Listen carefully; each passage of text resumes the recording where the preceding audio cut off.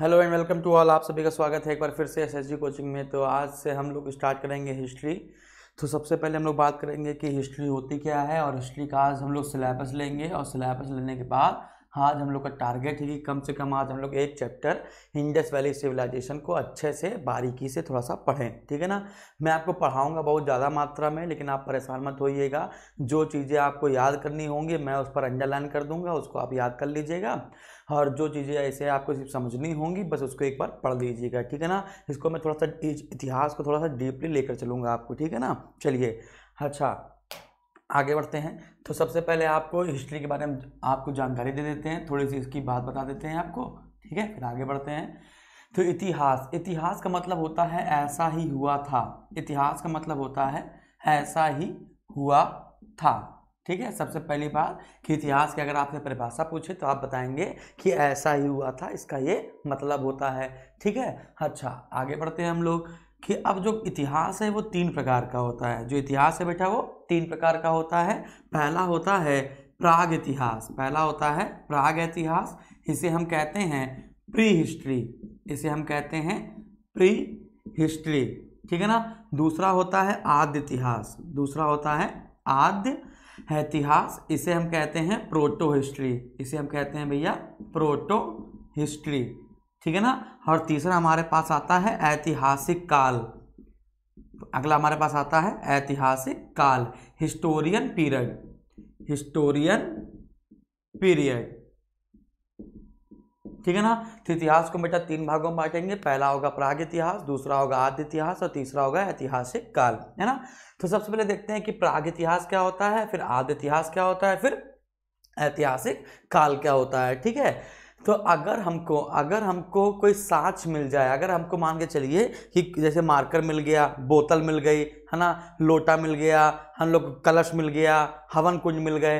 तो अगर हमको सिर्फ़ क्या मिल जाए? पुरातात्विक साक्ष मिल जाए। अगर हमको सिर्फ़ पुरातात्विक साक्ष मिल जाए, प्राचीन चीज़ों की वस्तुएँ मिल जाएँ, लेकिन पढ़ने की कोई चीज़ ना मिले। लेकिन पढ़ने की कोई चीज़ ना मिले मतलब लिखित साक्ष नहीं मिल रहे हैं, बस पुरातात्विक साक्ष मिल जाएँ। तो ऐसे इतिहास को हम लोग प्राग इतिहास कहते हैं। तो इसमें क्या है भैया? इसमें यह है कि प्राचीन साक्ष्य मिल जाए।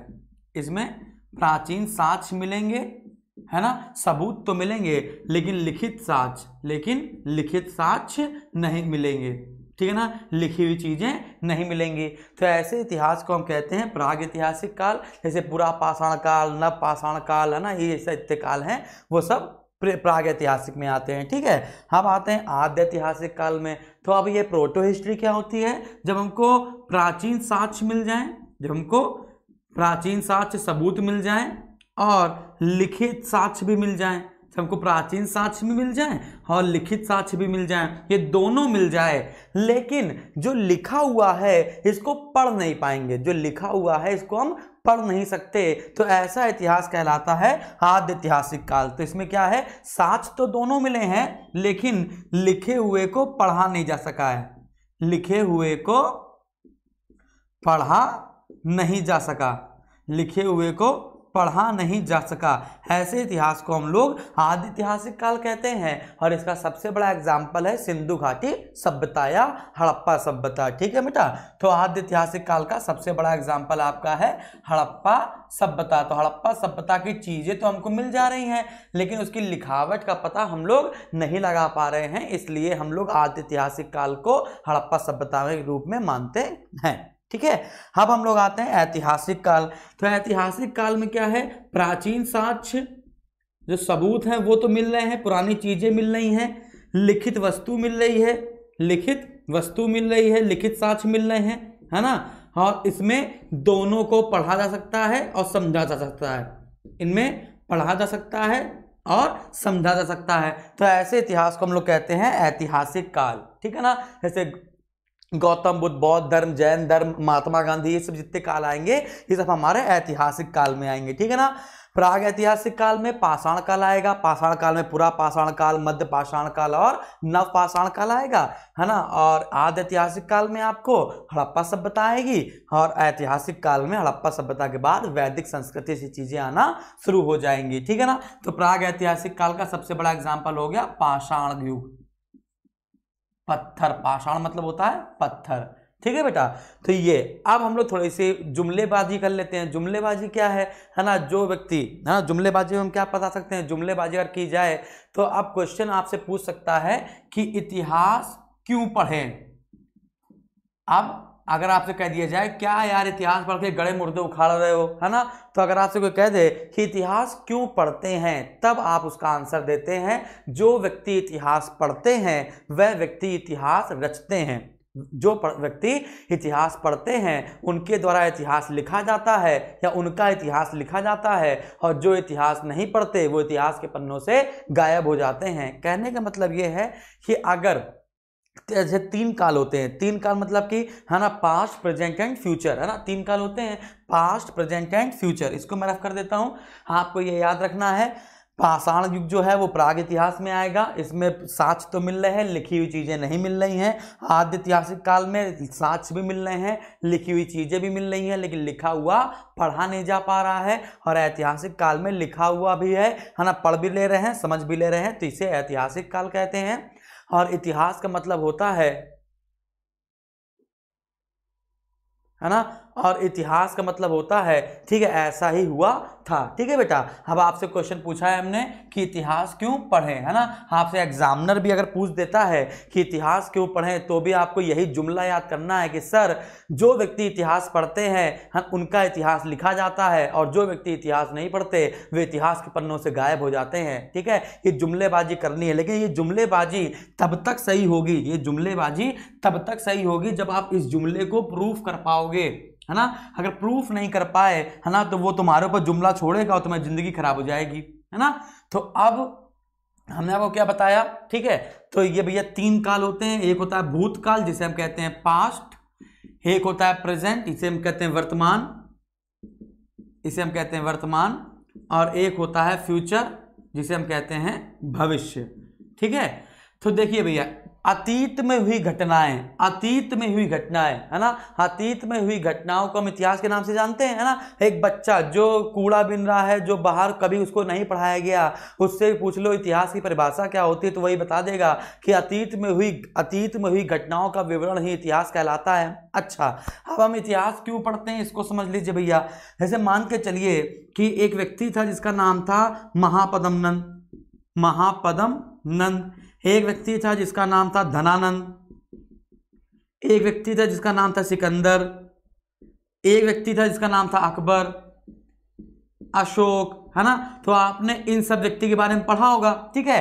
तो अब आपने क्या देखा? इनमें से बहुत लोगों के साम्राज्य बहुत बड़े हुआ करते थे, ठीक है ना? और बहुत लोगों के साम्राज्य छोटे छोटे हुआ करते थे।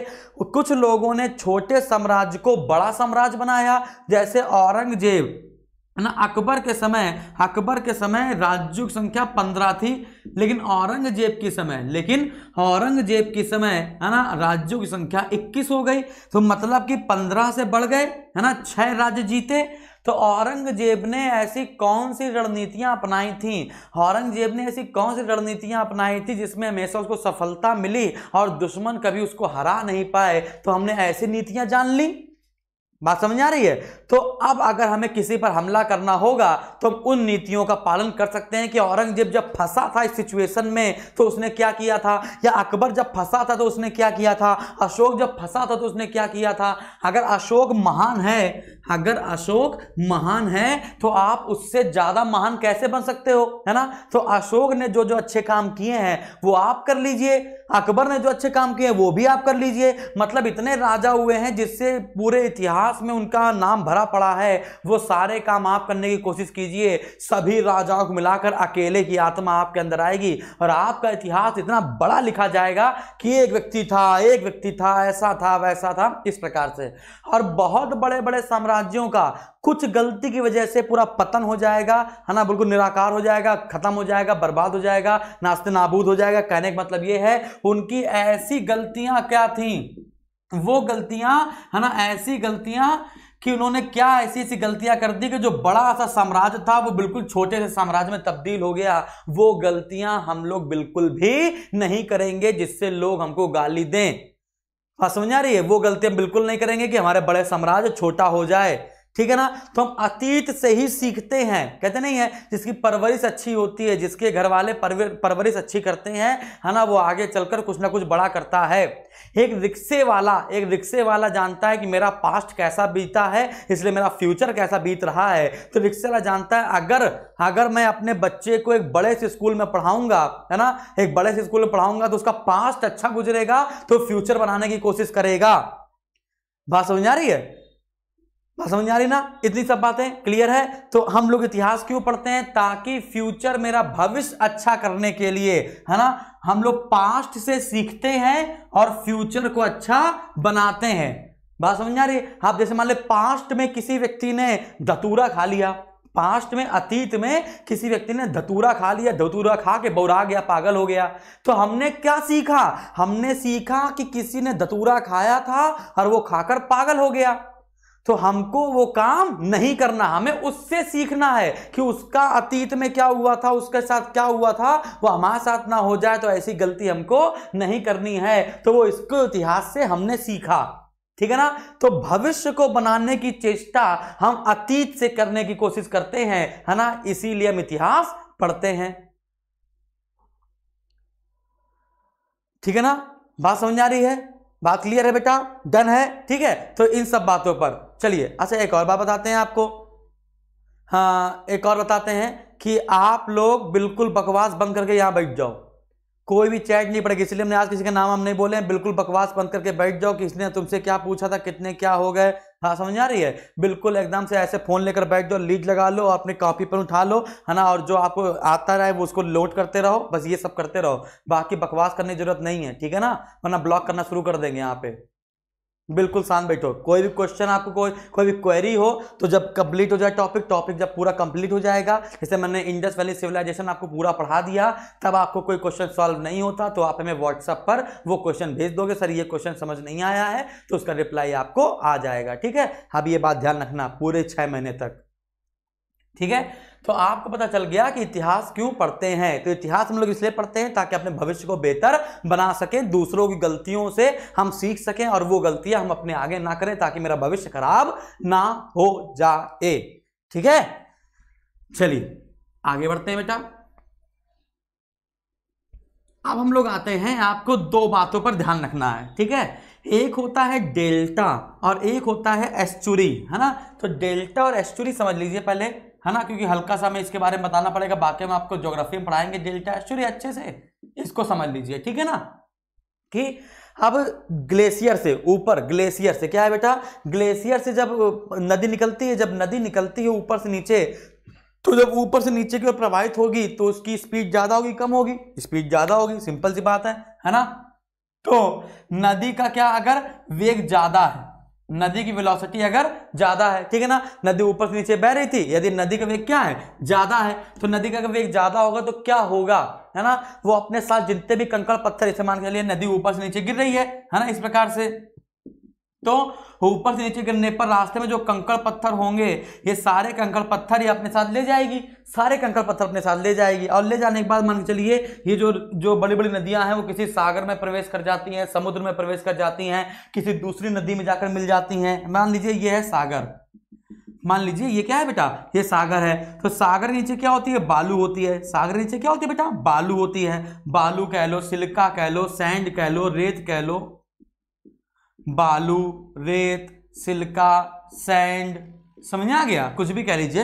तो अब ये जो बड़े बड़े कंकड़ पत्थर है, ये जो बड़े बड़े कंकड़ पत्थर है, जब इस सागर में गिरेंगे तो ये बड़े बड़े कंकड़ पत्थर क्या ऐसे सागर में तैरने लगेंगे? नहीं ना। ऐसा तो नहीं कि राम सेतु बन रहा हो, है ना? आदम ब्रिज बन रहा हो, आदम का पुल बन रहा हो, ऐसा तो होगा नहीं, ठीक है? तो ये जितने भी कंकड़ पत्थर हैं, ये सारे के सारे यहाँ पे धसेंगे। अब जैसे मान लीजिए कंकड़ पत्थर जब यहाँ पे गिरेगा तो नीचे की जो बालू है, रेत है, वो कटेगी, है ना? और कट कर कुछ इस प्रकार की आकृति बनाएगी, गड्ढा कर आकृति। है कि नहीं? कुछ इस प्रकार से गड्ढा कर आकृति बनाएगी। और जो गड्ढा कर आकृति बनाएगी, इसे हम कहते हैं एस्चुरी इसे हम क्या कहते हैं बेटा? एस्चुरी कहते हैं। क्लियर है? तो जो सागर के अंदर या समुद्र के अंदर जो गड्ढा कर आकृति बनाई गई है, किसी नदी के कंकड़ पत्थर या अवसादों द्वारा, इस कंकड़ पत्थर को कहते हैं अवसाद, है ना? मलबा। ठीक है? कंकड़ पत्थर या साधु द्वारा जो समुद्र के अंदर या सागर के अंदर जो आकृति बनाई गई है, इस आकृति को कहते हैं बेटा एस्चुरी क्लियर है? तो आपने क्या देखा? वेग ज़्यादा होगा। अगर वेग ज़्यादा होगा तो क्या बनेगी? जो कंकड़ पत्थर है, वो समुद्र में गिर जाएँगे। समुद्र में गिर जाएँगे। हाँ समुद्र में अगर गिरेंगे तो क्या बनेगी बेटा? एश्चुरी बनेगी। अच्छा हाँ भाई ये जो नदी थी वो सागर में जाकर नहीं गिरी, ये एक बड़े से मैदान में चली गई, है ना? अब अगर ये क्या है, ये अगर भी ये बड़े से मैदान में चली जाएगी तो मैदान में जाने पर क्या होगा? धीमे धीमे इस नदी का वेग क्या हो जाएगा? कम हो जाएगा। मान चलिए मैदान में चली गई। ठीक है ना? अगर ये मैदान में चली जाएगी इस प्रकार से तो जो कंकड़ पत्थर है, वो भी इसके साथ बहते चले जाएँगे। और जब लंबी दूरी तय कर लेगी नदी नदी जब लंबी दूरी तय कर लेगी तो वेग क्या हो जाएगा? स्पीड क्या हो जाएगी? कम हो जाएगी। स्पीड कम हो जाएगी जो जो कंकड़ पत्थर हैं, ये मैदान के किसी एक भाग पर इकट्ठे हो जाएँगे। मैदान के किसी भाग पर मैदान के किसी भाग पर क्या हो जाएँगे? इकट्ठा हो जाएँगे, है ना? अब जैसे मान के चलिए कि यहाँ पर नदी का वेग कम हो गया, यहाँ पर नदी का वेग कम हो गया तो यहाँ पर सारे कंकड़ पत्थर क्या हो जाएँगे? इकट्ठा हो जाएँगे। और ये इकट्ठा होते चले जाएँगे, है ना? सौ साल, दो सौ साल, पाँच सौ साल, हज़ार साल, दस हज़ार साल, है ना? बीस हज़ार साल, इस प्रकार से ये इकट्ठे होते चले जाएँगे। तो ये जो मलबा इकट्ठा हो गया है, इसे हम कहते हैं डेल्टा। ठीक है ना? तो मैदानी भागों में जो इकट्ठा हो गया है, इसे हम कहते हैं डेल्टा, और समुद्री भाग में जो इकट्ठा हो गया उसे हम कहते हैं एस्चुरी समझ में आ गया? क्लियर है? तो आपको पता चला? आपको क्या पता चला? आपको पता चला कि नदियाँ नदियाँ दो काम करती हैं। या तो ये डेल्टा बनाएँगी, या तो ये एस्चुरी बनाएँगी। है ना? या तो ये क्या बनाएँगे? डेल्टा बनाएँगी, या तो ये एस्चुरी बनाएँगी। क्लियर है? तो आपको पता है कि विश्व का सबसे बड़ा डेल्टा कौन सा है? सुंदरवन का डेल्टा। विश्व का सबसे बड़ा डेल्टा कौन सा है? सुंदरवन का डेल्टा, है ना? गंगा और ब्रह्मपुत्र नदी के सहयोग से बनता है।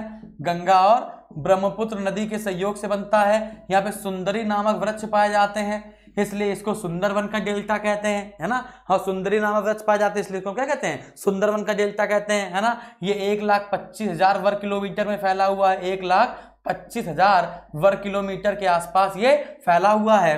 अच्छा अब आपको इतनी बात समझ में आ गई बेटा क्लियर है? तो डेल्टा डेल्टा और एस्चुरी में आपको बुनियादी अंतर समझ में आया, है ना? अगर आप यहाँ पर आपको अभी, अगर अभी कभी आपका पेपर है आर आर आरआरबी जेई का, है ना? इन सब का पेपर है तो ज्योग्राफी तो अभी टाइम लगेगा। अभी आप याद कर लीजिए कि नर्मदा और ताप्ती, नर्मदा और ताप्ती ऐसी नदियाँ हैं भारत की जो डेल्टा नहीं बनाती, क्या बनाती हैं? है ना, ताप, क्या बनाती हैं? एश्वरी बनाती हैं। क्लियर है? तो नर्मदा और ताप्ती नदियाँ डेल्टा ना बनाकर एश्वरी बनाती हैं। बस ये दोनों आपको याद रखना है, किसी तरीके से जब तक आपका जोग्राफी नहीं पढ़ा देते। ठीक है ना? तो ये हल्की फुल्की चीज़ आपको समझ में आ गई होगी। ठीक है? आगे बढ़ते हैं बेटा। जब दुनिया बनी थी, कहते हैं जब दुनिया बनी थी तो उस समय टोटल चार सभ्यताओं का विकास हुआ था। जब दुनिया बनी थी तो उस समय टोटल चार सभ्यताओं का विकास हुआ था, है ना? हम आते हैं कि बेटा, सबसे पहले, अगर हम लोग बात की जाए कि सबसे पहले मनुष्य की उत्पत्ति कहाँ हुई थी, है ना? तो कहते हैं जो मनुष्य की उत्पत्ति है, कहते हैं जो मनुष्य की उत्पत्ति है है ना? उसको हम लोग अफ्रीका में मानते हैं। कहते हैं सबसे पहले, है ना, अफ्रीका में किसी मनुष्य का पैदा, मनुष्य पैदा हुआ था और जो मेल है, उसको हम लोग एडम के नाम से जानते हैं और जो फीमेल है उसको हम लोग ईव के नाम से जानते हैं, ठीक है ना? तो एडम और ईव के नाम से जानते हैं। अच्छा एक और बात बता दें आपको कि जो एडम और ईव है है ना, इस, इसके पहले लोगों में स्वजनन की क्षमता थी सेल्फ रिप्रोडक्शन की क्षमता हुआ करती थी, ऐसा बताया जाता है। अब अफ्रीका में वो क्षेत्र बताइए, जहाँ पर सबसे पहले मनुष्य पैदा हुआ था तो यहाँ पर दो संभावनाएँ होती हैं। एक हो सकता है युगांडा, एक हो सकता है युगांडा, और एक हो सकता है साउथ अफ्रीका मतलब कि दक्षिण अफ्रीका। है ना एक हो सकता है युगांडा और एक हो सकता है दक्षिण अफ्रीका, ठीक है ना? अब युगांडा युगांडा क्यों है? क्योंकि बताइए बेटा after sex after sex sex के दौरान जो भी रोग होता है, उसको हम कहते हैं एचआईवी जो भी रोग फैलता है, उसे हम एचआईवी या एड्स कहते हैं क्लियर है? तो कहा जाता है कि विश्व का पहला एचआईवी या एड्स का मरीज़, विश्व का पहला एचआईवी या एड्स का जो मरीज़ था, वो हमको 1981 में अमेरिका के कैलिफ़ोर्निया में प्राप्त हुआ था।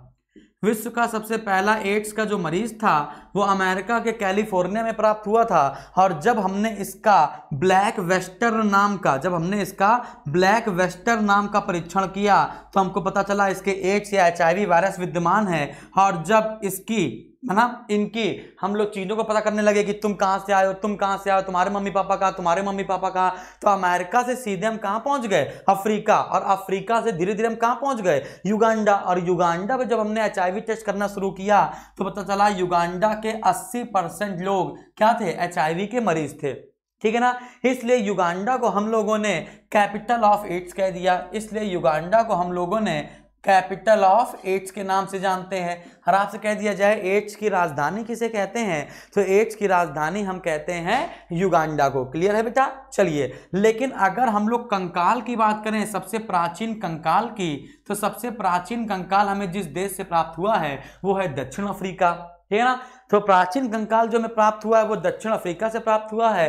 हाँ लेकिन जो सेक्स के मरीज़ हैं, वो सबसे ज़्यादा एच के जो मरीज़ हैं, वो कहाँ से प्राप्त हुए हैं? युगांडा से प्राप्त हुए हैं। ठीक है ना? चलिए तो इतनी आपको बात समझ में आ रही है क्लियर है? तो अगर हम लोग जन्म के हिसाब से देखें कि कहाँ से जन्म लेना लोगों ने शुरू किया तो युगांडा ऑप्शन में आ सकता है। कैपिटल ऑफ़ एड्स पूछे तो भी युगांडा लगाना है, और सबसे प्राचीन कंकाल पूछे तो हमको क्या लगाना है? दक्षिण अफ्रीका के आसपास लगाना है कि मनुष्य की पत्ती दक्षिण अफ्रीका या युगांडा में से किसी को मानते हैं। तो आंसर वहाँ पर, महाद्वीप कौन सा होगा? अफ्रीका। अच्छा आपने अगर ओलंपिक खेल कभी देखा होगा अगर आपने ओलंपिक गेम देखे होंगे तो उसमें देखना, है ना, चार सर्किल होते हैं, उसमें पाँच सर्किल होते हैं, ठीक है ना? अगर आपने कभी ओलंपिक गेम देखे होंगे तो उसमें पाँच सर्किल होते हैं, ठीक है ना? अब जो पाँच सर्किल है, अब ये जो पाँच सर्किल हैं, ये पाँच महाद्वीपों को दर्शाते हैं, ठीक है ना? ओलंपिक खेल अगर आपने कभी देखे हो, ओलंपिक खेल ठीक है ना? ओलंपिक खेल में, है ना, पाँच सर्किल होते हैं, ठीक है ना? ये जो पाँच सर्किल हैं, ये पाँच महाद्वीपों को दर्शाते हैं। जो पाँच सर्किल हैं, ये पाँच कॉन्टिनेंट मतलब पाँच महाद्वीपों को दर्शाते हैं। जिस प्रकार जैसे जो नीला है है ना? एक नीला सर्किल है, एक पीला सर्किल है, एक लाल सर्किल है, एक हरा है और एक काला है, ठीक है ना? तो जो नीला सर्किल है, वो यूरोप महाद्वीप को दर्शाता है। जो पीला सर्किल है, वो एशिया महाद्वीप को दर्शाता है। जो लाल सर्किल है, वो अमेरिका महाद्वीप को दर्शाता है। हरा वाला ऑस्ट्रेलिया को दर्शाता है और काला वाला महाद्वीप अफ्रीका को दर्शाता है। ठीक है ना? तो ओलंपिक खेलों में ये टोटल पाँच सर्किल पाँच महाद्वीपों को दर्शाते हैं और बताया जाता है इन्हीं सर्किलों को हम क्या मानते हैं? अपने खेल का आधार मानते हैं। कभी हम लोग नीले सर्किल में खेल खेलते हैं, कभी काले में, कभी पीले में, इस प्रकार से। लेकिन जब हमको पता चला कि अधिकतर बीमारियों का जो केंद्र है, अधिकतर बीमारियों का जो केंद्र है, वो कौन सा कॉन्टिनेंट है? अफ्रीकन कॉन्टिनेंट है। क्लियर है? क्लियर है बेटा? तो जब हम देखें कि जब अधिकतर अधिकतर बीमारियों का जो केंद्र है वो कौन सा है? अफ्रीका महाद्वीप है। इसलिए हम लोगों ने अफ्रीका महाद्वीप में ओलंपिक गेमों का आयोजन बंद कर दिया। तो आपसे कह दिया जाए कि बताइए किस सर्किल में, अगर आपसे कह दिया जाए, कौन से सर्किल में ओलंपिक खेलों का आयोजन बंद कर दिया गया है? तो अफ्रीका महाद्वीप या फिर काले वाले सर्किल में अफ्रीका महाद्वीप जो है, वो पुरानी प्रथाओं को मानता है। जिस प्रकार से, है ना, कहते हैं कि जीव में कील चुभोकर, है ना ये लोग ऐसे मुकुट उकुट पहनकर, है ना, जानवरों की खाल के साथ, जानवरों को लेकर या जानवरों की खाल को ओढ़कर ये नंगे पैर कोयले पे चल जाते हैं। मतलब कि जो प्राचीन प्रथाएँ हैं, वो अफ्रीका महाद्वीप में सबसे ज़्यादा फैली हुई हैं। मतलब कि पिछड़ा हुआ महाद्वीप है। जो अफ्रीका महाद्वीप है, वो थोड़ा सा पिछड़ा हुआ महाद्वीप है। इसलिए अफ्रीका महाद्वीप को हम लोग आंध्र महाद्वीप के नाम से जानते हैं, है ना? आंध्र महाद्वीप के नाम से जानते हैं। याद रखिएगा, आंध्र मतलब कि पिछड़ा हुआ, है ना? आंध्र मतलब कि क्या होगा? पिछड़ा हुआ। बात समझ आ रही है? तो इतनी आपको बात समझ में आ गई होगी तो मैं आपसे आगे बढ़ता हूँ बेटा, कि अभी लगभग 160-70 साल पहले, है ना? लगभग 160-70 साल पहले हमको दो कंकाल प्राप्त हुए। रफ करें इसको बेटा। तो 160-70 साल पहले हमको दो कंकाल प्राप्त हुए, है ना? एक प्राप्त हुआ है जर्मनी से और एक प्राप्त हुआ है फ्रांस से। एक प्राप्त हुआ है जर्मनी से और एक प्राप्त हुआ है फ्रांस से। तो जो जर्मनी से प्राप्त कंकाल है, उसको हमने नियंडर मानव के नाम से जानते हैं और जो फ्रांस से प्राप्त कंकाल है, उसको हम लोग क्रोमैग्नन के नाम से जानते हैं। तो अब हमको आज से 160 वर्ष पहले 160 वर्ष पूर्व दो कंकाल प्राप्त हुए। 160 वर्ष पूर्व हमको दो कंकाल प्राप्त हुए। एक प्राप्त हुआ है फ्रांस से और एक प्राप्त हुआ है जर्मनी से। एक प्राप्त हुआ है फ्रांस से और एक प्राप्त हुआ है जर्मनी से। तो फ्रांस से जो प्राप्त हुआ है, उसको हमने क्रोमैग्नन मानव कहा है। जो फ्रांस से प्राप्त हुआ है, उसको हमने क्रोमैग्नन मानव के नाम से जानते हैं। और जो जर्मनी से प्राप्त हुआ है, उसको हम लोग नियंडर थल मानव के नाम से जानते हैं। नियंडर थल मानव के नाम से जानते हैं। अच्छा अगर हम लोग वर्तमान में मानव को कैटेराइज करें तो सो बेटा देखो पहले जो मनुष्य थे ना, वो पूर्व, मनुष्य के जो पूर्वज थे, मनुष्य के जो पूर्वज थे, उनको हम कपी कहते हैं। मनुष्य के जो पूर्वज थे, उनको हम एप्स या कपी कहते हैं। अब एप्स या कपी क्या होते हैं? ये होते हैं चिंपैंजी चिंपैंजी, गुरिल्ला बनमानुस वन मानुस मतलब कि वन में रहने वाला वन मानुस ओरांगुटान, है ना? प्राइमेट, गिब्बन, ठीक है ना? इस प्रकार से, ठीक है ना? तो अगर अगर इनमें से कह दिया जाए, अगर आपसे कह दिया जाए कि बताइए सबसे सबसे बताइए, सबसे बुद्धिमान कपि कौन है? सबसे बुद्धिमान कपि कौन है? तो सबसे बुद्धिमान कपि है गिब्बन। याद रखिएगा सबसे बुद्धिमान जो एप्स है, सबसे जो बुद्धिमान कपी है, वो है गिब्बन। गिब्बन के बाद आता है चिंपैंजी चिंपैंजी के बाद आता है गुरिल्ला समझ गया? तो अगर आपसे जो मनुष्य के पूर्वज है, वो कपी कहलाते हैं, है ना? यही जब कपी दो पैर पे खड़े हो गए, यही कपी जब दो पैर पे खड़े हो गए तो इनको हमने कह दिया होमो इरेक्टस जब ये कपी दो पैर पे खड़े हो गए तो इनको हमने कह दिया होमो इरेक्टस जो कपी दो पैर पर खड़े हो गए जो कपि दो पैर पर खड़े हो गए, इनको हमने कह दिया Homo erectus Homo erectus clear है? फिर इसके बाद होमो इरेक्टस के बाद जब धीमे धीमे इनमें थोड़े से सोचने समझने की क्षमता आ गई तो हमने इसे कह दिया होमो सैपियंस होमो सैपियंस ठीक है ना? अब वर्तमान में जो चल रहा है, वो है Homo sapiens sapiens Homo sapiens sapiens clear है? अच्छा तो जो खड़े हो गए, उन्हें कह दिया होमो इरेक्टस होमो इरेक्टस के बाद आ गए होमो होमोसेपियंस होमो सैपियंस के बाद जो वर्तमान का मानव है, उसे हम कहते हैं होमो सेपियंस सैपियंस वर्तमान का जो मानव है, उसको हम कहते हैं होमो सैपियंस सैपियंस ठीक है ना? अगला जो मानव होगा, अगला जो मानव होगा, उसके बाल नहीं होंगे। तो आपको जैसे पता है कि एक लैमार्कवाद थ्योरी है और एक क्या है, डार्विनवाद थ्योरी है। तो यहाँ पर हम आपको लैमार्कवाद और डार्विनवाद के बारे में बता देते हैं, है ना? फिर इसके बाद हम लोग धीमे से होमो फ्यूचरिस में आएँगे कि अगला फिनोमिना मनुष्य का कौन सा है? तो मनुष्य की अगली जो प्रजाति है, उसको हम लोग होमो फ्यूचरिस के नाम से जानते हैं। तो सबसे पहले मुझे इसको रफ करना पड़ेगा। इसको मैं रफ कर देता हूँ। ठीक है? तो यहाँ पर आपको दो पॉइंट आपको समझ में आने चाहिए। एक होता है लैमार्क और एक होता है डार्विन।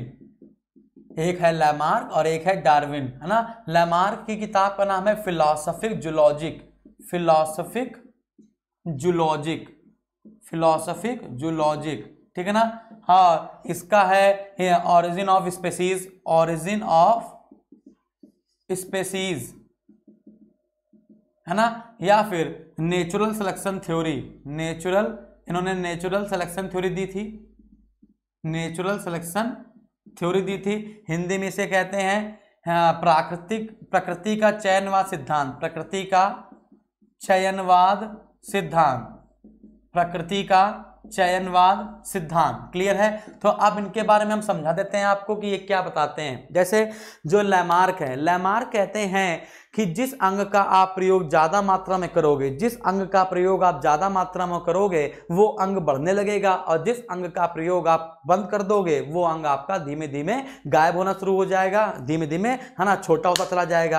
है ना, कहने का मतलब ये है, जैसे हम लोग, जो हम लोग दैनिक जीवन में प्रयोग करते हैं, जो जिम जाते हैं, जिम जाते हैं ना तो खूब डंबल मार रहे हैं तो जो जहाँ, जिस अंग का प्रयोग करोगे, जिस अंग का प्रयोग करोगे, वो बॉडी आपकी बनेगी, है ना। आप देखते हो, चेस्ट की मशीन अलग होती है है ना, बाइसेप्स की मशीन अलग होती है ट्राइसेप्स की अलग होती है, हाथ पैर सबकी अलग अलग होती है है ना?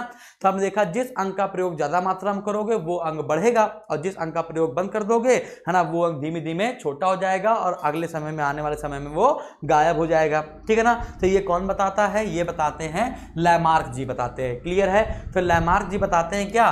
कि अंग, जिस अंग का प्रयोग करोगे, अंग का प्रयोग करोगे तो वो बढ़ेगा अंग का प्रयोग करोगे तो बढ़ेगा, नहीं करोगे, प्रयोग नहीं करोगे तो वो क्या हो जाएगा? है ना कम हो जाएगा या फिर अगले समय में वो गायब हो जाएगा। तो मनुष्य जिस अंग का प्रयोग नहीं करता, मनुष्य जिस अंग का प्रयोग नहीं करता और अगले पीढ़ी में जिसके गायब होने की संभावना ज़्यादा होती है, उन अंगों को हम लोग वेस्टिजियल ऑर्गन मतलब कि अवशेषी अंग के नाम से जानते हैं। जिन अंगों का प्रयोग मनुष्य वर्तमान में नहीं कर रहा है है ना, वो आगे चलकर मनुष्य के गायब हो जाएँगे तो उस अंगों को हम क्या कहते हैं? वेस्टिजियल ऑर्गन या फिर, है ना, अवशेषी अंग के नाम से जानते हैं। जैसे कि ये जो कर्ण पल्लव पेशियाँ हैं, ये ये जो कान वाली पेशियाँ हैं, है ना, ये खड़ी तो हैं, इनका क्या काम है बेटा? कोई काम नहीं ना? तो इसको कोई हिलाता है क्या? जो व्यक्ति ये कर्ण पल्लव पेशियाँ हिला लेगा, उसके अगले समय तक रहेंगी, जो हिलाना बंद कर देगा धीमे धीमे क्या होंगे? ये छोटी होती चली जाएँगी। है ना? हाँ कल डाल जो सबसे पीछे निकलती है, उसका कोई काम है? बिल्कुल काम नहीं है है ना? और मनुष्य के बाल, कोई काम है? बिल्कुल कोई काम नहीं है, ठीक है ना? तो इस प्रकार से तो अवशेषी अंग आपको समझ में आ गया ना? अवशेषी अंग क्या है? है ना? कर्ण पल्लव पेशियाँ कर्ण पल्लव, ईयर पिन्ना कर्ण पल्लव पेशियाँ, है ना? तो कर्ण पल्लव पेशियाँ हो गई तो ये अवशेषी अंग हो गया, ठीक है ना? मनुष्य के बाल हो गए, मनुष्य के बाल हो गए, ठीक है ना? और और बहुत सारी चीज़ें हैं, जैसे अपेंडिक्स हो गई। अपेंडिक्स हो गई। ठीक है ना? तो ये सब जो चीज़ें हैं, वो क्या कहलाती हैं बेटा? अवशेषी अंग या वेस्टिजल ऑर्गन कहलाती हैं। अब डार्विन क्या कहते हैं? डार्विन कहते हैं कि कि प्रकृति प्रकृति जिस वस्तु को जीवित रखना चाहती है या प्रकृति जिसको जीवित रखना चाहती है, वह जीवित रहता है और जिसको जीवित रखना नहीं चाहती, वो व्यक्ति मर जाता है या वो चीज़ समाप्त हो जाती है। ये डार्विनवाद की थ्योरी थी। डार्विनवाद को मैं समझाता हूँ आपको कि डार्विनवाद क्या बताते हैं? यहाँ पर हम आपको दो एग्ज़ाम्पल सेट करेंगे। यहाँ पर हम आपके दो एग्ज़ाम्पल सेट करेंगे, ठीक है ना? यहाँ पर हम आपके दो एग्ज़ाम्पल सेट करेंगे। एक होता है जिराफ वाला एग्ज़ाम्पल और एक होता है रेगिस्तानी पौधों का एग्ज़ाम्पल रेगिस्तानी पौधों का एग्ज़ाम्पल ठीक है ना? रेगिस्तानी पौधों को कहते हैं ज़ीरो फाइट ज़ीरो फाइट याद रखिएगा। रेगिस्तान में उगने वाले पौधों को कहते हैं ज़ीरो फाइट ठीक है ना? तो हम यहाँ पे जिराफ और इसकी बात करेंगे। तो अब लैमार्क क्या कहते हैं? लैमार्क कहते हैं कि जो जिराफ की गर्दन लंबी कैसी हो गई? क्योंकि कहते हैं कि जो जिराफ है, उसने पहले छोटी पत्ती खाई, जब ऊपर पत्ती चली गई तो उसने अपनी गर्दन उठाई, फिर ऊपर वाली खाई, फिर और उठाई, फिर अगली खाई, फिर और उठाई तो और अगली खाई तो धीमे धीमे जिराफ की गर्दन ही सिर्फ़ लंबी हो गई। ठीक है ना? और इसमें क्या बताया? इसमें बताया रेगिस्तानी पौधों में कि रेगिस्तानी पौधों की जड़ें इसलिए लंबी हो गई क्योंकि उनको पानी नहीं मिल रहा था। पानी नहीं मिल रहा था तो धीमे धीमे बढ़ती रहेगी पानी। अब मिलेगा अब मिलेगा अब मिलेगा, है ना? और पानी की तलाश में रेगिस्तानी पौधों की जड़ें क्या हो गई? लंबी हो गई। तो ये किसने बताया है भैया? ये दोनों थ्योरी दी है लैमार्क ने। ये थ्योरी दी किसने दी है भैया? लैमार्क ने। तो डार्विन ने क्या बताया? डार्विन ने बताया ऐसा कुछ नहीं था, है ना? प्रकृति में दो तरह की जिराफ थे, एक लंबी गर्दन वाले, एक छोटी गर्दन वाले तो डार्विन ने तो प्रकृति ने प्रकृति ने लंबी गर्दन वाले जीवों को, लंबी गर्दन वाले जिराफों को जीवित रखना चाहा था, इसलिए पौधों की लंबाई बढ़ा दी तो लंबी गर्दन वाले पौधे खा पाए और छोटी गर्दन वाले पौधे खा नहीं पाए तो वो मर गए। ठीक है? बताया कि यहाँ पर दो पौधे हुआ करते थे, एक छोटी जड़ वाले और एक बड़ी जड़ वाले। तो प्रकृति ने छोटी जड़ वाले पौधों को मारना चाहा था, इसलिए छोटी जड़ वाले पौधे समाप्त हो गए और लंबी जड़ वाले पौधों को पानी मिलता रहा, क्योंकि उनको वो जीवित रखना चाहती थी। ठीक है ना? तो प्रकृति के ऊपर पूरा डिपेंड करता है डार्विनवाद, है ना? और अंगों के प्रयोग पर डिपेंड करता है पूरा। लैमार्कवाद, क्लियर है? हाँ अगर हम अवशेषी अंगों को लेकर चलें, अवशेषी अंगों को लेकर चलें तो आपको क्या बताया हमने कि जो बाल है भैया वो गायब जाएँगे, है ना? कड़ पल्लो पेशियाँ गायब हो जाएँगी। तो आप देखिए कि अगर आपके अगर आपके शरीर से, अगर आपके मुँह से ये सब भाव भाव सब गायब हो जाए दाढ़ी मुझ गायब हो जाए, है ना, ये सारी चीज़ें गायब हो जाए, है ना तो मनुष्य कैसा लगेगा? तो जो अगला फिनोमना आएगा, जो अगला फिनोमना आएगा होमोसैपियंस सैपियंस के बाद, है ना, अगला जो मनुष्य होगा, उसको हम होमो फ्यूचरिस कहते हैं। तो जो भविष्य का फिनोमिना है, उसको हम लोग होमो फ्यूचरिस के नाम से जानते हैं। होमो फ्यूचरिस के नाम से जानते हैं, है ना? ह्यूमोफ्यूचरिस की दो आपको क्वालिटी याद रखनी है, कि इनका जो सिर होगा, वो गुंबदाकार होगा। इनका जो सिर होगा, वो गुंबदाकार होगा। मतलब लहसुन देखा है आपने इस प्रकार से, ठीक है ना? तो जिनका सिर होगा, वो गुंबदाकार होगा। और ये हमसे कई गुना क्या होंगे? ज़्यादा बुद्धिमान होंगे, है ना? इनका कद छोटा होगा, कद छोटा होगा, है ना? और मस्तिष्क वर्तमान से ज़्यादा विकसित होगा। मस्तिष्क जो होगा, वो वर्तमान से ज़्यादा विकसित होगा। है ना? अभी तो क्या होता है? अभी तो ये होता है कि लड़की है लड़क, लड़की लड़का जा रहे हैं लड़की लड़का जा रहे हैं तो जिसके बाल लंबे हैं तो आदमी कहता है लड़की है देखो लड़का लड़की के साथ घूम रहा है। है ना? अब अगले अगले जो समय आएगा उसमें क्या होगा कि लड़कियों के बाल होंगे नहीं लड़के के बाल नहीं होंगे है ना? और सब जीन्स और टी शर्ट पहन के घूम रहे होंगे पता नहीं चलेगा लड़की लड़का जा रहा है लड़का लड़का जा रहा है। समझ में आ गया? तो एक प्रॉफिट भी हो सकता है लॉस भी हो सकता है। इतनी आपको बात समझ में आई बेटा? तो भविष्य का मानव कहलाएगा होम्यो फ्यूचरिस्ट और सिर कैसा होगा गुम्बदाकार होगा और कद छोटा होगा मस्तिष्क वर्तमान से ज़्यादा विकसित होगा। तो अगर हम लोग वर्तमान मानव की बात बताई जाए, अगर हम लोग वर्तमान मानव की बात बताएँ, ठीक है ना? अगर हम लोग वर्तमान मानव की बात बताएँ तो अगर कह दिया जाए वर्तमान के मानव होमो सैपियंस का पूर्वज कौन था? है ना? जैसे कि हम लोग के जो पूर्वज है, वो कपी हैं। हम लोग के जो पूर्वज कौन है? कपी हैं। अगर कपी ना दे, कह दिया जाए कि वर्तमान मानव का पूर्वज किसे कहते हैं? वर्तमान मानव का पूर्वज किसे कहते हैं? तो वर्तमान मानव का पूर्वज हम लोग कहते हैं, है ना? क्रो मैगनन मानव को। किसको कहते हैं भैया? क्रो मैगनन मानव को क्रो मैगनन मानव को। ठीक है ना? इसका जो कपाल गुहा का आयतन था, इसकी जो खोपड़ी का आयतन था, इसकी जो कपाल गुहा का आयतन था, वो 1650 सीसी था। 1650 सीसी था 1650 क्यूबिक सेंटीमीटर समझ में आ गया? तो वर्तमान मानव का जो पूर्वज कहते हैं, उसे क्या कहते हैं भैया? क्रो मैग्नन मानव, और इसके कपाल गुहा का आयतन 1650 सीसी था, जबकि वर्तमान के, जबकि वर्तमान मानव के कपाल गुहा का आयतन, जबकि वर्तमान मानव के कपाल गुहा का आयतन 1450 सीसी होता है।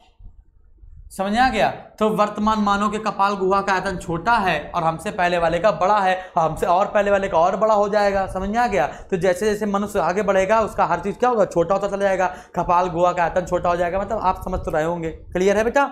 डन है। और ये कहाँ से पाया गया है, फ्रांस से पाया गया है। तो आई होप आपको समझ में आया बेटा। चलिए, अब हम लोग आगे बढ़ते हैं। तो अतीत में कुल चार सभ्यताएँ थी। ठीक है ना बेटा?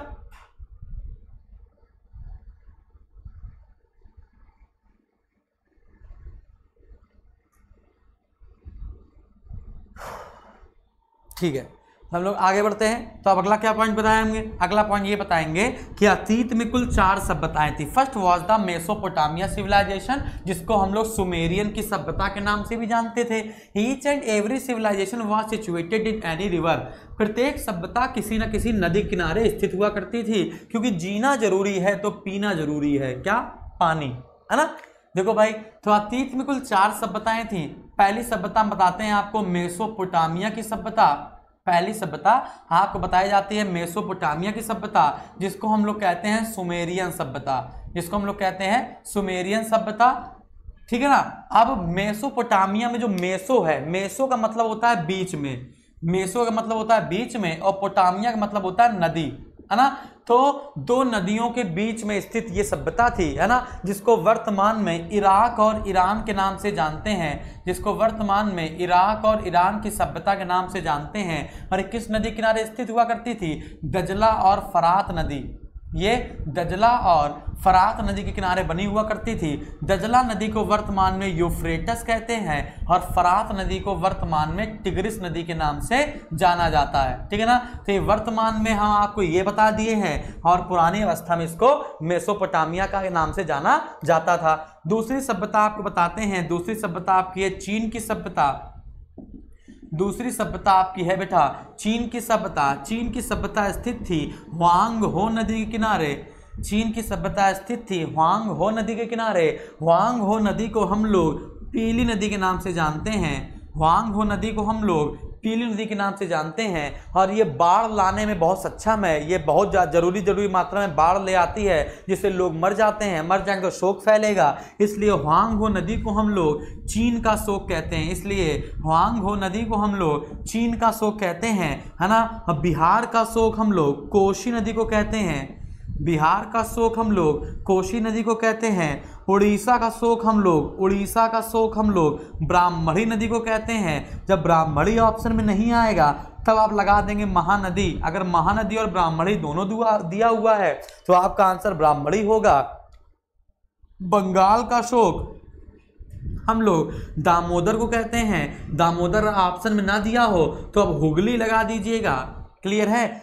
तो ये आपको तीन शौक और याद रखने हैं कि चीन का शोक sorrow of China हुआंगो sorrow of Bihar, Kosi, sorrow of Orissa Brahmani या महानदी, सौरव ऑफ़ बंगाल, दामोदर या हुगली को कहते हैं। ये उस क्षेत्र में बाढ़ लाती है है ना? जिस नदी, जो नदी बहती है जहाँ पर ये बाढ़ ले आती है तो गाँव मर जाते हैं, गाँव के लोग हैं, भाई चीन की सभ्यता के बाद आपकी आएगी? मिस्र की सभ्यता।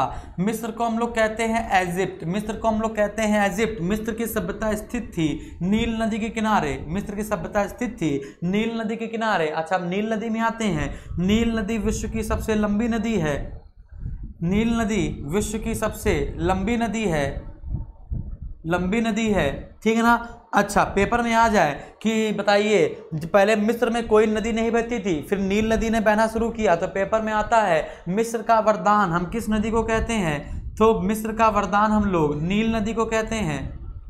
मिस्र का वरदान हम लोग नील नदी को कहते हैं। और विश्व का सबसे पहला डेल्टा डेल्टा और एस्टुरियम ने आपको बताया था, विश्व का पहला डेल्टा विश्व का पहला डेल्टा किस नदी पर देखा गया? तो विश्व का पहला डेल्टा नील नदी पर देखा गया। इसकी आकृति कैसी थी? इसकी आकृति त्रिभुजाकार थी। ठीक है ना? विश्व का सबसे पहला डेल्टा नील नदी पर देखा गया था। इसकी आकृति त्रिभुजाकार थी और इसको सबसे पहले देखा था हैरोडोटस ने। इसको सबसे पहले देखा था हैरोडोटस ने। और हैरोडोटस को ही हम लोग इतिहास का पिता कहते हैं। और हैरोडोटस को ही हम लोग इतिहास का क्या कहते हैं बेटा? पिता कहते हैं, है ना? और डेल्टा का पिता भी हम किसे कहेंगे? तो आंसर आएगा हेरोडोटस, ठीक है ना? तो डेल्टा का पिता कहेंगे हेरोडोटस को और इतिहास का पिता भी हम लोग हेरोडोटस को ही कहेंगे। अगला देखते हैं भाई, मिस्र की सभ्यता के बाद जो चौथी सभ्यता थी, वो थी सिंधु घाटी सभ्यता या हड़प्पा सभ्यता। सिंधु घाटी सभ्यता या हड़प्पा सभ्यता हड़प्पा सभ्यता किस नदी किनारे हुआ करती थी? तो कुछ लोग बताते हैं सिंधु सभ्यता कुछ लोग कहते हैं सरस्वती सभ्यता तो इसको तो हम लोग बहुत डिटेल से पढ़ने वाले हैं आज। तो ये तो इंट्रोडक्शन में आपको बता रहा हूँ। इतनी अगर आपको बात समझ में आई तो कुछ बातें आपको मिस्र से याद करनी पड़ेंगी। कुछ बातें आपको मिस्र से याद करनी पड़ेंगी। मैं आपको मिस्र से कुछ बातें बता देता हूँ। फिर इसके बाद, मिस्र की बात करने के बाद हम लोग सिंधु घाटी सभ्यता पर आएँगे। ठीक है?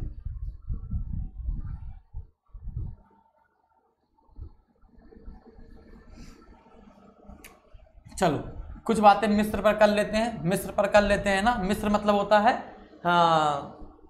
एजिप्ट मिस्र मतलब क्या होता है भैया? एजिप्ट मिस्र की राजधानी है काहिरा। ठीक है ना? मिस्र की राजधानी क्या है भैया? काहिरा। ठीक है ना? अच्छा अगला क्वेश्चन क्या है? मिस्र का वरदान किसे कहते हैं? नील नदी को। नील नदी पर एक बाँध बना हुआ है, इसको याद रखना है, आसवान बाँध।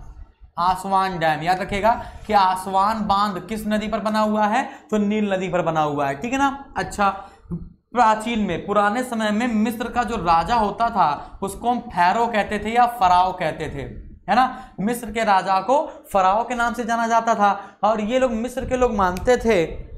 कि अच्छा जो मिस्र के लोग हैं, ये अपने राजा या फैरो से बहुत प्यार किया करते थे, है ना? बहुत मानते थे अपने राजाओं को।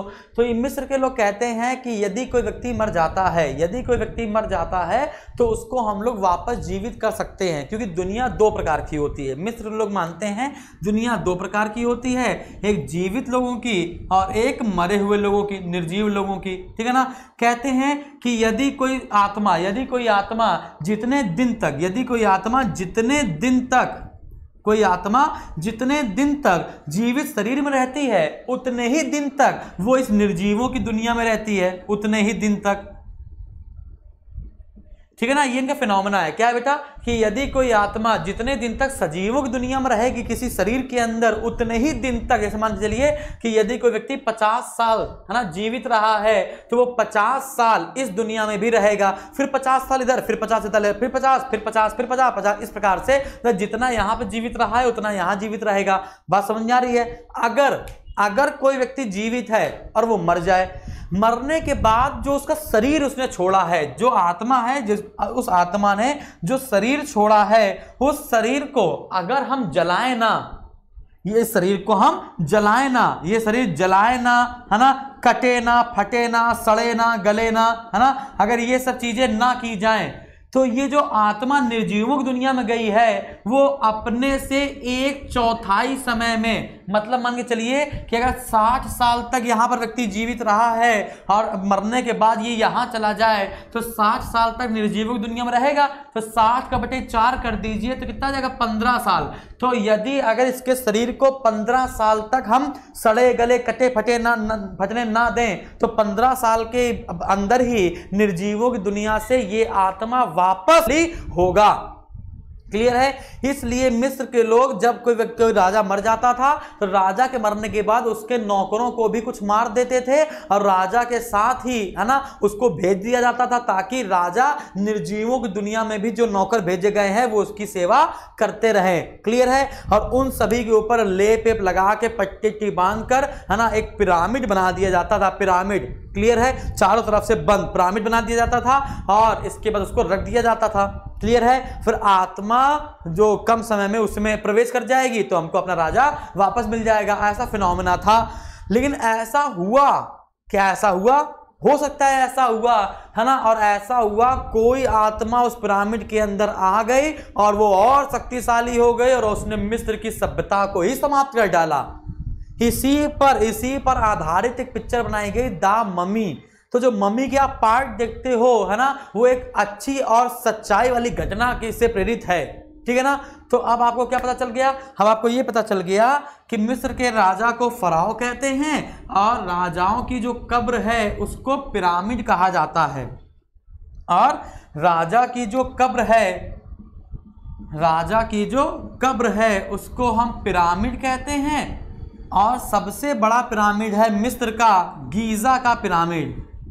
सबसे बड़ा पिरामिड है गीज़ा का पिरामिड और इस गीज़ा के पिरामिड की दो खास बात है बेटा। क्या खास बात है?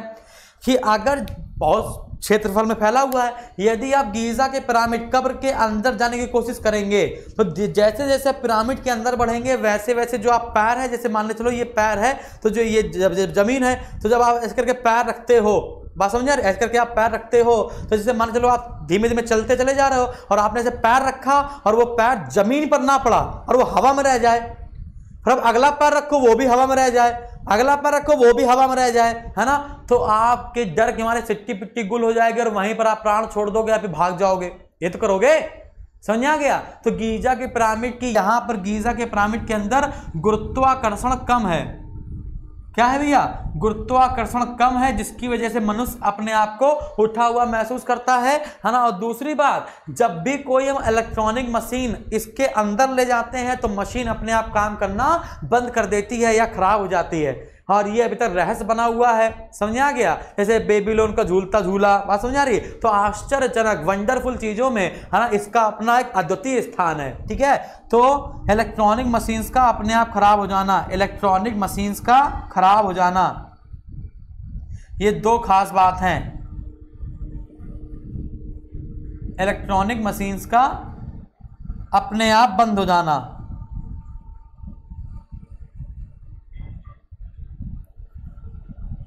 ठीक है? तो ये गीजा के पिरामिड के हमने आपको दो पॉइंट बताए बात समझ आ रही है? और सबसे बड़ा पिरामिड कौन सा है? गीजा का पिरामिड, ठीक है?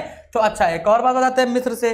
मिस्र से और क्वेश्चन क्या बन सकता है? अच्छा मिस्र की मिट्टी, मिस्र की मिट्टी को कहते हैं कीमिया। मिस्र की मिट्टी को कहते हैं कीमिया। ठीक है ना? और कीमिया का मतलब होता है काला रंग। मिस्र की मिट्टी को कहते हैं कीमिया, और कीमिया का मतलब होता है काला रंग, और इसी मिट्टी से बहुत सारे तत्वों की खोज की गई, है ना? और तत्वों के बारे में पढ़ना ही अपने आप में एक सब्जेक्ट चलाता है। तो कीमिया से बन गया केमिस्ट्री कीमिया से बन गया केमिस्ट्री समझ आ गया? तो आपसे कह दिया जाए कि फा, फादर कंट्री ऑफ़ केमिस्ट्री तो आप बताएँगे इजिप्ट या फिर मिस्र। और केमिस्ट्री शब्द मूलता किस देश से लिया गया है? तो भी आंसर होगा मिस्र। केमिस्ट्री शब्द किससे आया है? तो कीमिया से आया है। और केमिस्ट्री में कीमिया का मतलब क्या होता है? तो मिट्टी होता है। और अर्थ क्या होता है? तो काला रंग होता है। ठीक है ना? चलिए मिस्र के बारे में पढ़ लिया। तो अब हम लोग बात करेंगे सिंधु घाटी सभ्यता की। ठीक है ना? तो अब हम लोग किस पर बात करने वाले हैं? इंडस वैली सिविलाइजेशन की बात करने वाले हैं। ठीक है ना? सिंधु घाटी सभ्यता की बात करने वाले हैं। सिंधु घाटी सभ्यता देख लेते हैं भाई। सिंधु घाटी सभ्यता के बहुत सारे नाम हैं। मनुष्य ने सबसे पहले किस धातु का प्रयोग करना शुरू किया था? तांबे का, है ना? तो मनुष्य द्वारा प्रयोग किया सर्वप्रथम धातु। तो कह दिया जाए, सर्वप्रथम प्रयोग की गई धातु कौन सी थी? तो सर्वप्रथम प्रयोग की गई धातु थी तांबा, कॉपर।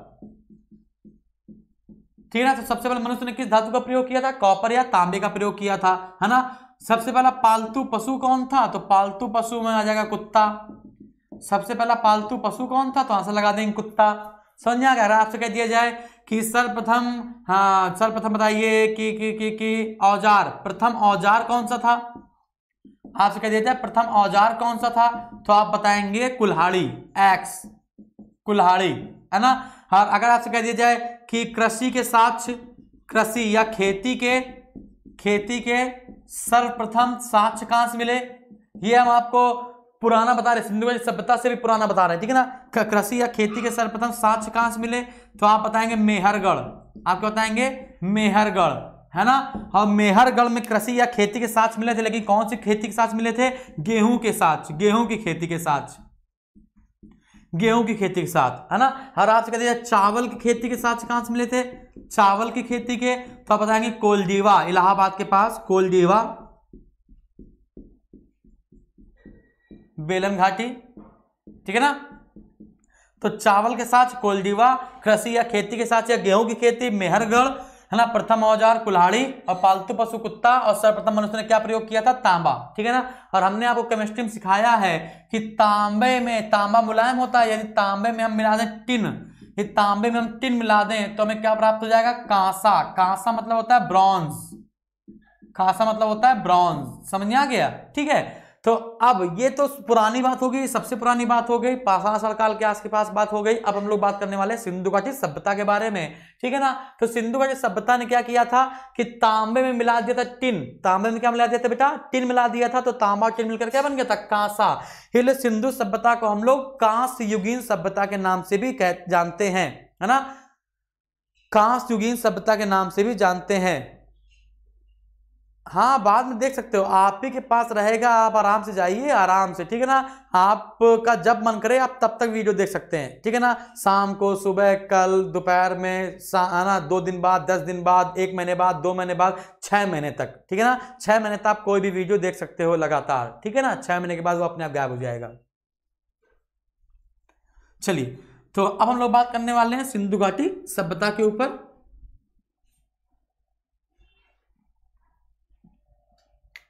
सिंधु घाटी सभ्यता के ऊपर। तो हम लोग पढ़ेंगे सिंधु घाटी सभ्यता, जिसको हम लोग इसका सबसे पहला नगर खोजा गया था, हड़प्पा सभ्यता। इसी को कहते हैं कांस्य युगीन सभ्यता। कांस्य युगीन सभ्यता, है ना? तो सिंधु सभ्यता को हड़प्पा सभ्यता भी कहते हैं कांस्य युगीन सभ्यता भी कहते हैं, है ना? और कुछ लोग, मेसोपोटामिया के लोग इसको मेलुआ के नाम से जानते हैं। है ना? इसको हम लोग सरस्वती सभ्यता के नाम से भी जानते हैं, ठीक है ना?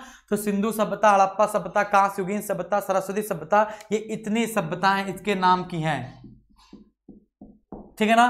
तो इसके बारे में हम लोग पढ़ने जा रहे हैं। तो देखते हैं भाई क्या हुआ था। बात बताते हैं आपको 1826 ईस्वी की, है ना? 1826 ईस्वी में एक व्यक्ति था जिसका नाम था चार्ल्स मेसान।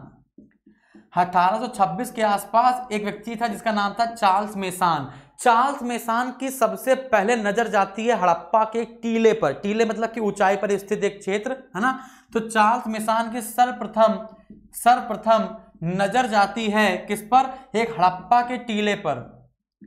हड़प्पा के टीले पर, है ना? और उसने सोचा, यार, ये क्या है? लेकिन अब हड़प्पा के टीले पर नज़र तो जाती है, लेकिन वहाँ पर कुछ बात नहीं हो पाती और इसको इग्नोर कर दिया जाता है। फिर आगे चलकर आगे चलकर, है ना?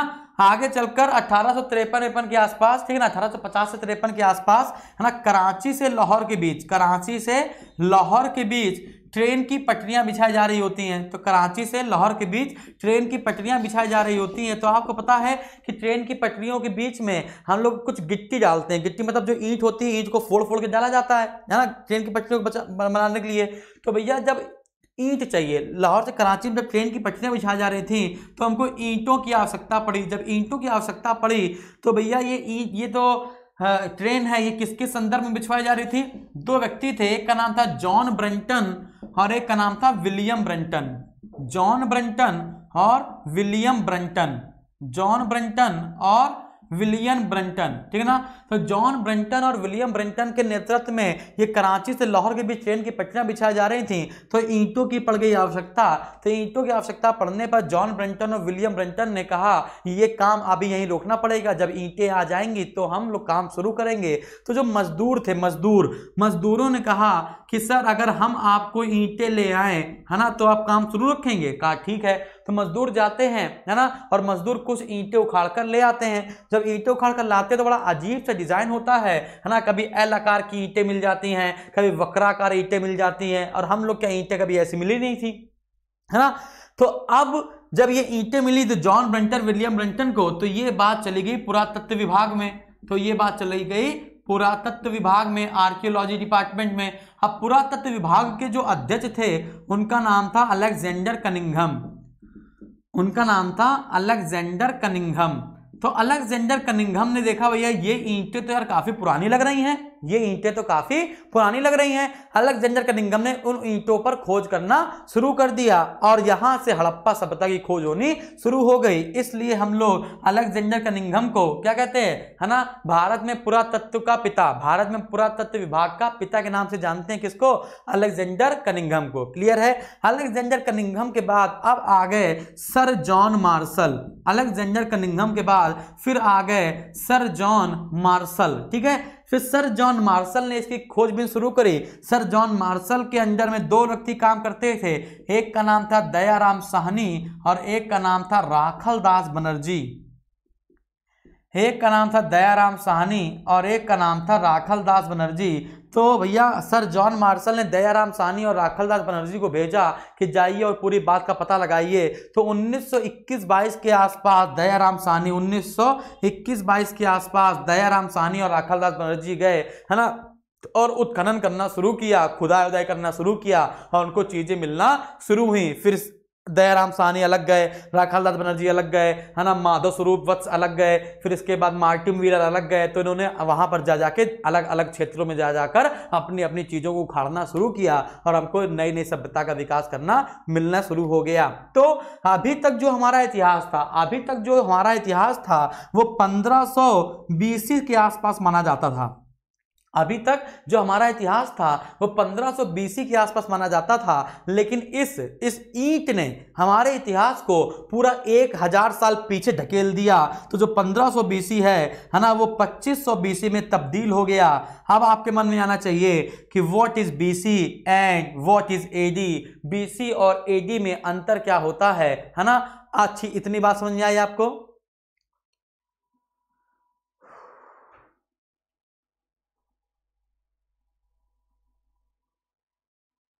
हाँ चलो। तो सब हाँ ऐसे रिपीट करते चलो, जो भी मैं बोलता चलो, उसको रिपीट करते चलो, आप टाइपिंग आप करते चलो, है ना? आपको भी आता रहेगा, ठीक है ना? चलिए। अब आपके दिमाग में आना चाहिए what is BC and what is AD है ना? तो बीसी और एडी में हम लोग अंतर समझने की कोशिश थोड़ा सा करते हैं, ठीक है? कि what is the time difference कि बीसी और एडी क्या होता है? ठीक है बेटा? देखो भाई। कुछ लोग इस, कहते हैं ईसा मसीह के जन्म के पहले और ईसा मसीह के जन्म के बाद जबकि ऐसा कोई फिनोमिना नहीं है। ठीक है ना? देखो भाई बहुत बड़े बड़े टीचरों के मुँह से सुन लिया ईसा मसीह के जन्म से पहले और ईसा मसीह के जन्म के बाद। ऐसा कुछ नहीं है। ईसा मसीह का जन्म तो चार एडी में हुआ था यरूशलेम के बैतल हम के निकट है ना? और इनके बहुत सारे दोस्त थे और उनमें से एक दोस्त था जिन्होंने उनकी मुखबरी कर दी थी नाम नहीं याद आ रहा अभी।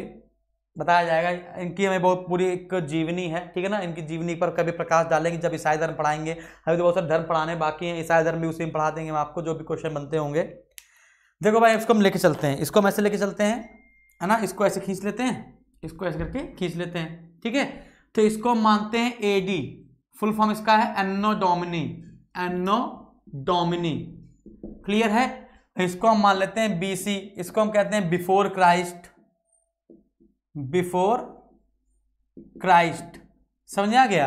अच्छा अब बच्चे कहते हैं, सर, ईसा मसीह के जन्म से पहले बिफोर क्राइस्ट, ईसा मसीह के जन्म के बाद, है ना, मरने के बाद तो क्या हो जाएगा? अन्ना डोमनी अरे भैया कुछ लोग इसको अन्ना डोमनी को आफ्टर डेथ भी कर देते हैं, आफ्टर डेथ। समझ गया? तो मतलब कहते हैं कि, सर, जन्म से पहले और मृत्यु के बाद तो जन्म से पहले बीसी और मृत्यु के बाद एडी अगर ऐसा है तो वो कुछ समय तक जीवित भी तो रहे होंगे। अरे हाँ कि ना? जैसे मान के चलो कि इसके पहले है बीसी और इसके बाद है एडी तो क्या वो जीवित नहीं रहे? तो वो जितने साल जीवित रहे, वो समय क्या कराएगा? कुछ नहीं। है ना? कुछ इस प्रकार से ऐसा कुछ नहीं होता बेटा। बीसी और एडी समझ लो। जैसे मान के चलो कुछ इस प्रकार से कि मान के चलिए कि जो मार्कर है, हमने कह दिया ये मार्कर चार हज़ार अड़तीस साल पुराना है। काम खत्म हो गया? हमने खुदाई करी और खुदाई में पता चला ये मार्कर चार हज़ार अड़तीस साल पुराना है। है ना? तो हमने क्या देखा? वर्तमान में क्या है? एक, दो, तीन, चार, पाँच छः सात, आठ, दो हज़ार सत्रह, दो हज़ार अठारह, दो हज़ार उन्नीस। ठीक है ना? इधर ले आते हैं वापस। ऐसे ले जाओ। दो हज़ार बीस, दो हज़ार इक्कीस सो ऑन है ना? इधर ले आते हैं। One, two, three, four, five, six, seven, time क्योंकि माइनस में होता नहीं है है ना? इस प्रकार से ले चले जाओ। 2018 2019 2020 2021 इस प्रकार से इसको भी लेते चले गए, है ना? वर्तमान में चल रहा है 2019 और 2019 में जब खुदाई हुई तो खुदाई में हमको एक मार्कर मिल गया, है ना? और वो मार्कर पता चला कार्बन डेटिंग से कि चार हज़ार अड़तीस साल पुराना ये मार्कर है। यूरेनियम डेटिंग से पता चला कि जो मार्कर है वो चार हज़ार अड़तीस साल पुराना है। ठीक है ना?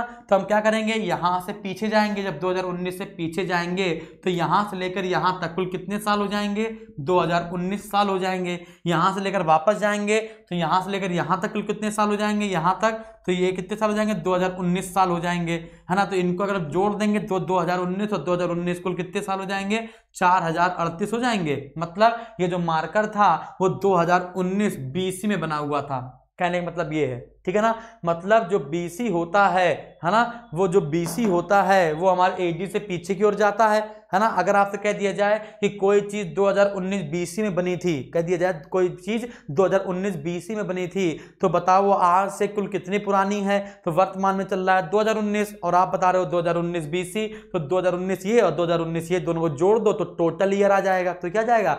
टोटल ईयर आ जाएगा। हम कह दें कि बताओ जो ऋग्वेद है, जो ऋग्वेद है, वो पंद्रह बीसी में बना था, जो ऋग्वेद है वो पंद्रह बीसी में बना था। तो बताइए, वर्तमान में ऋग्वेद कितने साल पुराना है? तो वर्तमान में चल रहा है 2019 तो आप क्या करिए 2019 इसमें जोड़ दीजिए। तो कितना जाएगा? नौ, एक, पाँच, तीन, जो ऋग्वेद है वो तीन हज़ार पाँच सौ, उन्नीस साल पुराना हो जाएगा। है ना? अगर आपसे कह दिया जाए कि कोई वस्तु कोई वस्तु चार हज़ार साल पुरानी है, कोई वस्तु चार हज़ार साल पुरानी है तो उसका टाइम बताइए तो चार हज़ार में दो हज़ार उन्नीस माइनस कर दो। तो वर्तमान में क्या चल रहा है? दो हज़ार उन्नीस तो चार हज़ार में दो हज़ार उन्नीस माइनस कर दो। जितना भी आ जाएगा, उतना बीसी उसका आंसर हो जाएगा।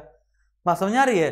तो ये बीसी और एडी ठीक है ना? जो बीसी और एडी है, ये आपको समझ में आ गया होगा, ठीक है ना? बिफोर क्रैश में नहीं है। हम लोगों ने सुविधा अनुसार सुविधा के अनुसार हम लोगों ने इसको इस प्रकार से बांट दिया है, ठीक है ना? तो ज़ीरो से पहले क्या जाएगा? बीसी ज़ीरो के बाद क्या जाएगा? एडी इसको कहते हैं बिफोर क्रैश इसको कहते हैं अन्ना डोमने अब आपको समझ में आ गया होगा टोटल ईयर है ना? तो अच्छा अब आगे आते हैं भाई। अगर कह दिया जाए, सिंधु सभ्यता के कार, का, समय की बात की जाए, सिंधु सभ्यता के समय की बात की जाए तो आप तो बेटा हाँ आई एस आई एस का पेपर दोगे, जैसे आई एस आई एस नहीं दोगे आई ए एस का दोगे, ठीक है ना? अगर हम लोग सिविल की बात करें तो सिविल में क्या होता है कि अभी तो आपसे कह दिया जाएगा कि बताइए सिंधु सभ्यता का समय क्या था, है ना? तो अभी तो आपको पता है सिंधु सभ्यता का समय कार्बन डेटिंग के हिसाब से 2350 से 1750 बीसी है है ना?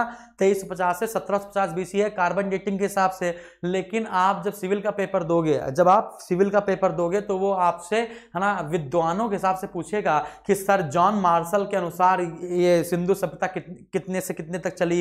अर्नस्ट मैके के हिसाब से कितने से कितने तक चली? माधव स्वरूप वत्स के अनुसार इसका समय बताइए सीजे गैड के अनुसार बताइए, फेयर सर्विस के हिसाब से बताइए, मार्टिन व्हीलर के हिसाब से बताइए ना? कुछ विद्वान के हिसाब से पूछेगा तो नोट्स आपको इसी प्रकार से बनाने हैं, है ना? अगर हम समय की बात करें, अगर हम लोग समय की बात करें, समय की, अगर हम लोग समय की बात करें तो सबसे इंपॉर्टेंट कार्बन चौदह डेटिंग है ना? सी फोर्टीन डेटिंग की अगर हम लोग बात करें तो सी फोर्टीन आता है तेईस सौ पचास से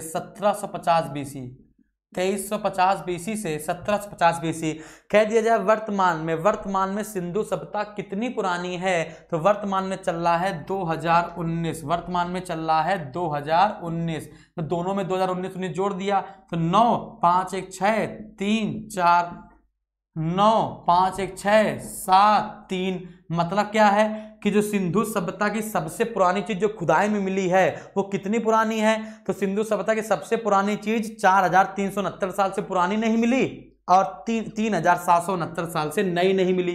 कहने मतलब ये है, सिंधु सभ्यता जो सबसे पुरानी चीज़ है, उसकी कार्बन डेटिंग कराई गई तो पता चला इतने साल पुरानी है। तो सिंधु सभ्यता की चीज़ें इससे नई नहीं मिल रही हैं, इससे पुरानी नहीं मिल रही हैं। मतलब एक सभ्यता अब बनी होगी और अब समाप्त हो गई होगी। ठीक है ना? तो हमने साल निकाल लिए थे तो समय भी निकाल लिया था, ठीक है ना? लेकिन अब धीमे धीमे और भी चीज़ें मिलती चली जा रही हैं। सभी साइंटिस्टों को, सभी विद्वानों को अलग अलग चीज़ें, इतिहासकर्ताओं को अलग अलग चीज़ें मिलती चली जा रही हैं, जिसकी कार्बन डेटिंग अलग अलग होती चली जा रही है है ना? तो सबसे मान्यता प्राप्त है वो कौन सी है? तेईस से सत्रह सौ बीसी ठीक है ना? ये कार्बन डेटिंग हिसाब से, इसी कार्बन डेटिंग को लोग सी जे गैड भी कहते हैं। सी जे गैड तो हमारे विद्वान सी जे गैड ने भी कहा है कि 2350 से 1750 बीसी बिल्कुल परफेक्ट समय है। लेकिन अगर हम लोग बात करें किसकी? सर जॉन मार्शल की। तो सर जॉन मार्शल ने इसको 3250 से 1750 बताया है। सर जॉन मार्शल की बात करें तो सर जॉन मार्शल ने इसको 3250 से इसको 3250 से है ना? सत्रह सौ पचास बीसी बताया है। बत्तीस सौ पचास से सत्ताईस सौ पचास। बत्तीस सौ पचास क्या भैया? सत्ताईस सौ पचास बीसी बताया है। बत्तीस सौ पचास से सत्ताईस सौ पचास बीसी बताया है। ठीक है ना? सीजे गैड ने कार्बन डेटिंग के हिसाब से तेईस सौ पचास से सत्रह सौ पचास है। अर्नस्ट मैके के हिसाब से अट्ठाईस सौ से पच्चीस सौ है। अर्नस्ट मैके ये सब आपको याद रखना है। अर्नस्ट मैके के हिसाब से अट्ठाईस सौ बीसी से लेकर पच्चीस सौ बीसी है। अट्ठाईस सौ बीसी से लेकर पच्चीस सौ बीसी है। है ना? और अगर हम लोग, अगर हम लोग बात करें अगर हम लोग बात करें माधव स्वरूप वत्स के हिसाब से है ना? एम एस वत्स के हिसाब से बात करें तो पैंतीस सौ से सत्ताईस सौ बीसी है है ना? हाँ, माधव स्वरूप वत्स माधो स्वरूप वत्स की बात करें है ना? तो माधव स्वरूप वत्स कहते हैं कि पैंतीस सौ से सत्ताईस सौ कितना है भैया? पैंतीस सौ से सत्ताईस सौ। पैंतीस सौ से सत्ताईस सौ बीसी ठीक है ना? माधव स्वरूप वत्स हो गए। और क्या बता सकते हैं? मैं आपको सीजे कैट बता दिया है है ना? मार्टिन व्हीलर मार्टिन व्हीलर तो बहुत पेपर में आया है। मार्टिन व्हीलर मार्टिन व्हीलर का सबसे ज़्यादा पेपर में आया है कि मार्टिन व्हीलर के हिसाब से, है ना? सिंधु सभ्यता का कार्यकाल कितना था? तो 2500 से 1500 बीसी कितना था भैया? 2500 से 1500 बीसी। 2500 से 1500 बीसी। और एक लास्ट देख लेते हैं। फेयर सर्विस फेयर सर्विस तो फेयर सर्विस के हिसाब से 2000 बीसी से लेकर 1500 बीसी कितना है? 2000 बीसी से लेकर 1500 बीसी। क्लियर है? तो आपको इतने समय काल याद करने पड़ेंगे अगर आपको अच्छा पेपर निकालना है। ठीक है ना? अगर आपको अच्छा पेपर निकालना है तो आपको एसी एसी बीसी समझ नहीं आया। एसी हमने बोला ही नहीं है। एसी हमने बोला ही भी है। सचिन कुमार। कौन कौन ऐसा व्यक्ति है जिसको एडी और बीसी समझ में नहीं आया? बोले। कमेंट बॉक्स में कमेंट करें जल्दी से। चैट बॉक्स में कमेंट करें जिसको एडी और बीसी समझ में नहीं आया। देखें हम भी जरा कितने लोग ऐसे हैं जिनको एडी और बीसी समझ में नहीं आया। जल्दी करो। एक ही व्यक्ति अभी अब तक हमको मिला है, सचिन कुमार। और देखते हैं कितने भी यहाँ पे बैठे हैं जिनको एडी और बीसी समझ में नहीं आया। जल्दी कमेंट करो बेटा। फटाफट देखते हैं किसको एडी बीसी समझ में नहीं आया। पता तो चले। कि तीन चार पाँच सौ लोग जितने भी ऑनलाइन है, उनमें कितने लोग को ए एडी और बीसी समझ में नहीं आया। इससे इससे धीमे शायद ही कोई टीचर पढ़ा रहा होगा।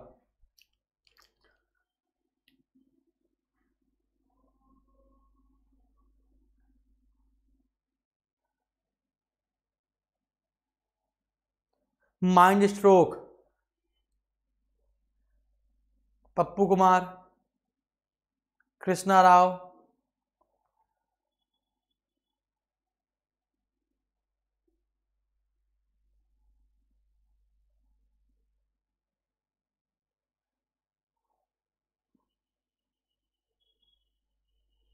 तीन लोग ऐसे हैं सिर्फ़। पूरे ऑनलाइन में सिर्फ़ तीन लोग ऐसे हैं जिनको एडी और बी सी मतलब समझ नहीं आया। ठीक है ना? पूरे में। पूरे में सिर्फ़ तीन लोग ऐसे हैं जिनको ए डी और बी सी समझ नहीं आया। है ना? बेटा, तुम लोग वही याद करे होगे। है ना? ईसा मसीह जन्म से पहले, ईसा मसीह जन्म के बाद। है ना? चलो, इन्हीं लोग को बता देते हैं। सिर्फ़ तीन लोग ऐसे फंसे हैं जिनको ए डी बी सी समझ में नहीं आया। क्यों नहीं समझ आया? भगवान जाने। अब या तो कोई और काम करो तो कोई और काम कर लो बेटा। नहीं पढ़ना नहीं पढ़ना हो तो। ठीक है? अगर पचास परसेंट लोग कहते कि हमें समझ नहीं आया तो हमें लगता है कि ठीक है, चलो, हम नहीं समझा पाए। अगर 100 में से point three percent, hundred percent में पॉइंट थ्री परसेंट लोग कहते मैं समझ नहीं आया तो फिर किसी गलती बताइए। एक बार फिर बता दे रहे हैं, जल्दी समझना। तो आपको ये सिंधु सभ्यता का कार्यकाल याद करना पड़ेगा बेटा, इसको तो याद करना पड़ेगा, ठीक है ना? बाकी चीज़ें हम बता देंगे आपको, इसको याद करना पड़ेगा। सर जॉन मार्शल ने बत्तीस से सत्ताईस बताया, अर्नस्ट मैके ने अट्ठाईस से पच्चीस सौ, माधव स्वरूप ने पैंतीस से सत्ताईस मार्टिन विलर ने पच्चीस से पंद्रह सौ, वेयर सर्विस ने दो हज़ार से पंद्रह बीसी है ना? ये कार्यकाल है और सबसे सटीक कार्यकाल है सीजे गैट का। इसको कार्बन डेटिंग भी नाम से जानते हैं, तेईस से सत्रह बीसी ठीक है? चलिए। तो अच्छा अब क्वेश्चन ये है कि सिंधु सभ्यता का नाम सिंधु सभ्यता किसने रखा? तो सिंधु सभ्यता का नाम सिंधु सभ्यता किसने रखा? ये सबसे बड़ा इंपॉर्टेंट क्वेश्चन है। तो सिंधु का नामकरण, सिंधु का नामकरण, है ना, सर जॉन मार्शल ने किया है। याद रखिएगा, सिंधु का नामकरण सर जॉन मार्शल ने किया है। यानी सिंधु सभ्यता का नाम सिंधु सभ्यता, है ना, क्या है? किसने किया है? तो आंसर है sir John Marshall. Sachin Kumar, आप बोल तो पाने रहो एसी और बीसी लिख रहे हो। बोल जब पाने रहे हो तो तो क्या समझ में आएगा, बताओ।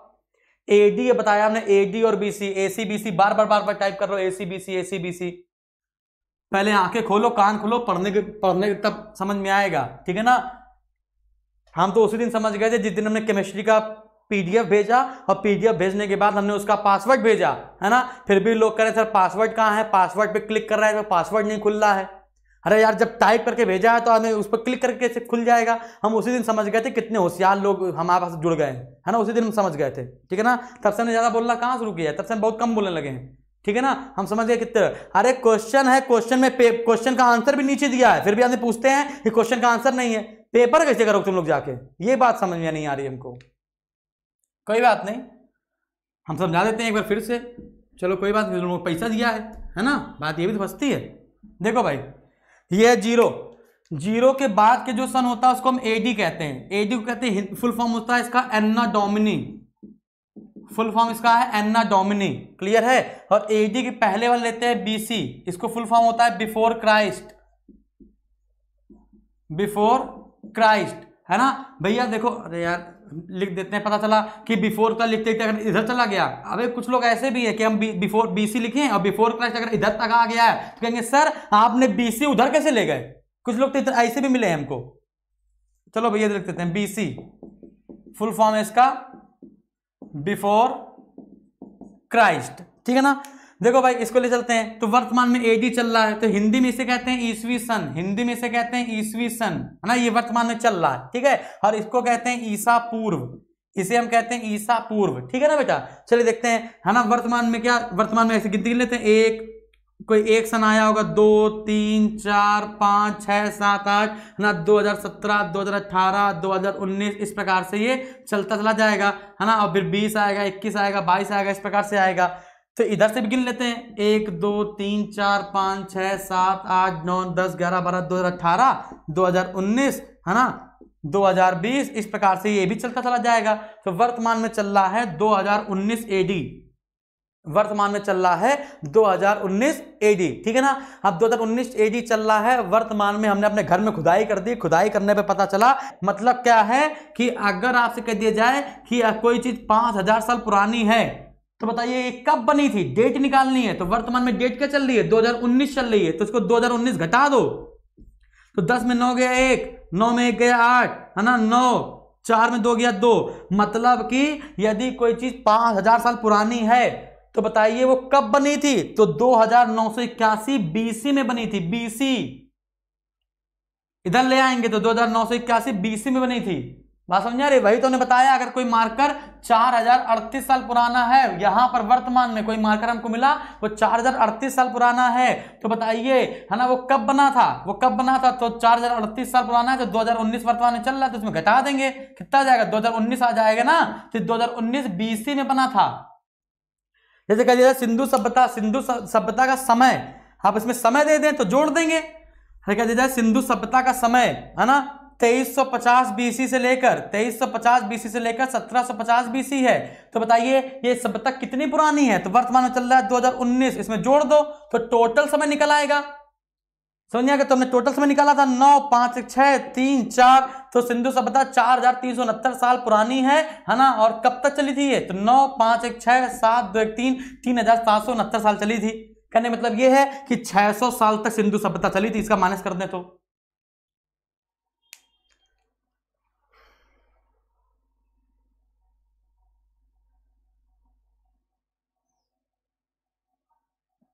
ठीक है?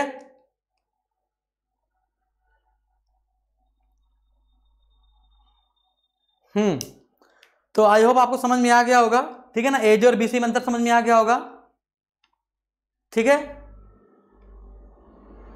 ज़ीरो कहाँ से लिया गया है? सचिन कुमार पूछ रहे हैं ज़ीरो कहाँ से लिया गया बेटा? तुम बंद कर दो और अपने घर पे बैठ जाओ, ठीक है ना? और यहाँ पर एक ऐसा टीचर ढूंढ लो जो तुम्हारी खोपड़ी खा सके। ठीक है? ज़ीरो कहाँ से लिया गया है? फिर माइनस कहाँ से लिया गया है? माइनस एक कहाँ से आया? फिर और भी डिजिट तो आई है वो भी पूछ लो कहाँ से आई है।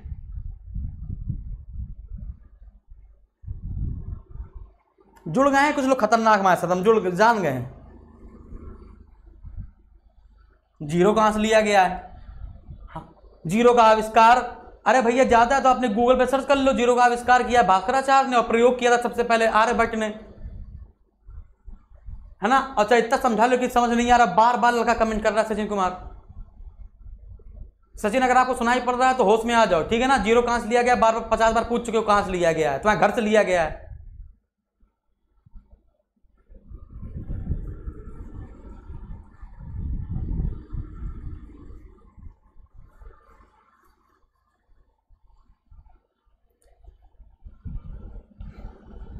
ठीक है? चलो, एक होते हैं वो बच्चे जिनको कुछ आता नहीं है तो उनको सीखने की ललक होती है। एक वो बच्चे जिनको कुछ नहीं आता और वो कुछ सीखना भी नहीं चाहता, उंगली करना जानता है सिर्फ़। चलो, वापस आते हैं भाई, ठीक है? तो हमने आपको बताया सिंधु सभ्यता। तो हमने आपको क्या क्या बताया था भैया? कि सिंधु सभ्यता को हम लोग कहते हैं हड़प्पा सभ्यता, सिंधु सभ्यता को हम लोग कहते हैं कांस युगीन सभ्यता, सिंधु सभ्यता को हम लोग कहते हैं मेलुहा सभ्यता और सरस्वती सभ्यता। ठीक है ना? इतने नाम से इसको हम जानते हैं। ठीक है ना? देखते हैं भाई। तो इत, अब इसको हम पढ़ना शुरू करते हैं। तो सिंधु सभ्यता का हमने आपको क्या बता दिया? कार्यकाल। सिंधु सभ्यता का हमने आपको कार्यकाल या समय काल बता दिया जो आपको कार्बन डेटिंग के हिसाब से सी फोर्टीन के हिसाब से। अभी इसको याद कर लो आंसर है तेईस से 1750 बीसी 2350 से क्या बेटा? 1750 बीसी बात समझ आ रही है? तो ये क्या है बेटा? ये है कार्यकाल ठीक है? अब हम लोग आते हैं सिंधु सभ्यता के विस्तार में, कि सिंधु सभ्यता का विस्तार कहाँ से कहाँ तक था? तो आपको बताया था हमने एक सूत्र था, वो सूत्र अभी याद कर लेते हैं हम लोग। क्या है? उम, पुआ, दद, पशु। क्या है बेटा? उम, पुआ, दद, पशु। ठीक है ना? तो ये आपको सूत्र याद होना चाहिए। तो आपको इससे ये याद हो जाएगा सिंधु सभ्यता का विस्तार कहाँ से कहाँ तक था? ठीक है ना? चलिए तो देखते हैं बस उम पुआ दत्त पशु। तो ऊ से क्या है? उत्तर है। पू से क्या है? पूर्व है। दा से क्या है? दक्षिण है। ठीक है? और सु से, पा से क्या है? पश्चिम है। तो जो शुरू के लिखे हैं, ये जो शुरू के लिखे हैं, उत्तर पूर्व दक्षिण और पश्चिम। सर आपसे कहा जाए कि बताइए, सिंधु सभ्यता उत्तर में कहाँ तक फैली थी? जिस प्रकार से उत्तर प्रदेश में उत्तरी जिला, उत्तर प्रदेश का सबसे उत्तरी छोर कौन सा है? सहारनपुर उत्तर प्रदेश का, पूर्वी जिला कौन सा है? बलिया, पश्चिमी जिला कौन सा है? शामली, दक्षिणी जिला कौन सा है? सोनभद्र, उसी प्रकार से सिंधु सभ्यता का सबसे पूर्वी जिला, पश्चिमी जिला, दक्षिणी और उत्तरी जिला। समझ आ गया? तो उत्तरी जिला कौन सा है? मांडा। उत्तरी जिला कौन सा है? मांडा। मांडा कहाँ पड़ता है वर्तमान में? जम्मू कश्मीर में। पूर्व जिला कौन सा है? तो पूर्व में है आलमगीरपुर। आलमगीरपुर। और आलमगीरपुर कहाँ है? उत्तर प्रदेश के मेरठ में। उत्तर प्रदेश के मेरठ में। दक्षिण दक्षिण क्या है? दायमाबाद दक्षिण क्या है? दायमाबाद है ना? दायमाबाद कहाँ पड़ता है? महाराष्ट्र।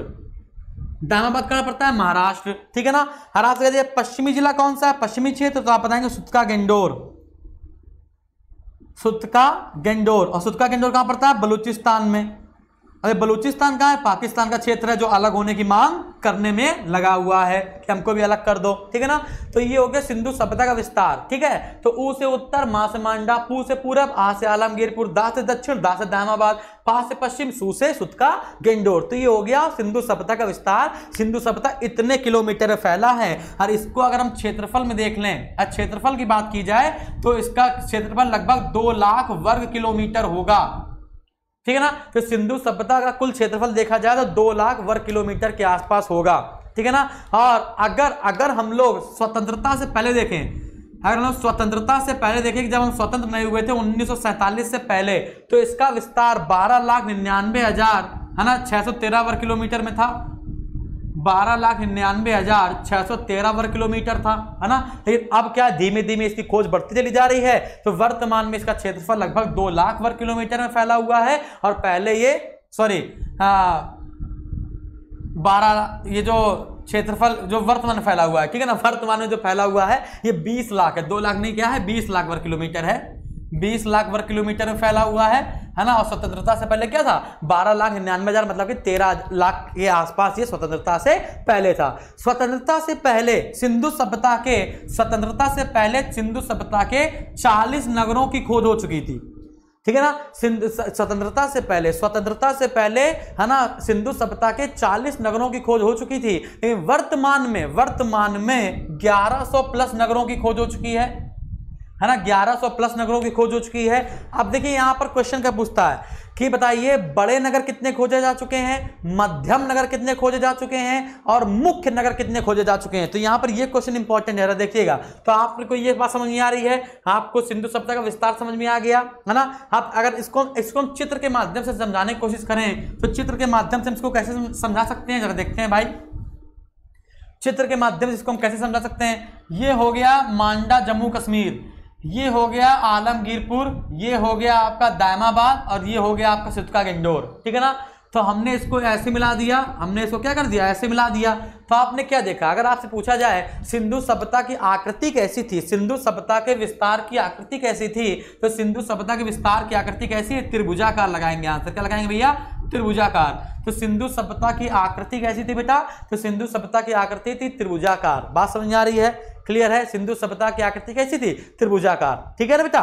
क्लियर है? हाँ। अब हम आते हैं। बिल्कुल सही बेटा। शुभम पटेल कुछ लोगों के आंसर सही आ रहे हैं। उन्होंने हमसे पढ़ा हुआ है तो वो और भी आगे बढ़ रहे हैं हम लोगों से। चलिए आगे बढ़ते हैं। अब आते हैं सिंधु सभ्यता के नगरों पर। अब आते हैं हम लोग सिंधु सभ्यता के नगरों पर। अब आते हैं सिंधु सभ्यता के नगर पर आते हैं। नगर पर। तो अगर नगर की बात की जाए तो हम आपसे कहते हैं कुल नगर। कुल नगरों की संख्या बताइए। ठीक है ना? अगला क्वेश्चन बड़े नगरों की संख्या कितनी है? अगला क्वेश्चन मुख्य नगरों की संख्या कितनी है? अगला क्वेश्चन स्वतंत्रता से पहले कितने नगर थे? स्वतंत्रता से पूर्व कितने नगरों की खोज की गई थी? अगला क्वेश्चन हाँ अगला क्वेश्चन भारत में सर्वाधिक नगर कहाँ पर है? भारत में सर्वाधिक सिंधु नगर कहाँ पर पाए गए? सर्वाधिक सब, सिंधु सभ्यता के नगर। भारत के सर्वाधिक सिंधु सभ्यता के नगर कहाँ पाए गए? है ना? ये क्वेश्चन इतने क्वेश्चन है। तो सिंधु सभ्यता कुल नगरों की बात की जाए तो 1500 प्लस बड़े नगरों की बात की जाए तो 1100 प्लस मुख्य नगर की बात की जाए तो दस स्वतंत्रता से पूर्व कितने नगर खोजे गए थे? 40 और सबसे ज़्यादा नगर कहाँ पर पाए गए? आंसर है गुजरात। आंसर क्या है? गुजरात। ठीक है ना? और गुजरात में 200 से ज़्यादा नगर अकेले हैं। तो भारत के सबसे ज़्यादा नगर, भारत के सबसे ज़्यादा नगर, है ना? भारत में सिंधु सभ्यता सबसे ज़्यादा नगर गुजरात में खोजे गए हैं 200 से ज़्यादा। आपसे कह दीजिए, छोटे बड़े बीच के सारे नगर मिला दिए जाए तो उनकी संख्या 1500 से ज़्यादा हो जाएगी। बड़े बड़े नगरों की बात की जाए तो 1100 प्लस हो जाएगी। और मुख्य नगरों की बात की जाए, जिनकी पहचान है ना, किसी न किसी माध्यम से की गई है कि ये रहे, ज़रूर होंगे तो उनकी संख्या दस ये डाटा फिक्स है, ये डाटा फिक्स है ना, और ये डाटा फिक्स नहीं है। तो अगर आपसे कह दिया जाए, कुल नगर पूछ दिया जाए तो 1500 प्लस वाला ऑप्शन लगाना है, बड़े नगर पूछे जाए 1100 प्लस लगाना है, मुख्य नगर पूछे जाए तो दस सौ बावन, और भारत में पूछे जाए तो गुजरात 200 से ज़्यादा, और स्वतंत्रता से पूर्व पूछे जाए तो 40 और स्वतंत्रता से पूर्व अगर क्षेत्रफल पूछा जाए तो लगभग बारह लाख निन्यानवे हज़ार छह सौ तेरह वर्ग किलोमीटर मतलब कि लगभग तेरह लाख वर्ग किलोमीटर, और वर्तमान का क्षेत्रफल पूछा जाए तो बीस लाख वर्ग किलोमीटर है।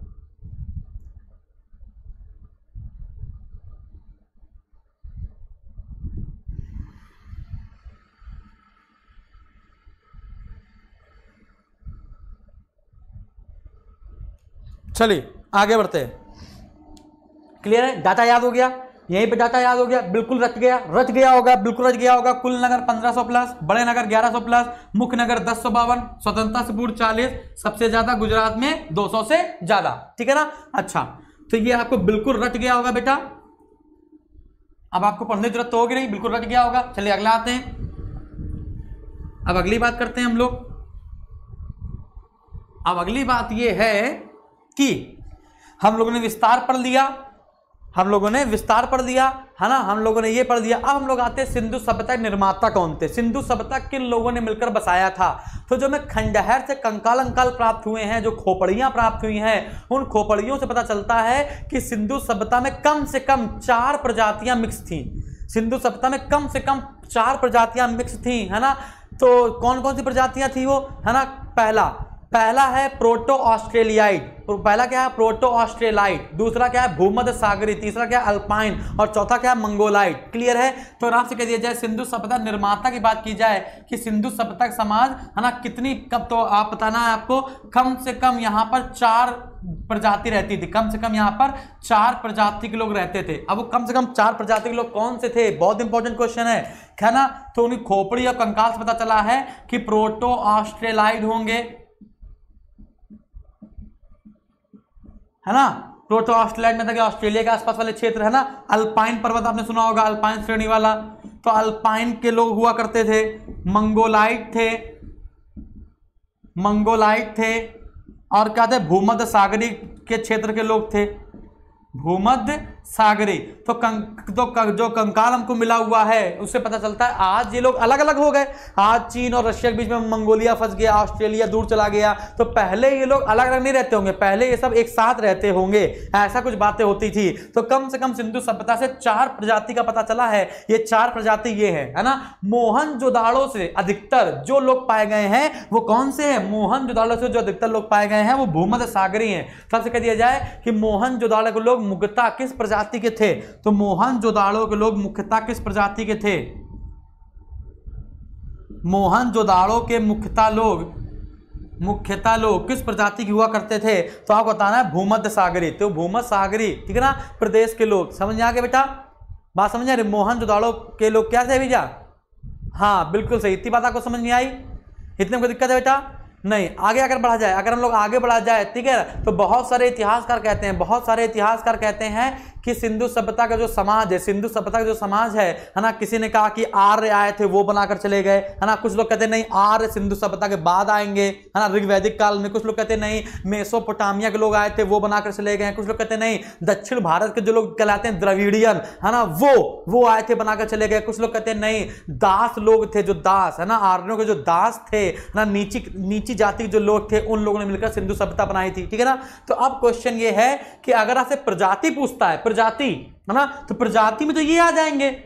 लेकिन ये प्रजाति है तो ये मनुष्य भी तो होंगे ये कुछ कहलाते होंगे है ना? इन्हीं को हम लोग क्या कह सकते हैं? जैसे कि इनकी जाति धर दिया ये तो प्रजाति है। जैसे इनका नाम दर दे आर्यन सुमेरियन द्रविडियन दास श्रेष्ठ इस प्रकार दर्द है ना?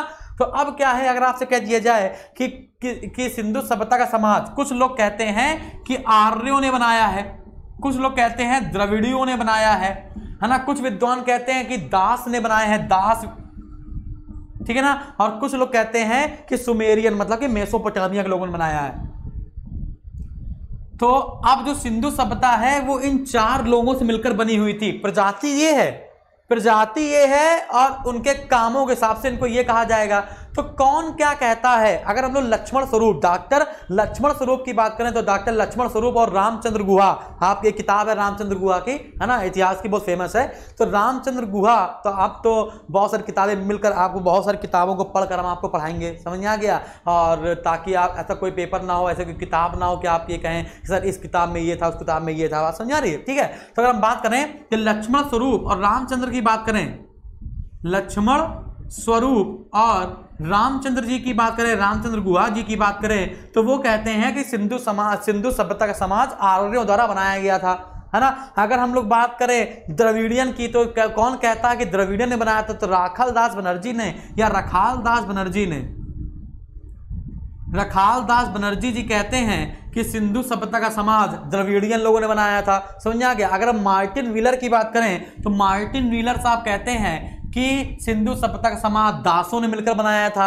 अगर हम लोग बात करें किसकी? सुमेरियन। किसने कहा कि सुमेरियन ने? तो गार्डन चाइल्ड विद्वान की बात करें तो गार्डन चाइल्ड ने कहा है कि सुमेरियन के लोगों ने मतलब मेसोपोटामिया के लोग आए थे सिंधु सभ्यता में रहने और उन्होंने ही ये सभ्यता विकसित की है।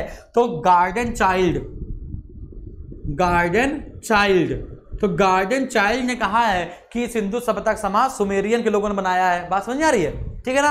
तो इतनी बात आपको समझ में आ रही है? क्लियर है? हाँ अल्पाइन हिमालय, अल्पाइन में जो वृक्ष नहीं पाए जाते हैं, ठीक है?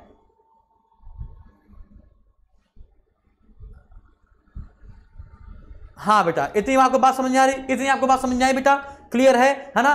तो ये सब चीज़ें आप ज़िंदगी में पहली बार पढ़ रहे सिंधु सभ्यता में ये सब चीज़ें आप पहली बार पढ़ रहे लेकिन मैं बता दूँ आपको कि इतना पढ़ने के बाद फिर आपको कभी नहीं पढ़ना।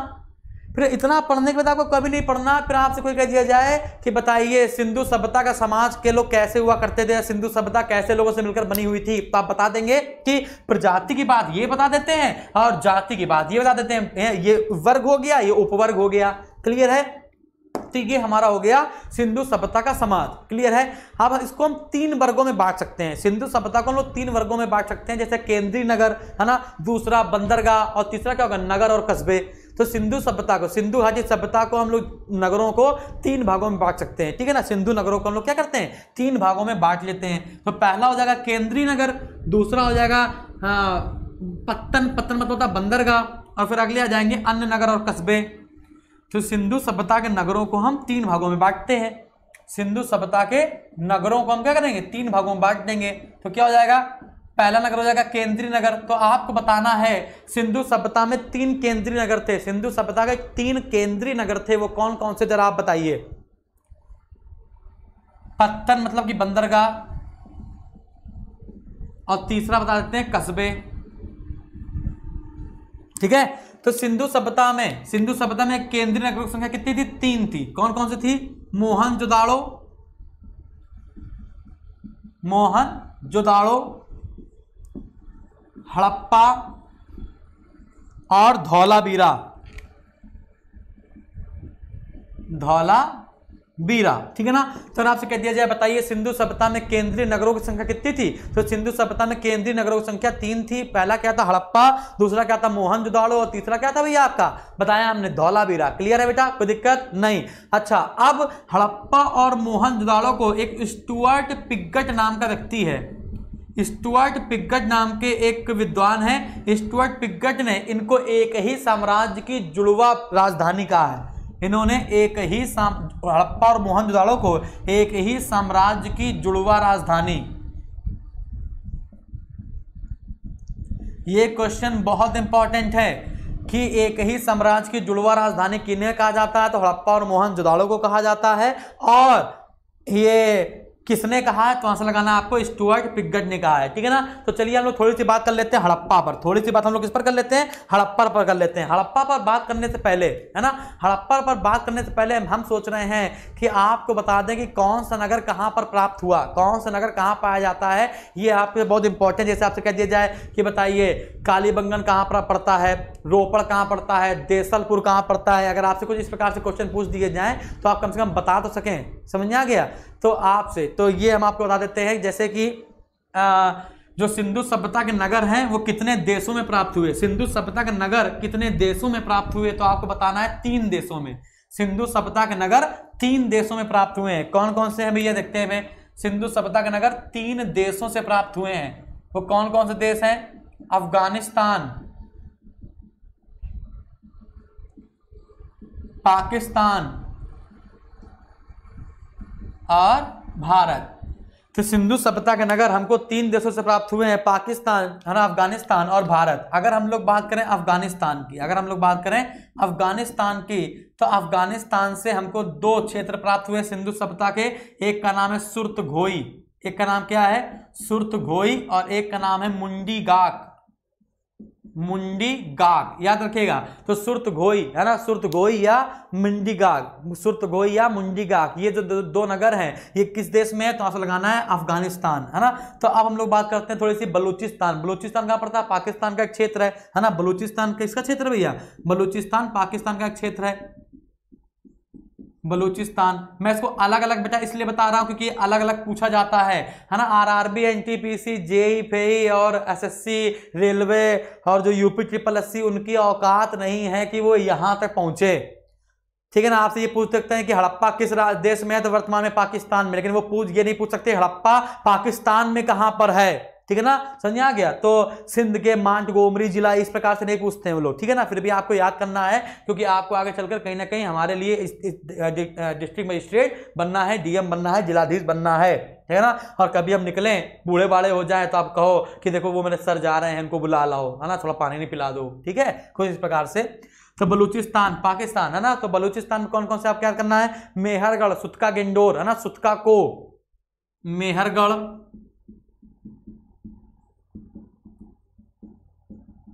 सुतका गेंडोर, सुतका कोह, ठीक है ना? और एक दो और याद कर लो आप, बालाकोट राना घुंड, बालाकोट।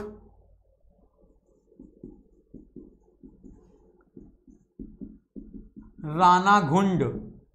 ठीक है ना? तो ये आपको याद कर लेने बलूचिस्तान, पाकिस्तान में, ठीक है ना? शायद आप दो और याद कर लो बेटा, शायद पूछ ही ले, है ना? एक है दबसा दात क्या है? एक है दबसा दात और एक है दाबरकोट ठीक है ना? दबसा दात और एक क्या है? दाबर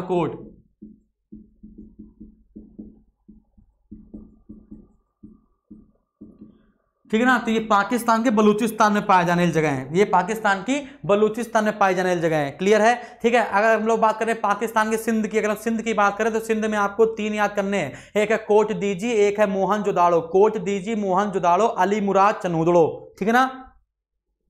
हम लोग सिंध की बात करें तो ये सिंध कौन वाला? पाकिस्तान वाला है। कोट दीजी अली मुराद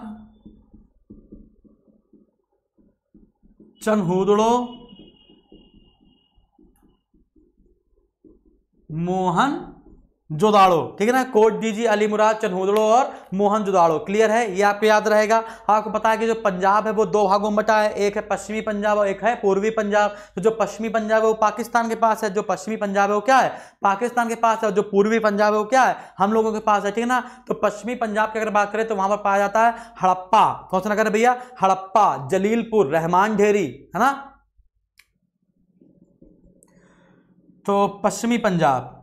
पश्चिमी पंजाब। ये भी क्या भैया पाकिस्तान में है आला है। हड़प्पा,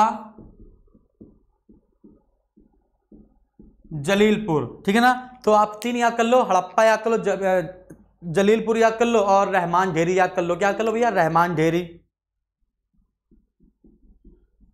रहमान ढेरी, है ना?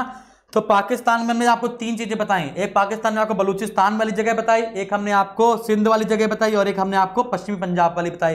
तो पाकिस्तान के तीन क्षेत्रों को हमने अलग कर दिया, अफ़गानिस्तान वाला अलग कर दिया। तो पाकिस्तान और अफ़गानिस्तान के सारे सिंधु सभ्यता के नगर जो कि मोस्ट मोस्ट इंपॉर्टेंट होते थे, वो हमने आपको बता दिए। तो आपसे पूछ दिया जाए कि बताइए, सुतका सुतका को या दाबर को डाबर को जो सिंधु नगर है, वो वर्तमान में कहाँ पर है? तो पाकिस्तान में सबको बता देंगे पाकिस्तान में कहाँ पर? बलूचिस्तान में। ठीक है ना? बालाकोट, पाकिस्तान के बलूचिस्तान में। है ना? कोट डीजी पाकिस्तान के सिंध में। चन्हुदड़ो पाकिस्तान के सिंध में।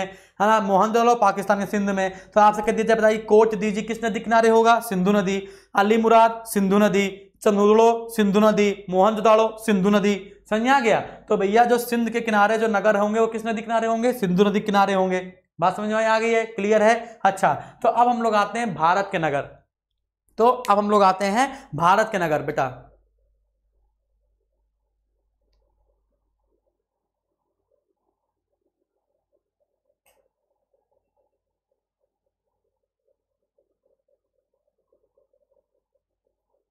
ठीक है? तो अब हम लोग थोड़ा सा भारत के नगर और देखेंगे, ठीक है ना? तो भारत के नगर हम लोग और देखें तो एक हो सकता है वर्तमान वाला पंजाब, है ना? पंजाब, हरियाणा, जम्मू, कश्मीर, ठीक है ना? उत्तर प्रदेश, गुजरात और राजस्थान, है ना? इतने आपको याद करने पड़ेंगे, क्लियर है?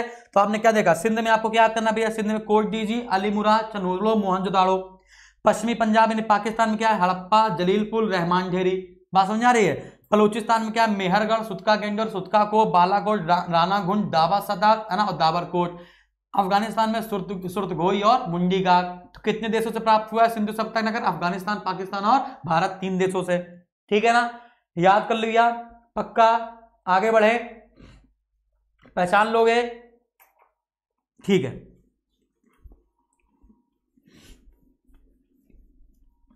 लोअर पीसीएस लोअर पीसीएस ये तो यूपी ट्रिपल एस था, ये तो लोअर पीसीएस था, है ना? जिसने, जो जिसने इसने शुरू से हमको पढ़ा, जो एक मई वाले बच्चे हैं अभी तक हमारे पास कोई भी ऐसा बात नहीं आई कि सर आपने पढ़ाया और कुछ आया नहीं, है ना?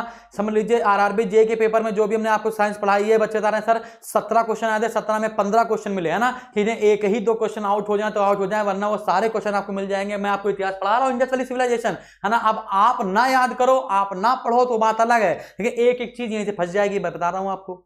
एक एक चीज़ आपकी फंस जाएगी यहीं से, ठीक है? अब हम लोग बात करेंगे भारत की। अब हम लोग बात करेंगे भारत के नगरों की। तो सबसे पहले आपको बताते हैं पंजाब। पंजाब में रखना रोपड़, है ना? तो तीन तीन याद कर लो, बहुत है, पंजाब में याद करना है रोपड़, ठीक है ना? और बाकी अगर आपके छोटे लेवल का पेपर है तो एक ही याद कर लो, बहुत ज़्यादा होता है ना? तो पंजाब में आपको याद रखना रोपड़। रोपड़ कभी कभी आपसे में आके रूपनगर आ सकता है, रूपनगर, है ना? तो रोपड़ या रूपनगर, ठीक है ना? रोपड़ या रूपनगर, है ना?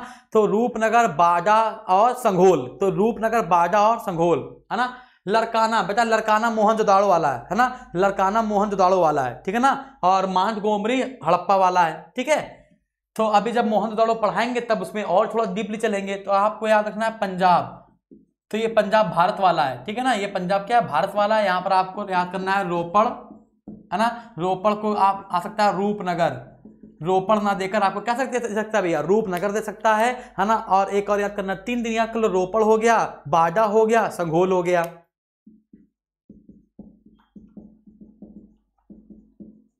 ठीक है ना? अच्छा राजस्थान में सिर्फ़ आपको एक ही याद करना है, राजस्थान में सिर्फ़ आपको एक ही याद करना है, कालीबंगन। राजस्थान में सिर्फ़ आपको एक ही याद करना है, वो कौन सा है? कालीबंगर। जम्मू कश्मीर में भी सिर्फ़ आपको एक ही याद करना है, जिसका नाम है मांडा। जम्मू कश्मीर में भी आपको एक ही याद करना है, इसका नाम क्या है? मांडा। है ना? उत्तर प्रदेश में भी आपको एक ही याद करना है, वो कौन सा है? आलमगीरपुर। उत्तर प्रदेश में भी आपको एक ही याद करना है, जिसका नाम क्या है भैया? आलमगीरपुर, है ना? हम याद तो आपको बता सकते हो दो दिन और सकते हैं, जैसे आलमगीरपुर हो गया बड़ा गाँव हो गया, हुलास हो गया, ठीक है ना? तो इस प्रकार से बहुत सारे हो जाएँगे। हुलास और याद कर लो, बस बहुत है। या भाई बोल दिया तो लिख लो बड़ा गाँव बड़ा गाँव ठीक है ना? सहारनपुर के आसपास वाला क्षेत्र है। तो और अगर हम लोग बात करें, उत्तर प्रदेश हो गया, जम्मू कश्मीर हो गया, राजस्थान हो गया, पंजाब हो गया हरियाणा हरियाणा की बात करें। हरियाणा तो हो गया बनावली बनावली राखी गढ़ी कुणाल, हिसार, ठीक है ना? तो बनावली राखी गढ़ी कुणाल हो गया, हिसार हो गया तो ये सब किसके हैं बेटा? ये सब हरियाणा के है ना? मिताथल हो गया, दौलतपुर हो गया, है ना? ये सब आप याद कर लेना मिताथल याद कर लो, दौलतपुर याद कर लो मिताथल याद कर लो और दौलतपुर याद कर लो। तो ये सब नगर किसके हैं भैया? ये सब नगर है आपके हरियाणा के, ठीक है ना? तो हमने आपको इतने बता दिए। तो भारत में आपको, भारत में आपको पाँच याद कर लेने हैं। पंजाब, राजस्थान, जम्मू, कश्मीर, उत्तर प्रदेश और हरियाणा। जैसे हम आपको एक बार बताएँ कि वर्तमान में वर्तमान में हरियाणा की जो सरकार है, वर्तमान में जो हरियाणा की सरकार है, वो कह रही है कि इस, जैसे हम बता दें, सबसे बड़ा नगर कौन सा है? क्षेत्रफल के हिसाब से सबसे बड़ा नगर होता है मोहन मोहनजोदाड़ो। फिर होता है हड़प्पा, है ना? फिर होता है राखी गढ़ी तो वर्तमान में वर्तमान में विद्वानों का कहना है, अभी हाल ही में करंट अफेयर के अनुसार, अगर हाल ही में करंट अफेयर की बात की जाए तो वर्तमान में विद्वानों का कहना है, या हरियाणा सरकार का कहना है कि सिंधु सभ्यता का क्षेत्रफल में सबसे बड़ा नगर कौन सा था? राखी गढ़ी था। तो आप सारे विद्वानों का ये भी आजकल मानना भी यही हो गया है। तो क्षेत्रफल के अनुसार सबसे बड़ा नगर कौन सा है? तो क्षेत्रफल के अनुसार सिंधु सभ्यता का सबसे बड़ा नगर कौन सा है? तो आपको लगा देना है राखी गढ़ी याद रखिएगा, क्षेत्रफल के अनुसार सिंधु सभ्यता का सबसे बड़ा नगर कौन सा है? तो आपको लगा देना है हरियाणा का राखी गढ़ी याद रखेंगे बेटा, हरियाणा का राखी गढ़ी ठीक है ना? एक और हमें से यहाँ छूट रहा है गुजरात। है ना? सबसे ज़्यादा नगर पाए गए थे 200 से ज़्यादा नगर। है ना? हाँ अनुराग प्रेम का आंसर आ गया है कि सबसे ज़्यादा नगर गुजरात में पाए गए। सर, गुजरात में बता दीजिए। ठीक है? तो गुजरात के बताने क्या है? गुजरात के बताने क्या है? एकदम से याद कर लो। लोथल हो गया, रंगपुर हो गया, रोजड़ी हो गया, प्रभास पाटन हो गया। ठीक है ना? बहुत सारे धौलाबीरा हो गया, देसलपुर हो गया, सुरकोतदा हो गया, ठीक है? तो गुजरात को हम दो भागों में बांट सकते हैं। एक होगा काठियावाड़ा और एक होगा कच्छ ठीक है? कच्छ किसके लिए फ़ेमस है? जंगली गधों के लिए। कच्छ का जो रन है, वो किसके लिए फ़ेमस है? तो कच्छ जंगली गधों के लिए फ़ेमस है। कच्छ का जो रन है, वो किसके लिए फ़ेमस है? तो आंसर लगाना है आपको, जंगली गधों के लिए। तो यहाँ पर हम गुजरात को दो भागों में बांट दें। तो यहाँ पर गुजरात को हम दो भागों में बांट दे रहे हैं। ठीक है ना? गुजरात को हम दो भागों में बांट दे रहे हैं। एक होगा काठियावाड़ा वाला, जहाँ पर गांधी जी का जन्म हुआ था, और एक आपको बांट दे रहे हैं कच्छ का रन। एक आपको बांट दे रहे हैं कच्छ का रन, ठीक है ना? तो काठियावाड़ा में कौन कौन से आपको लगाना है? लोथल लोथल लगाना है, रंगपुर लगाना है, रोजड़ी लगाना है। लोथल लोथल, रंगपुर, रोजड़ी, प्रभास पाटन। प्रभास पाटन। अब इस प्रभास पाटन को हम लोग इस प्रभास पाटन को हम लोग दो नाम से और जान सकते हैं। एक सोमनाथ और एक भगत राव। इसी प्रभास पाटन को हम लोग कहते हैं सोमनाथ वाला क्षेत्र या फिर भगत राव। भगत राव। तो भगत राव क्षेत्र कई बार पेपर में आया है कि भगत राव सिंधु सभ्यता नगर वर्तमान में कहाँ पर आप लगाना है? गुजरात के काठियावाड़ा में। तो अगर कच्छ के की बात बताई जाए तो कच्छ के में कौन कौन पाया जाता है? धौलाबीरा आपने सुना होगा ना? धौलाबीरा धौलाबीरा देसलपुर और सुरकोतदा धौलाबीरा देशलपुर और सुरकोतदा। धौलाबीरा देसलपुर और सुरकोतदा ये नगर कहाँ पर है बेटा? तो गुजरात के कच्छ के रन में। है कहाँ पर है बेटा? गुजरात के कच्छ के रन में, है ना? अब इनमें से इनमें से अब आपको बताना है कि ऐसे कौन से नगर है जिसको हम लोग हड़प्पा से पहले के मानते हैं और ऐसे कौन से नगर है जिसको हम लोग हड़प्पा के बाद मानते हैं, है ना? तो हम आपसे पूछते हैं कि बताइए, प्राक हड़प्पा और हड़प्पा हड़प्पोत्तर, है ना? या फिर हम कहते हैं कि बताइए प्राग हड़प्पा नगर कौन सा है? हड़प्पा बनने से पहले, हड़प्पा सभ्यता बनने से पहले कौन से नगर माने जाते हैं? है ना? और उत्तर हड़प्पा हड़प्पा बनने के बाद, अगर आपके अंदर थोड़ा सा दिमाग है तो आप हमको ये बताइए, या फिर आपने अगर कहीं से पढ़ा है, अगर आपने कहीं पर पढ़ा है तो ये बताइए जरा सा, कि हड़प्पा सभ्यता से पहले के नगर कौन से हैं और हड़प्पा सभ्यता बनने, हड़प्पा सभ्यता के बाद कौन से नगर कौन से बने बताइए बेटा। कई बार आया क्वेश्चन इंपॉर्टेंट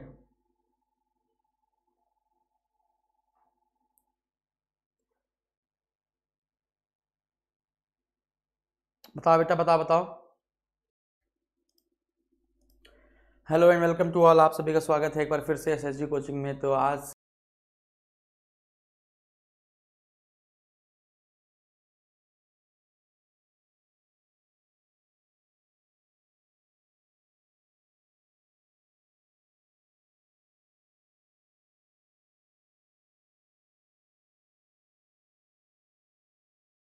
पहले हमने आपको बताया था कि कौन सा नगर वर्तमान में कहाँ पर स्थित है, ये आपने याद कर लिया होगा बेटा। तो पाकिस्तान को हमने आपको तीन भागों में बांटकर बताया था, एक था बलूचिस्तान और एक था सिंध, ठीक है ना? कुछ इस प्रकार से हमने आपको बांटकर बताया था, ठीक है ना? और एक था पश्चिमी पंजाब। तो उसी के आगे हम लोग आगे बढ़ेंगे भैया। समझिएगा ज़रा सा इसको। कि आ, अभी हम आपको याद करना पड़ेगा कि कौन सा नगर किस नदी के किनारे स्थित था ठीक है ना? कौन सा नगर किस नदी के किनारे स्थित था है ना? और इसकी खोज कब हुई और इसकी खोज किसने करी ठीक है ना? तो ये चार पॉइंट आपको याद करने पड़ेंगे। मैं नगर और नदी तो आपको याद करवा दूँगा दो मिनट लगेंगे है ना? कि कौन सा नगर किस नदी किनारे है और किस सन में खोजा गया हाँ और किसने खोज की थी? तो खोज करता कौन था? ठीक है ना? कुछ इस प्रकार से आपको अभी याद करना पड़ेगा। क्लियर है बेटा? तो क्लास को स्टार्ट किया जाए। ठीक है क्लास को स्टार्ट करते हैं। तो आपको पता होगा कौन सा नगर वर्तमान में कहाँ पर है। वर्तमान स्थिति तो सबको पता होती है, लेकिन अब आपको नहीं पता होता था वो क्या कि खोज करता और कब खोजा गया था ये। ठीक है ना? तो सबसे पहले सबसे पहले हम लोग बात करेंगे हड़प्पा की। सबसे पहले हम लोग बात करेंगे हड़प्पा की। ठीक है ना? तो आपको एक रंग है। एक रंग है, उसका नाम है हरा। एक रंग है, उसका नाम है हरा। अगर आपको हरा याद रहेगा तो आपको सब कुछ याद रहेगा। हा से होता है हड़प्पा और रा से होता है रावी। तो हड़प्पा किस नदी किनारे हाथ हड़प्पा रास रावी। हड़प्पा किस नदी किनारे है? रावी नदी के किनारे है। मम्मी की बहन को कहते हैं मौसी। मम्मी की बहन को कहते हैं मौसी। मौ से आपको याद करना है मोहन जोदाड़ो। मौ से आपको याद करना है, मोहन जुदाड़ो, और सा से याद करना है आपको सिंधु नदी। क्या याद करनी भैया? सिंधु नदी। अगला क्या है? बिहार का शोक कौन सी नदी है? तो कोसी है। बिहार का शोक कौन सी नदी है भैया? तो बिहार का शोक है कोसी नदी। तो को से क्या हो जाएगा? को से हो जाएगा कोट दीजी। को से क्या हो जाएगा? कोट दीजी। और सी से क्या हो जाएगा? सिंधु नदी। ठीक है ना? अगला ज़िंदगी में सबको कुछ ना कुछ कर दिखाने का एक बार मिलता है, कभी ना कभी क्या? चांस। चांस मतलब होता है मौका। ठीक है ना? तो अगर आपको चांस नाम का शब्द याद रहेगा, चांस, है ना? तो आपको सब कुछ याद रहने वाला है। चांस हो जाएगा चनहुदड़ो है ना? और सांस हो जाएगा सिंधु नदी। शाह से हो जाएगा चन्हुदलो और सा से हो जाएगा सिंधु नदी। तो सिंधु नदी जितने भी थे सिंधु नदी जितनी भी थी, हमने आपको याद करवा दिया ठीक है ना? तो सिंधु नदी आपको तीन याद करनी है, मोहन जोदाड़ो में सिंधु नदी, कोसी नदी, कोसी में आपको सिंधु नदी नहीं, कोच दीजिए में आपको सिंधु नदी, और चनहुदड़ो में भी आपको क्या याद रखनी है सिंधु नदी। बात समझ आ रही है? चलिए अच्छा अगली बात देखते हैं, ज़िंदगी में क्या नहीं करना चाहिए? तो ज़िंदगी में कभी लोभ नहीं करना चाहिए। लोभ से क्या होगा? लोथल हो जाएगा और भा से क्या हो जाएगा? भोगवा। लोथल और भोगवा। ज़िंदगी में क्या नहीं करना चाहिए? तो लोभ नहीं करना चाहिए। लाश लो से हो जाएगा लोथल, है ना? और भा से हो जाएगा भोगवा। ठीक है? चोट लगने पर, चोट लगने पर सबसे पहला जो शब्द निकलता है, चोट लगने पर जो सबसे पहला शब्द निकलता है वो है आह। क्या है भैया? आह। ठीक है ना? तो चोट लगने पर सबसे पहले जो शब्द निकलता है वो है आ, और आ से होता है आलमगीरपुर। याद कीजिए, हमने आपको बताया था कि सिंधु सभ्यता का सबसे पूर्वी क्षेत्र है आलमगीरपुर, और हाँ से हो जाएगा हिंडन नदी। हाँ से क्या हो जाएगा? हिंडन नदी। ठीक है ना? ज़िंदगी में अच्छा बताइए ज़िंदगी में जब मिलता है गम तो उसको भुलाने के लिए हम लोग पीते हैं रम, है ना? तो बस जितने भी नशेबाज हैं, वो सब खुश हो गए होंगे। रम, अगर रम याद रहेगा तो रा से है रंगपुर रा से है रंगपुर, और माँ से है मादर नदी। कौन सी भैया? मादर नदी। क्लियर है? हाँ बिल्कुल सही। मादर ही इतना ही है बेटा, ठीक है? तो रा से हो जाएगा रंगपुर, और माँ से क्या हो जाएगा? मादर नदी। बात समझ में आ रही बेटा? इतने कोई दिक्कत? तो रा से हो जाएगा रंगपुर, और माँ से हो जाएगा क्या? मादर नदी। डन है? कोई समस्या? क्लियर है? अच्छा आपको एक और बताया था हमने रोपड़, है ना? रोपड़ कहाँ पड़ता है? पंजाब में, है ना? तो रोपड़ बताया था, रोपड़ भी याद कर लेते हैं, है ना? ज़िंदगी में जब तक रश ना हो, है ना? रश ना हो, तब तक ज़िंदगी बेकार है। तो रा से हो जाएगा रोपड़ और सा से हो जाएगा सतलज। ठीक है ना? रा से हो जाएगा रोपड़ और सा से हो जाएगा सतलज। अगर आपने इतनी चीज़ें याद कर ली हैं तो आपको इतनी नदियाँ याद हो जाएँगी हाथ हड़प्पा रा से रावी।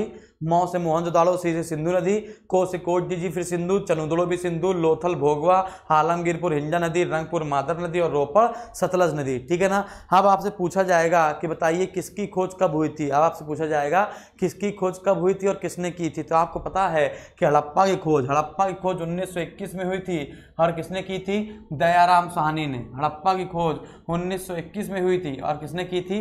दयाराम साहनी ने। तो शुरुआती दौर पे दयाराम सानी पहुँचे थे, इसके बाद राखल दास बनर्जी पहुँचे थे, फिर माधव स्वरूप वत्स पहुँचे थे, फिर मार्टिन व्हीलर पहुँचे थे। तो लोगों, चार लोगों ने मिलकर हड़प्पा का उत्खनन किया है, ठीक है ना? अच्छा मोहन जुदाड़ो में आते हैं। मोहन जुदाड़ो खोज उन्नीस में राखल दास बनर्जी ने की थी राखल दास बनर्जी ने की थी राखल दास बनर्जी ने की थी, है ना? अब आते हैं कोर्ट डीजी में। तो आपको बताना है कि कोर्ट डीजी खोज किसने की थी? कोर्ट डीजी खोज 1955 में फजल अहमद ने की है। अभी किसने की है? 1955 में फजल अहमद ने की है, ठीक है ना? 1955 में फजल अहमद जी ने, फैजल अहमद जी ने है ना किसकी खोज की है कोट डीजी की। अब आते हैं चनहुदड़ो, ठीक है ना? तो चनहुदड़ो की खोज उन्नीस से लेकर 1934 तक लगातार हुई है। तो उन्नीस सौ इकतीस भी ऑप्शन में आ सकता है, उन्नीस सौ चौंतीस भी ऑप्शन में आ सकता है। तो आपको आंसर लगाना है गोपाल मजूमदार।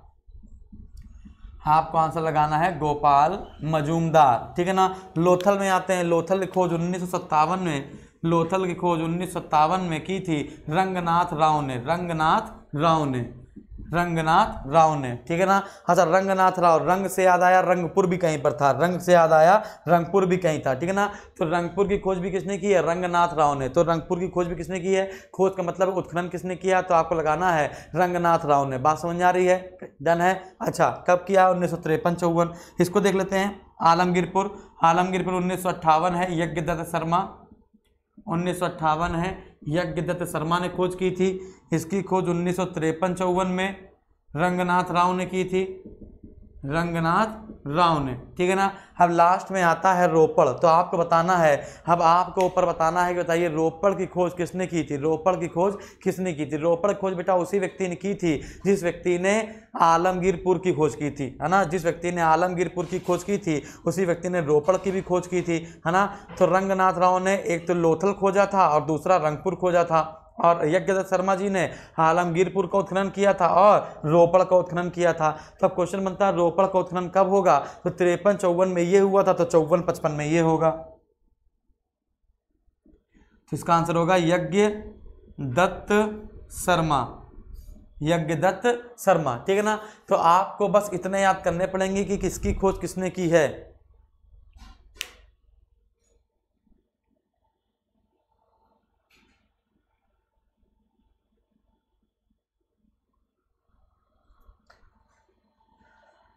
सिर्फ़ एक दो लोग कह रहे हैं, सर नेटवर्क नहीं आ रहा बेटा नेटवर्क हमारे में आ रहे हैं आपके में नहीं आ रहे हैं? ठीक है ना, हमारे में सब कुछ सही है, हमारी तरफ़ से सब कुछ सही होता है, बस आपकी तरफ़ से गड़बड़ होती है। ठीक है ना? हमारी तरफ़ से बेटा सब कुछ सही है। आप एक बार फिर से बंद करके चालू कर लीजिए, हो जाएगा, ठीक है? चलिए तो इधर वापस आते हैं। तो आपको अगर ये क्लू याद रहेंगे, अगर आपको ये क्लू याद रहेंगे, है ना? तो आपके सारे क्वेश्चन हो जाएँगे, ठीक है ना? तो आपको ये क्लू याद रहेंगे तो हड़प्पा हा, से हड़प्पा रा से रावी हो जाएगा। ये तो आपको आता ही दयाराम राखल दास बनर्जी। ये दोनों तो बचपन से रटते चले आ रहे हो, है ना? तो इसके बाद आपको बस ये कुछ और याद करने पड़ेंगे। एक, दो, तीन, चार, पाँच, छः। तो याद करना है आपको सिर्फ़ छः। बात समझ आ रही है? हाँ आपको छह बातों पर फोकस करना है, बाकी दो तो आपको ज़िंदगी भर याद ही रहे ठीक है ना? इतने में कोई समस्या नहीं, इतने में कोई समस्या नहीं तो हम लोग आगे बढ़ते हैं बेटा। तो अब हम लोग आते हैं हड़प्पा का नगर नियोजन। अब हम लोग आते हैं हड़प्पा का नगर नियोजन कैसा था? ठीक है ना? तो अब लोग हम लोग देखते हैं सामाजिक स्थिति कैसी थी, राजनीतिक स्थिति कैसी थी, धार्मिक स्थिति कैसी थी, नगर प्रणाली कैसी थी, सड़क कैसी थी, क्या करते थे, क्या नहीं करते थे, इन पर थोड़ी सी बातचीत हम लोग करते हैं। ठीक है ना? इसको मैं रफ कर देता हूँ जल्दी से। तो सबसे पहले हम लोग बात करेंगे वन बाय वन करके हड़प्पा पर, है ना? हड़प्पा पर बात करेंगे, फिर मोहन जोदाड़ो पर बात करेंगे, फिर वहाँ से क्या क्या चीज़ें मिली हैं इन पर बात करेंगे, ठीक है ना? फिर लास्ट में आपको एक सूत्र दे देंगे, है ना? फिर आपका टेस्ट होगा। टेस्ट में आप सिंधु सभ्यता के सारे क्वेश्चन कर ले जाएँगे तो आपको इंडस वैली सिविलाइजेशन फिर ज़िंदगी में कभी भी भूले हुए नहीं, है ना? तो इंडस वैली सिविलाइजेशन का टेस्ट आपका हो जाएगा बहुत जल्दी, ठीक है ना? चलिए देखते हैं। तो हम लोग बात करेंगे नगर नियोजन की। बेटा आराम समझिएगा तो हम लोग बात करने वाले हैं नगर नियोजन की, ठीक है ना?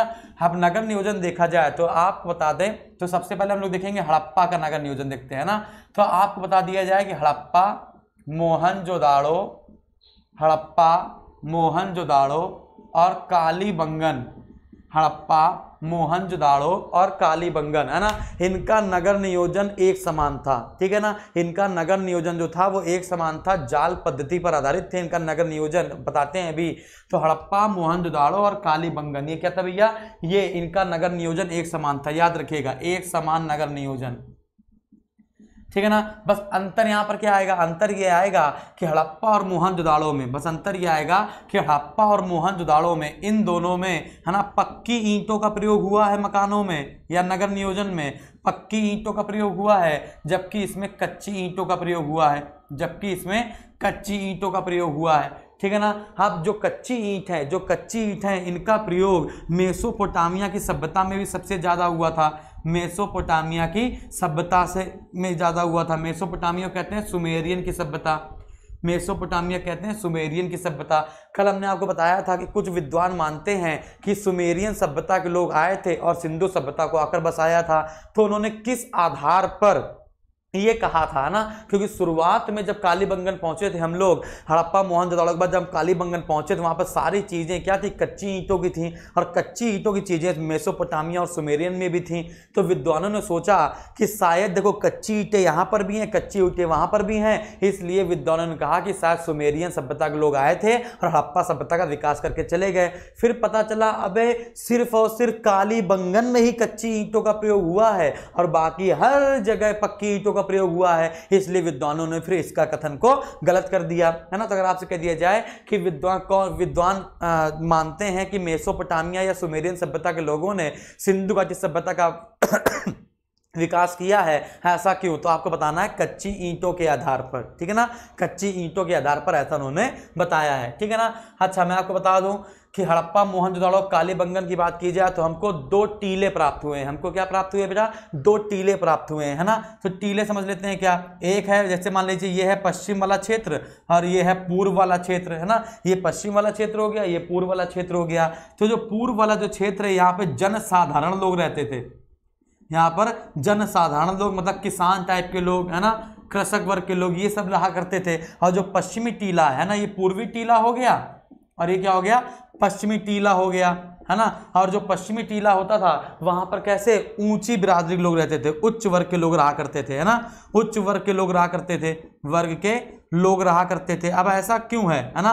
क्योंकि जो पूर्वी टीले की ऊंचाई है, वो पश्चिमी टीले से कम है। जो पूर्वी टीले की ऊंचाई है, वो पश्चिमी टीले से कम है, सबसे पहली बात तो यानी कि जो उच ऐसे कुछ है, ऐसे, है ना? तो ये है पश्चिमी टीला, है ना? और ये है पूर्वी टीला तो पश्चिमी टीले की ऊंचाई पूर्वी टीले से क्या थी? ज़्यादा थी। इसके बाद, अगली बात ये है कि जो पश्चिमी टीला था, ये चारों तरफ़ दीवारों से घिरा हुआ था। जो पश्चिमी टीला था, वो चारों तरफ़ दीवारों से घिरा हुआ था, और दीवारों का घिरा हुआ का मतलब है कि ये दुर्ग आधारित था। ये क्या था भैया? दुर्ग, है ना? ये जो दीवार घिरी है ना, इसको हम कहते हैं फोर्ट, है ना? फोर्ट मतलब होता है मज़बूत करना, दुर्गीकरण करना।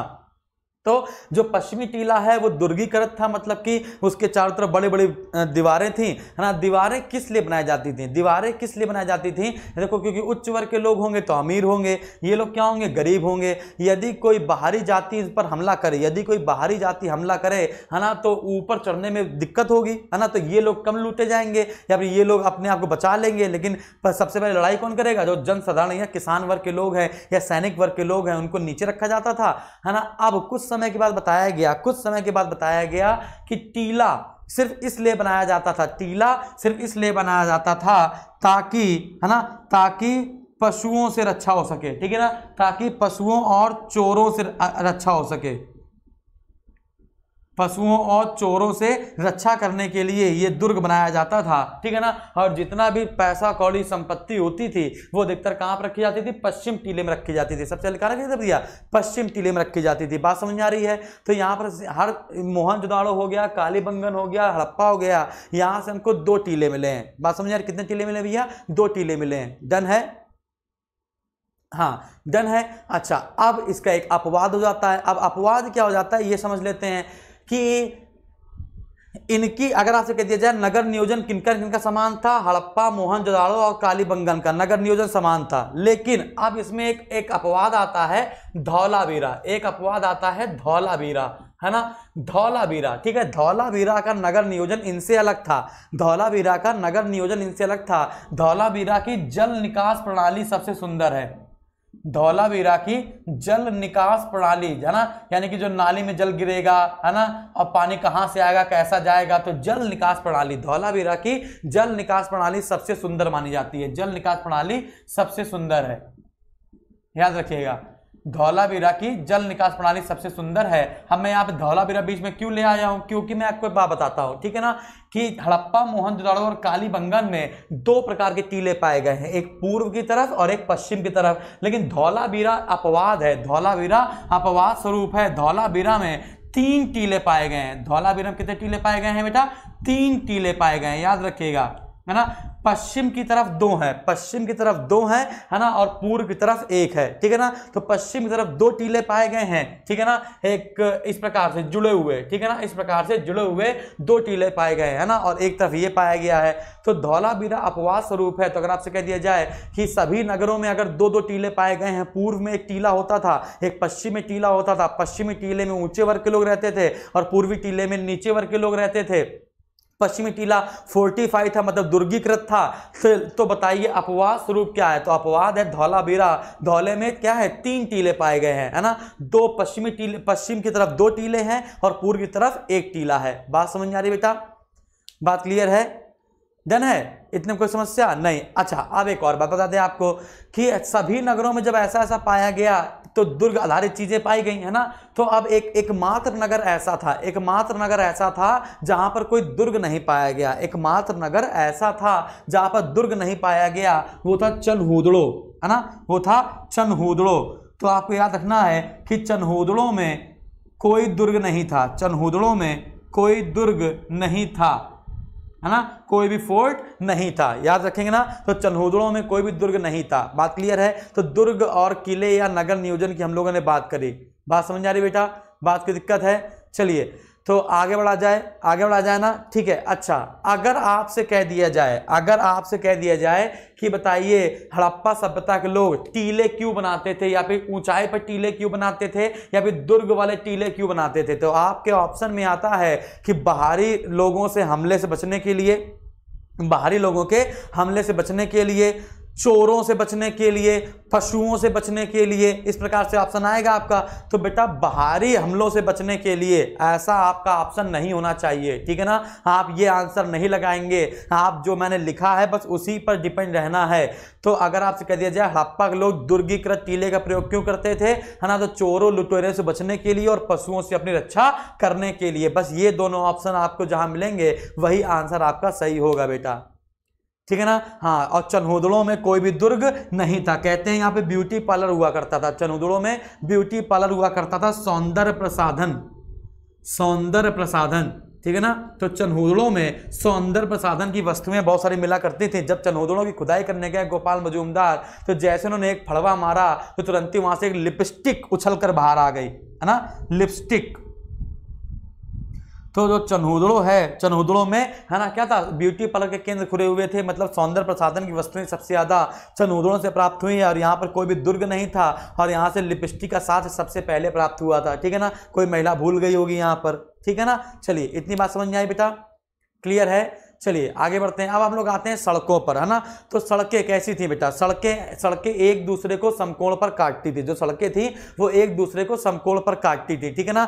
तो अगर कह दिया जाए, अगर कह दिया जाए काली बंगा काली बंगा की अगर बात करें तो काली बंगा में जो सड़क थी, है ना? काली बंगा में जो सड़क हुआ करती थी और जो गली हुआ करती थी, दोनों का रेशियो समान था। कई इंपॉर्टेंट क्वेश्चन है कि बताइए गलियों और सड़कों का अनुपात गलियों और सड़कों का अनुपात एक समान किस नगर में देखा गया? तो गलियों और सड़कों का अनुपात एक समान काली बंगा में देखा गया, या काली बंगा में देखा गया, ठीक है ना? तो अब हम लोग बात करने जा रहे हैं सड़कों पर। तो आपको इतनी बात समझ में आ गई होगी बेटा, अच्छे से याद हो गया होगा। क्या नगर नियोजन में क्या होता था भैया? कि हड़प्पा मोहनजोदाड़ो और काली बंगन का नगर नियोजन समान था, ठीक है ना? इनका नगर नियोजन क्या था? समान था। इसमें दो टीले होते थे, एक पूर्व की तरफ़ और एक पश्चिम की तरफ़। पश्चिमी टीले की ऊंचाई ज़्यादा होती थी, यहाँ पर उच्च वर्ग के लोग रहते थे, है ना? और पूर्वी टीले की ऊंचाई कम होती थी, यहाँ पे जनसाधारण, कृषक और सैनिक वर्ग के लोग रहा करते होंगे। अच्छा अब यहाँ पे जो पश्चिमी टीला था, वो दुर्गीकृत हुआ करता था मजबूती के लिए, है ना? किसके लिए? चोरों और लुटेरों से और पशुओं से बचने के लिए। लेकिन अगर हम टीले की बात करें तो टीले में अपवाद स्वरूप एक नगर आता है, धौलावीरा। हर जगह दो टीले पाए गए, लेकिन धौलावीरा में अपवाद स्वरूप तीन टीले पाए गए। कितने टीले पाए गए भैया? तीन टीले पाए गए। अगर आपसे कह दिया जाए कि मेसोपोटामिया की सभ्यता, मेसोपोटामिया की सभ्यता ने ही सैंदो सिंधु घाटी सभ्यता का विकास किया है। इस बात का पता हमें किससे चलता है तो कच्ची ईंटों से। बात समझ आ रही है? हर जगह मोहनजोदाड़ो हड़प्पा और कालीबंगन में क्या किया गया है? पक्की ईंटों का प्रयोग किया सॉरी हड़प्पा मोहनजोदाड़ो और कालीबंगन के नगर नियोजन समान थे। इन दोनों में पक्की ईंटों का प्रयोग किया गया, जबकि कालीबंगन में कच्ची ईंटों का प्रयोग किया गया है। जरा तुर्गीकृत की बात करें तो चन्होदड़ों में कोई भी दुर्ग नहीं था। यहाँ से सौंदर्य प्रसाधन की वस्तुएँ प्राप्त हुई हैं। और सबसे पहले प्राप्त हुआ है बेटा क्या?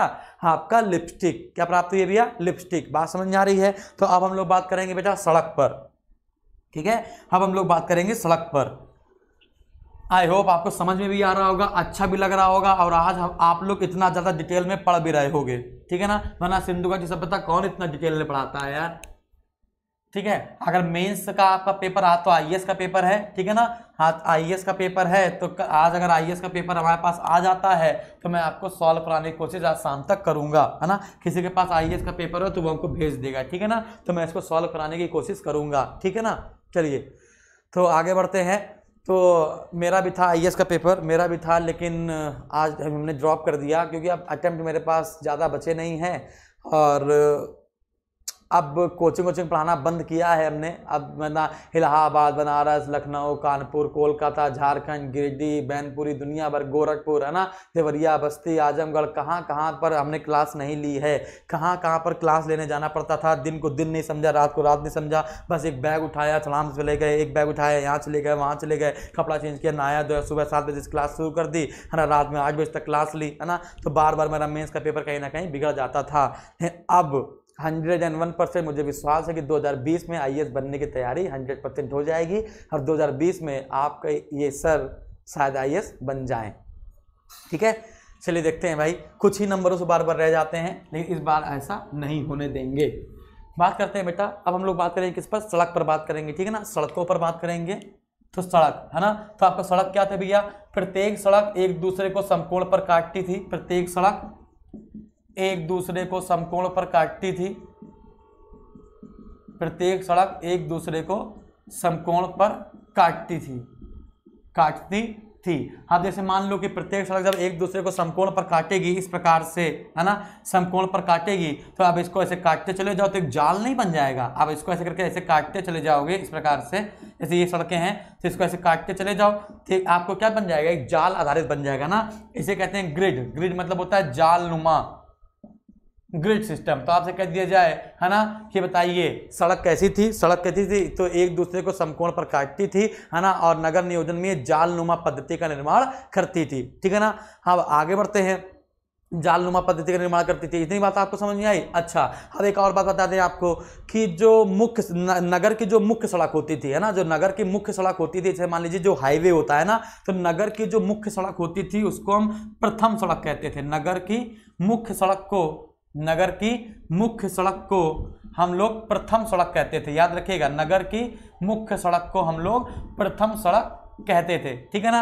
अच्छा अब ये से मान चलिए कि ये वाली नगर ये मान लीजिए, ये वाली, है ना? तो नगर की मुख्य सड़क को हम लोग प्रथम सड़क कहते थे, है ना? और जहाँ पर ये काटती थी, जहाँ पर ये काटती थी जहाँ पर ये क्या भैया? जहाँ पर ये सड़क काटती है एक दूसरे को, उसको, उस काटे वाले क्षेत्र को, हम कहते हैं ऑक्सफोर्ड सर्किल। क्या कहते हैं भैया? ऑक्सफोर्ड सर्किल, याद रखिएगा, जहाँ पर सड़क एक दूसरे को काटती थी, जहाँ पर सड़क एक दूसरे को काटती थी, उन्हें हम कहते हैं ऑक्सफोर्ड सर्किल। ऑक्सफोर्ड सर्किल, याद रखिएगा बेटा, है ना? तो जहाँ पर सड़क एक दूसरे को काटती थी, उनको हम कहते हैं ऑक्सफोर्ड सर्किल, ठीक है? ठीक है? और नगर के मुख्य सड़क को प्रथम सड़क कहा जाता था। ठीक है? अगला क्वेश्चन बताते हैं आपको। अगला पॉइंट क्या है? कि अच्छा ये बताइए कि नगरों में जो प्रवेश होता था, वो कहाँ से होता था? नगरों में जो प्रवेश होता था, वो पूर्वी सड़क की ओर से होता था कि पश्चिमी सड़क की ओर से होता था? ये क्वेश्चन कई बार आया है। तो नगरों में जो प्रवेश होता था, नगरों में जो प्रवेश द्वार होता था, नगरों में जो प्रवेश द्वार होता था, है ना? वो मुख्यता वो मुख्यता पूर्व की ओर होता था, वो मुख्यता पूर्व की ओर होता था, वो मुख्यता पूर्व की ओर होता था। इतनी आपको बात समझ में आई? तो नगरों का जो मुख्य द्वार होता था, वो अधिकतर क्या होता था? पूर्व की ओर होता था। बात समझ आ रही बेटा? क्लियर है? अच्छा सड़क, अब सड़कों से याद आया नालियाँ। हाँ सड़कों से याद आया नालियाँ। ठीक है ना? नालियाँ जो होती थी, वो ईंटों से पूरी तरीके से ढकी होती थी। ईंटों ईंटों से पूरी तरह ढकी हुई होती थी। पूरी तरह ढकी हुई होती थी। होती थी। तो अब क्वेश्चन आपसे पूछ लिया गया कि जो नालियाँ ईंटों से पूरी तरह ढकी हुई होती थी, है ना, इन इन ईंटों को, इन नालियों की ईंटों को हम किससे जोड़ते थे? अब क्वेश्चन बन जाएगा कि बताइए नालियाँ जो होती थी वो ईंटों और पत्थरों से ढकी होती थी, है ना तो अब ये बताइए कि ईंटों ईंटों को जोड़ने के लिए, ईंटों या नालियों के पत्थरों को जोड़ने के लिए हम किसका प्रयोग करते थे, है ना? तो सामान्यतः वैसे तो ईटा और गारा का प्रयोग करेंगे, मोर्टार का प्रयोग करेंगे, मोर्टार हमने आपको पढ़ाया भी है, लेकिन ईंटों और मोर्टार का का प्रयोग अधिकतर कम देखा गया है है ना? तो ईंटों और मोर्टार अगर नहीं मिलता है तो क्या यूज़ करते हैं? तो आपको ये बताना है है ना? तो ईंटों को जोड़ने के लिए, ईंटों को जोड़ने के लिए, जैसे सीमेंट लगाते हैं ना इस बार, है ना? तो ईंटों को जोड़ने के लिए आपको पता है कि गारे का प्रयोग किया जाता है। गारा मतलब होता है मोर्टार। गारा मतलब क्या होता है? मोर्टार होता है, ठीक है ना? लेकिन अगर गारा अगर ऑप्शन में नहीं आता, हालाँकि नहीं आएगा हंड्रेड एंड वन परसेंट नहीं आएगा तो ईंटों को जोड़ने के लिए आप लगाएँगे चूने और जिप्सम से जोड़ा जाता था। चूने और जिप्सम का प्रयोग करते थे, याद रखिएगा। ठीक है ना? ईंटों को जोड़ने के लिए हम लोग किसका प्रयोग करते थे? चूने और जिप्सम का प्रयोग करते थे, याद रखिएगा। अब वर्तमान में तो हम लोग गारा का प्रयोग करते हैं, लेकिन गारा ऑप्शन में आपके नहीं आएगा। ठीक है ना? तो सिंधु सभ्यता के लोग ईंटों को जोड़ने के लिए चूने और जिप्सम का प्रयोग करते थे। इतनी बात समझ में आ रही बेटा? इतने को दिक्कत है? और सबसे अच्छी जल निकास प्रणाली किसकी है? तो सबसे अच्छी जल निकास प्रणाली आपको पता है किसकी है भैया? तो आंसर लगाना है आपको धौलावीरा की, ठीक है ना? धौलावीरा की सबसे सुंदर जल निकास प्रणाली है, ठीक है? अच्छा अपने अपने घर में कुएँ होते थे, एक है ना, कौन सा नगर ऐसा जिसमें अपने अपने घर में कुएँ होते थे, ठीक है ना? तो अपने अपने घर में, हालाँकि वैसे तो नगर में दो तीन कुएँ होंगे, है ना? हर घर में कुआँ देखा गया है काली बंगन में, याद रखिएगा। काली बंगन की बात करेंगे यहाँ पर तो काली बंगन में प्रत्येक घर में एक कुआँ होता था। प्रत्येक घर में कुआँ। ठीक है? तो प्रत्येक घर में कुआँ कहाँ देखा गया है? तो प्रत्येक घर में कुआँ देखा गया है काली बंगन में। जल निकास से याद आ गया। तो प्रत्येक घर में कुआँ देखा गया है कहाँ पर बेटा? तो आपको लगाना है कहाँ पर? काली बंगन में। ठीक है ना? अच्छा तो हमने आपको क्या बताया? हमने आपको बताया ईंटों के बारे में। ईंटों के बारे में बताते हैं ना? ईंटों के बारे में। ठीक है ना?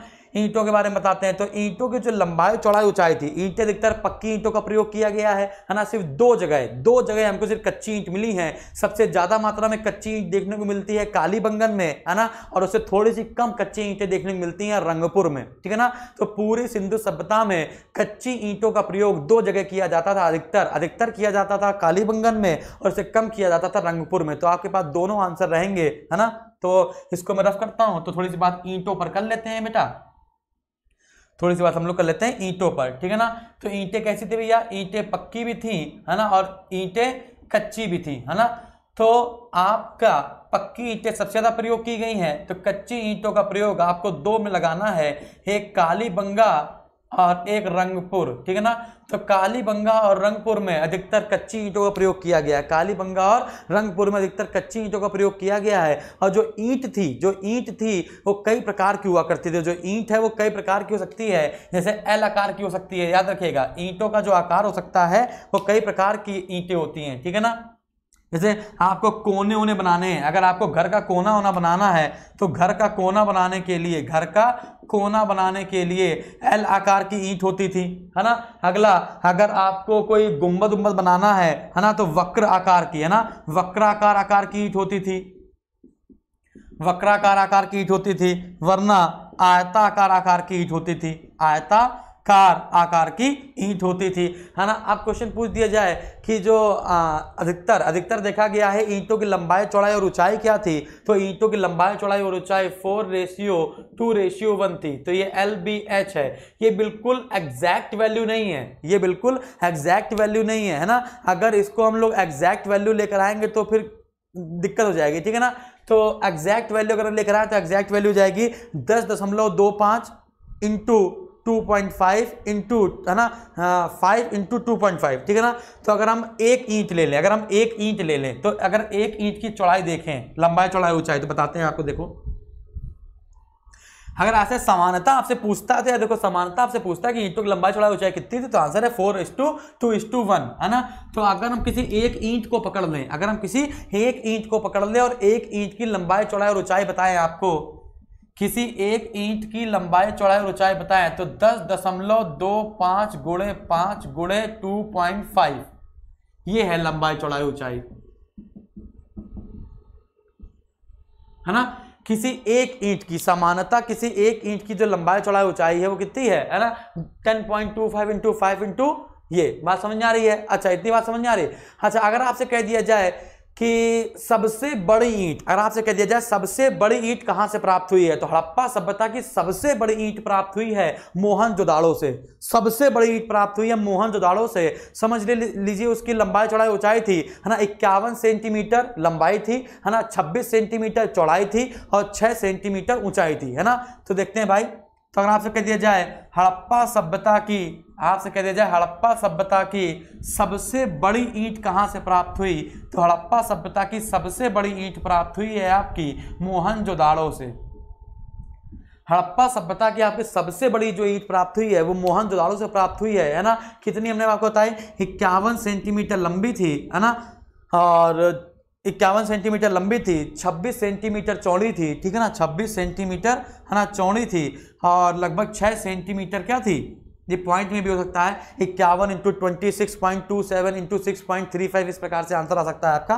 तो आपको इतना याद कर लेना, इक्यावन, छब्बीस और छः ठीक है ना? तो ये सबसे बड़ी ईंट थी इसका एल बी एस लंबाई, चौड़ाई, ऊंचाई का जो वो है, ठीक है ना? मान है वो है इक्यावन सेंटीमीटर लंबी 26 सेंटीमीटर चौड़ी और 6 सेंटीमीटर ऊँची। बात समझ आ रही बेटा?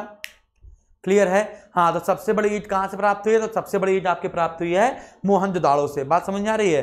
अच्छा भवन की बात कर लें, अगर भवन की बात कर लें हम लोग, यानी कि घरों की बात कर लें तो घर तीन प्रकार के हम लोग को मिल सकते हैं। एक होते हैं बड़े रहने वाले भवन, आवासीय भवन, और एक होता है बहुत बड़े भवन, आवासीय भवन के अलावा आवासीय जो भवन होते हैं, जो मतलब रहने वाले होते हैं, उनमें एक घर में अधिकतर तीन चार कमरे होते थे, है ना? एक घर में तीन चार कमरे होते थे, एक आँगन होता था, एक रसोई घर होता था। ठीक है? एक आँगन होता था एक रसोई घर होता था और एक स्नानाघर होता था। ये सब में कॉमन है। रसोई है ना? आँगन और स्नानागार ये सभी घर में कॉमन देखा गया था। और एक आँगन आ, क्या कहते हैं कि हाँ और विशाल भवन की बात करें तो विशाल भवन में देखा गया है कि एक एक हॉल में तीस तीस कमरे भी देखे गए। एक एक हॉल में तीस तीस कमरे भी देखे गए। ठीक है ना? इतनी आपको बात समझ में आई? इतने आपको कोई दिक्कत है? इतने में आपको कोई दिक्कत है बेटा? नहीं ना? अच्छा मैं आपको एक और बात बताना भूल गया। मैं आपको एक और बात बताना भूल गया, जैसे मान लीजिए कि ये सड़क जा रही है है ना? और इसको काटती हुई ये सड़क जा रही है तो ये तो होगा ऑक्सफोर्ड सर्किल है ना? और ये एक सड़क होगी, ये सड़क होगी, ये हाईवे होगा, ये ये एक हाईवे होगा और एक हाईवे ये होगा, है ना? तो जो मोहल्ला होगा, मोहल्ला ये होगा, ठीक है ना? मोहल्ला क्या होगा? ये होगा, ठीक है ना? ये वाला मोहल्ला होगा। तो जो मोहल्ले में घर के दरवाजे हैं, जो मोहल्ले में घर के दरवाजे हैं, वो सारे पीछे की ओर खुलते हैं, पिछवाड़े। जो घर में मोहल्ले मोहल्ले के जो दरवाजे हैं, वो मुख्य सड़क की ओर ना खुलकर किसकी तरफ़ खुलते हैं भैया? वो पिछवाड़े तरफ़ खुलते हैं, सिवाय लोथल के। लोथल एक ऐसा जगह देखी गई जहाँ पर एक घर, लोथल में, पूरे लोथल में सिर्फ़ एक घर ऐसा मिला था, जहाँ पर, जहाँ का जो दरवाज़ा था वो मुख्य सड़क की ओर खुलता था। तो वो अपवाद हो गया। अब यही पेपर में आएगा। ये क्या हो गया भैया? ये अपवाद हो गया और यही पेपर में आएगा। ठीक है ना? तो रफ कर दें इसको। तो अगर हम भवन की बात करें, भवन की तो भवन कितने प्रकार के पाए गए हैं? तीन प्रकार के। ठीक है ना? तो एक हो जाएगा आवासीय भवन। ठीक है, एक हो जाएगा विशाल भवन और एक हो जाएगा सार्वजनिक स्नानागार और अन्नागार, ठीक है ना? स्नानागार और अन्नागार, स्नानागार मतलब ग्रेट बात है ना? और अन्नागार मतलब ग्रेनरी जहाँ पर लोग अपना अनाज धरते हैं। जो बच्चे गाँव से जुड़े होंगे, वो जानते हैं, बेटा कोल्ड स्टोर होता है है ना? गेहूँ, वहूँ है ना? आलू वालू धरने के लिए कोल्ड स्टोर होता है कोल्ड स्टोर उसी कोल्ड स्टोर को हम लोग कहते हैं अन्नागार, है ना? तो तो जैसे कि हम लोग बात करें, अगर भवन की बात करें तो भवन की, है ना? तो भवन की बात करें, तीन प्रकार के भवन पाए गए हैं। है ना? आवासीय आवासीय भवन मतलब रहने वाले छोटे छोटे इसमें क्या होता है? आवासीय भवनों में क्या होगा कि तीन चार कमरे होते हैं, तीन चार कमरे होते हैं, और प्रत्येक घर में तीन चीज़ें कॉमन होंगी। एक रसोई घर होगा, एक रसोई घर होगा, एक आँगन होगा, और एक स्नानागृह होगा। ठीक है ना? और जो दरवाज़ा है वह पीछे की तरफ़ खुलता है, पीछे की तरफ़ खुलता है, ना कि मुख्य सड़क की ओर, ना कि मुख्य सड़क की ओर, सड़क की ओर। अब यहाँ पर अपवाद क्या लिखेंगे? अपवाद है लोथल, अपवाद है लोथल, है ना? क्योंकि लोथल में घर ऐसा पाया गया है जिसका दरवाज़ा सीधे मुख्य सड़क की ओर खुलता था। आवासीय भवन के बाद आएँगे, विशाल भवन में। आवासीय भवन के बाद आएँगे विशाल भवन में, है ना? इसमें तीस तीस कमरे या तीस तीस, चालीस चालीस, है ना? क्या देखे गए? हैं कमरे देखे गए। हैं तीस तीस, चालीस चालीस कमरे देखे गए हैं विशाल भवनों में, ठीक है ना? हाँ अगली बात की जाए, है ना? अन्नागार और अन्नागार और स्नानागार, अन्नागार और स्नानागार। तो अगर आपसे कहा जाए, सबसे बड़ी सबसे बड़ी इमारत, सबसे बड़ी इमारत, सबसे सिंधु सभ्यता की सबसे बड़ी इमारत कौन सी है? तो सबसे बड़ी इमारत मोहन जोदाड़ो का अन्नागार है। हालाँकि सभी नगरों में, सभी नगरों में बेटा हड़प्पा सभ्यता, हड़प्पा नगर हो, है ना, चाहे चन्हुदड़ो हो, चाहे कालीबंगन हो और चाहे कोई भी हो, सब जगह स्नानागार और अन्नागार पाए गए हैं। लेकिन बड़े स्नानागार और बड़ा अन्नागार पाया गया है मोहन जोदाड़ो में। मोहन जोदाड़ो में। तो आपसे कहा जाए, सबसे बड़ी इमारत क्या है? तो मोहन जोदाड़ो का अन्नागार। मोहन जोदाड़ो का अन्नागार। ये सबसे बड़ी इमारत है, इस सभ्यता की याद रखिएगा। मोहन जोदाड़ो का अन्नागार सबसे बड़ी इमारत है। किसकी? इस सिंधु घाटी सभ्यता की। बात समझ आ रही है? डन है? अच्छा हमने आपको एक बात बताना तो भूल ही गए थे। कालीबंगन वाली, है ना? बताया था हमने आपको, लेकिन लिखा नहीं था। कालीबंगन एक ऐसा नगर है। कालीबंगन एक ऐसा नगर था, जहाँ पर गली और सड़कों का अनुपात एक था। गली और सड़कों का जो अनुपात था, वो एक समान था। गली और सड़कों का जो अनुपात था, वो एक समान था। ये हमने आपको बताया था, लेकिन लिखा नहीं था हमने। लेकिन आपको याद रहना चाहिए, गली और सड़कों का अनुपात एक समान था। कहाँ पर बेटा कालीबंगन में। ठीक है?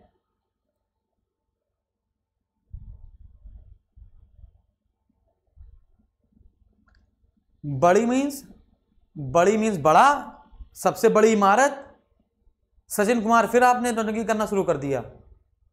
अब आपको बड़ी का मतलब ही समझ आ रहा है। हम कह रहे हैं, सबसे बड़ी इमारत अन्नागार, जब कह रहे हैं, बड़ी मतलब। ठीक है? कल भी आपने ऐसे कुछ फालतू की बात की थी। ठीक है ना?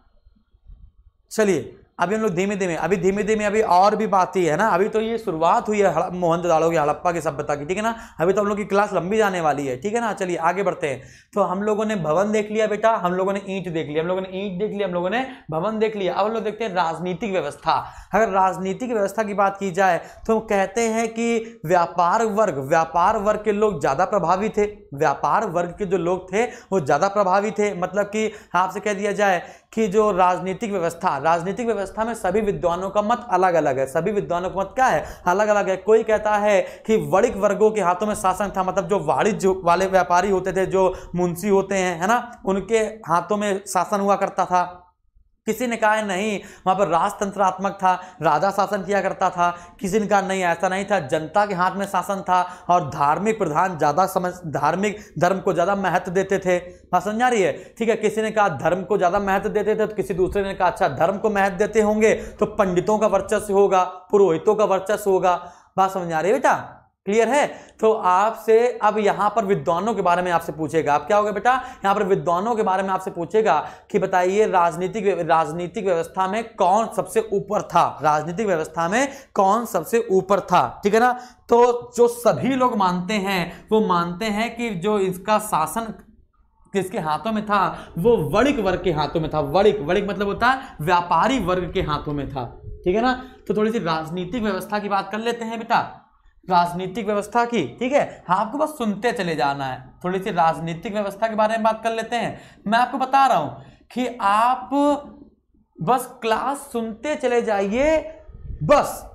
कोई भी ऐसा पेपर नहीं है जो आपका निकलेगा नहीं, भाई साहब। बस आप ऐसे लीड लगाइए, ऐसे रखिए कोई कमेंट नहीं करना है, बस लगातार आपको, आप सुनते चले जाइए, ठीक है ना? सारी बातें आपको क्लियर हो जाएँगी, बस आराम से प्रैक्टिस से घर पे लगाइए, कोई दिक्कत ही नहीं है यार, ठीक है ना? चलिए तो अपने अपने मन से धीमे धीमे अपने मन से आगे बढ़ने की कोशिश मत कीजिए, ठीक है ना? कि ये कहाँ पाया गया, वो कहाँ पाया गया, अभी हमने बताया गया किसको कहाँ पाया गया है? अभी धीमे धीमे बताएँगे कौन सी चीज़ कहाँ पर पाई गई, है ना? चलिए, आगे बढ़ते हैं। तो राजनीतिक व्यवस्था की बात करते हैं। राजनीतिक व्यवस्था की बात की जाए, है ना तो ज़्यादातर लोग, ज़्यादातर, अगर कह जाए संभवतः कितने लोग मानते हैं कि राजनीतिक व्यवस्था कैसी थी तो ज़्यादातर लोग मानते हैं कि जो व्यवस्था थी वो वणिक वर्ग के हाथों में थी। किसके हाथों में थी? वणिक वर्ग के हाथों में थी। वणिक वर्ग के हाथ में थी। वणिक मतलब होता है है ना, व्यापारी वर्ग के हाथों में हुआ करती थी। मतलब कि जैसे मान लीजिए कि जो बनियानियाँ होते हैं, उनके वर्ग के हाथों में व्यापारी वर्ग के हाथों में थी, ठीक है ना? फिर कुछ समय के बाद अलग अलग व्यक्ति आए, जैसे मार्टिन व्हीलर आए। तो मार्टिन व्हीलर ने कहा, मार्टिन व्हीलर ने कहा कि जो हड़प्पा की जो राजनीतिक व्यवस्था थी, है ना, वो जनतंत्रात्मक थी मतलब कि डेमोक्रेटिकल थी, है ना, लोगों के द्वारा शासन किया जाता था। और ये धार्मिक धार्मिक चीज़ों को ज़्यादा स्वीकार करते थे, ठीक है ना? कुछ इस प्रकार से किसने बताया? मार्टिन व्हीलर ने। मार्टिन व्हीलर ने बताया कि शासन तो जनतंत्रात्मक था। शासन जनतंत्रात्मक था, जैसे वर्तमान में चल रहा है, शासन तो जनतंत्रात्मक था, लेकिन धार्मिक महत्ता ज़्यादा थी धर्म की महानता ज़्यादा थी, धर्म की महानता ज़्यादा थी। धर्म की महानता ज़्यादा थी, है ना? कुछ इस प्रकार से बताया। अब ये धार्मिक बातों पर हम लोग चर्चा करेंगे तो ये कौन सी धर्म मानते थे, कौन सी धर्म नहीं मानते थे, फिर इन पर चर्चा होगी, ठीक है ना? तो अगर अगर ऐसा हुआ होगा, अगर मार्टिन विलर की हम बात सही मान लें तो भैया मार्टिन विलर की बात सही मान ले तो धर्म को अगर ज़्यादा महानता दोगे तो धर्म को मौन मानता है। धर्म को भैया पुजारी मानते हैं, पुजारी को पुरोहित कहा जाता था। इसलिए स्टुअर्ट पिगट स्टुअर्ट पिगट कौन थे? जिन्होंने कहा था, स्टुअर्ट पिगट नहीं तो कहा था, एक ही साम्राज्य की जुड़वा राजधानी। किसको कहा था? हड़प्पा और मोहन जोदाड़ो को। बताया था ना हमने आपको कि एक ही साम्राज्य की जुड़वा राजधानी किसको कहा जाता है? हड़प्पा और मोहन जोदाड़ो को कहा जाता है। और ये किसने कहा था? स्टुअर्ट पिगट ने कहा था। ठीक है ना? तो अब इन्होंने क्या बताया? पुरोहित वर्ग का शासन हुआ करता होगा। पुरोहित वर्ग का शासन हुआ करता होगा। पुरोहित मतलब होता है पुजारी वर्ग का शासन हुआ हो, हो, करता होगा। क्योंकि अगर धर्म को ज़्यादा मानते होंगे तो पुजारी हमेशा आगे आते होंगे। बात समझ आ रही? अगर ये इसको मानते होंगे तो पुजारी हमेशा आगे आते होंगे। बात समझ आ रही बेटा? क्लियर है? अच्छा अब एक और व्यक्ति आते हैं, मैके। दो व्यक्ति और बताएँगे, मैके और हंटर, ठीक है? एक हम बताते हैं, मैके और हंटर। तो सबसे पहले आपको हंटर का विद्वान के बारे में समझना है। तो विलियम हंटर जी ने कहा था कि भैया, जो शासन था, वो कैसा था? जो शासन था, वो कैसा था? राजतंत्रात्मक ना होकर जनतंत्रात्मक था मतलब राजा नहीं था, राजा नहीं था, जनता शासन करती थी। जनता शासन करती थी। जनता शासन करती थी और इन्होंने धर्म के बारे में कुछ नहीं बताया, ठीक है ना? तो हंटर ने ये तो कहा शासन जनतंत्रात्मक था। हंटर ने ये कहा शासन जनतंत्रात्मक था, लेकिन धर्म की महानता इन्होंने बताई नहीं। बात समझ आ रही है? इन्होंने धर्म की मान्यता बताई तो इन्होंने इससे संबंधित स्टेटमेंट ये दिया। इन्होंने कहा जनता शासन करती थी, शासन जनतंत्रात्मक था। इस व्यक्ति ने धर्म की कोई बात नहीं करी, है ना? और हंटर की बात आता है मैके। मैके ने कहा राजतंत्रात्मक था। है ना? राजतंत्रात्मक था। कोई एक प्रतिनिधि, कोई एक प्रतिनिधि के हाथों में सब कुछ था।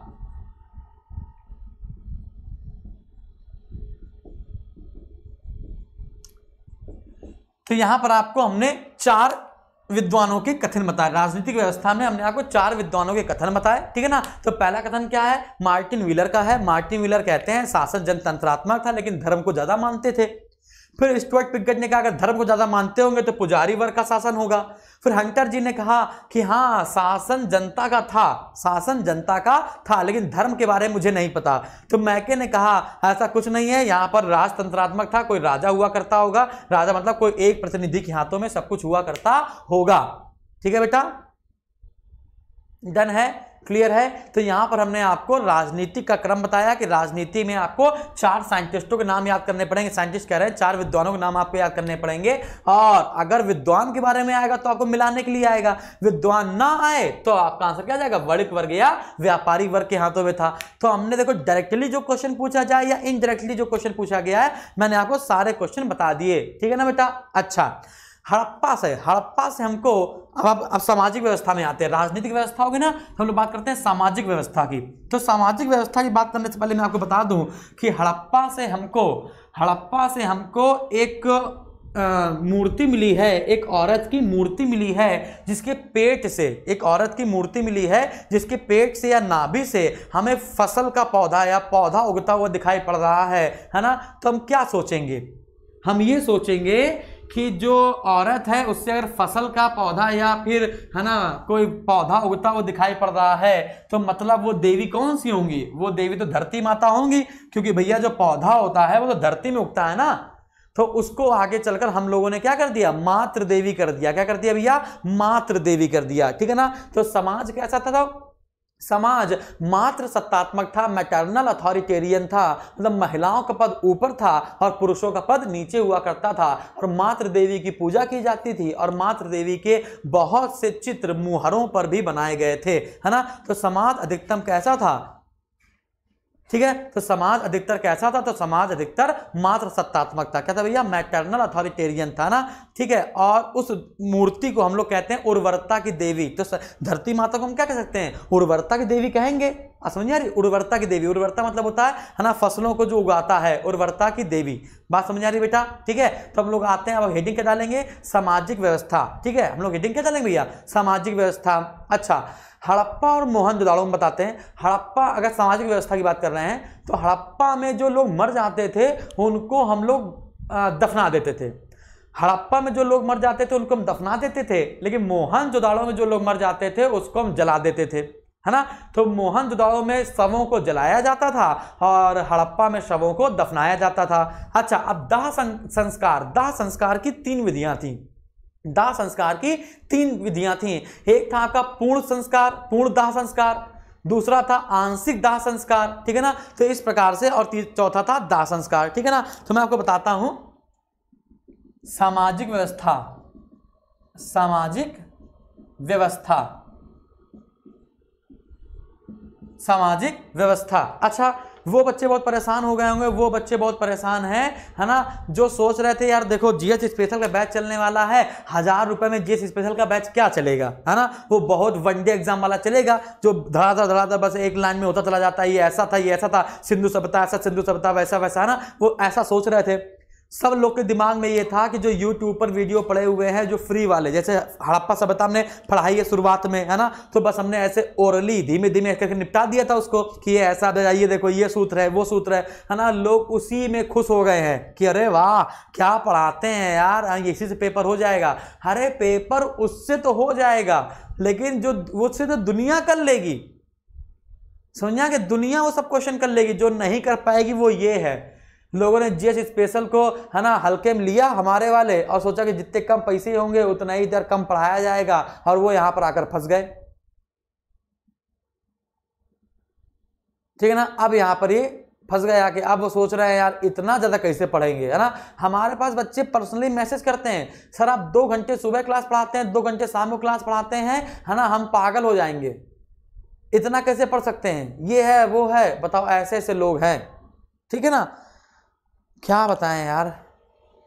अब बनना है आईएएस बनना है इंस्पेक्टर। ये नहीं जानते कि तुम्हारे जैसे लोग दिल्ली, इलाहाबाद, बनारस, लखनऊ, कानपुर, पूरे इंडिया लेवल पर तुमसे कई ज़्यादा मेहनत करने वाले लोग, है ना? कई गुना ज़्यादा मेहनत करने वाले लोग फिर भी असफल हो जाते हैं कुछ ना कुछ पॉइंट से। है ना? दूर ना जाओ, हमको देख लो बेटा। ठीक है? और हमको बता रहे हो यार कि सर ऐसा ना करो, वैसा ना करो।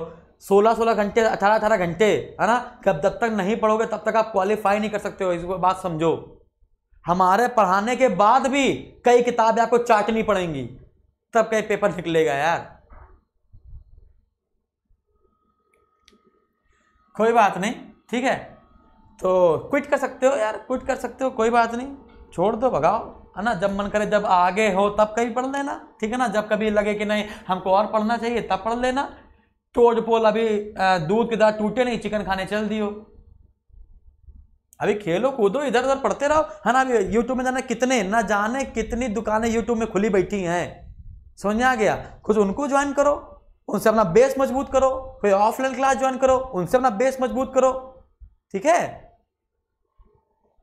आगे आते हैं। सामाजिक व्यवस्था की बात बताते हैं ना, सामाजिक व्यवस्था की। तो सामाजिक व्यवस्था ने बताया आपको कि हमको हड़प्पा से हड़प्पा से एक मूर्ति प्राप्त हुई, बेटा। हड़प्पा से हमको एक मूर्ति प्राप्त हुई। है ना, वो मूर्ति कैसी थी? उसको हम कहते हैं उर्वरता की देवी। उसको हम कहते हैं उर्वरता की देवी। है ना, वो मूर्ति कैसी थी? है ना मूर्ति ऐसी थी कि स्त्री के गर्भ से निकलता हुआ पौधा, स्त्री के गर्भ से निकलता हुआ पौधा।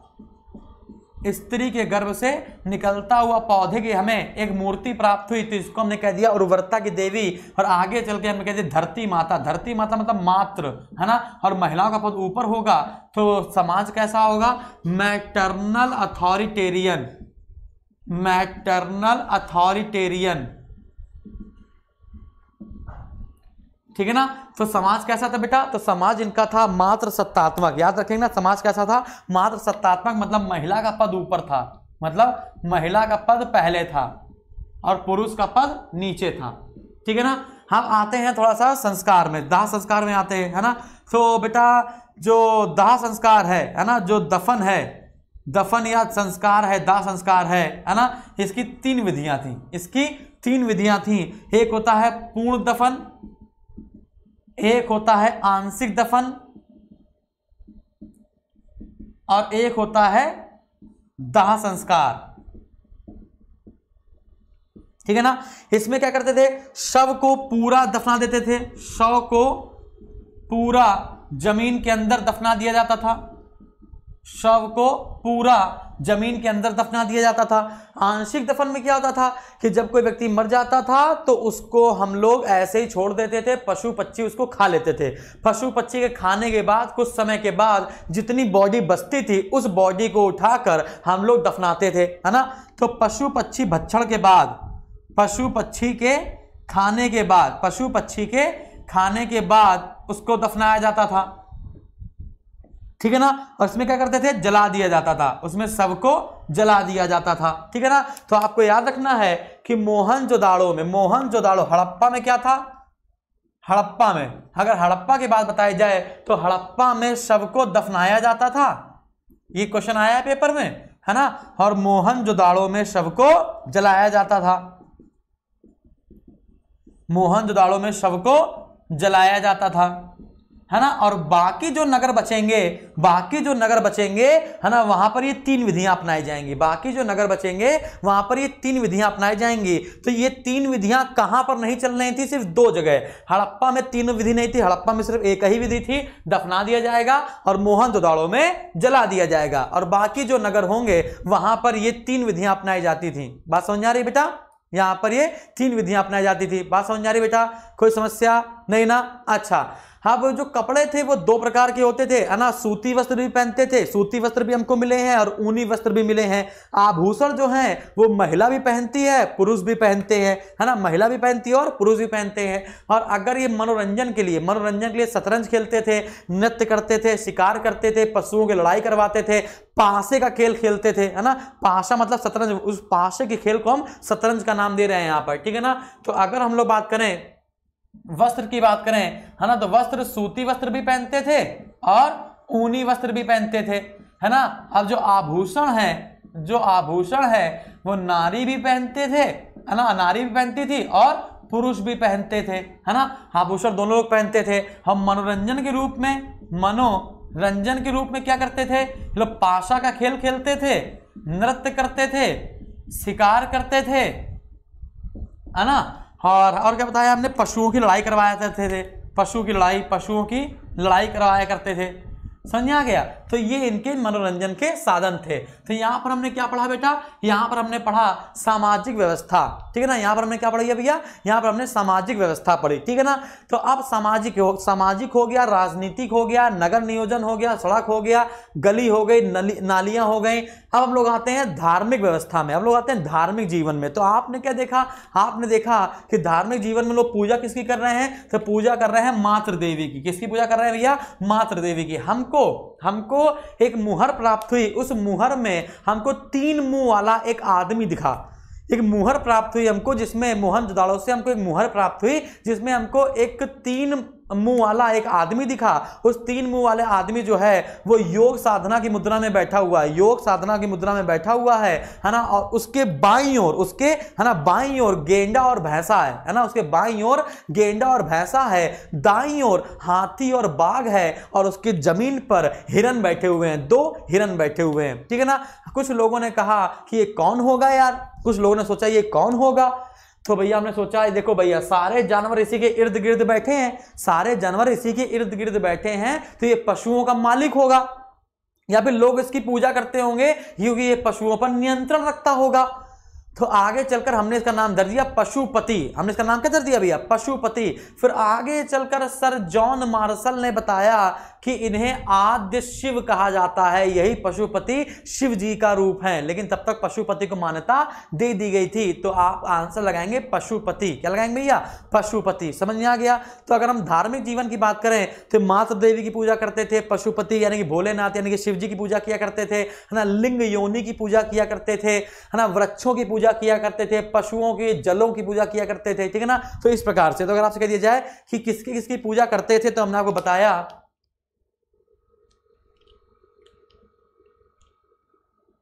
हाँ ठीक है बेटा। तो अब हम लोग बात करेंगे धार्मिक जीवन की। अब हम लोग किसकी बात करेंगे? धार्मिक जीवन की, ठीक है ना? हम लोग थोड़ी सी बात करेंगे धार्मिक जीवन की।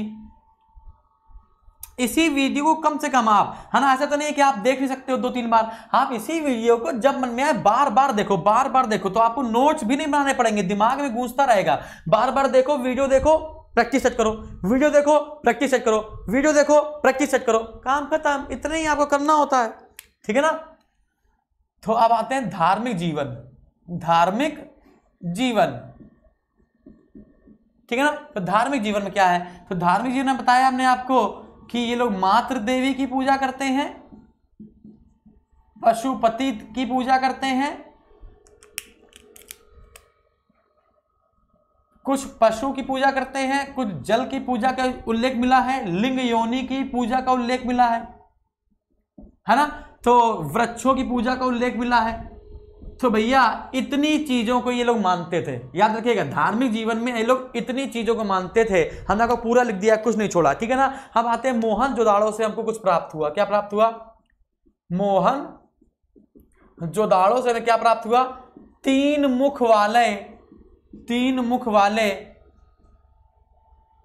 वाले एक पुरुष की मूर्ति पुरुष की योग साधना की मूर्ति, योग साधना की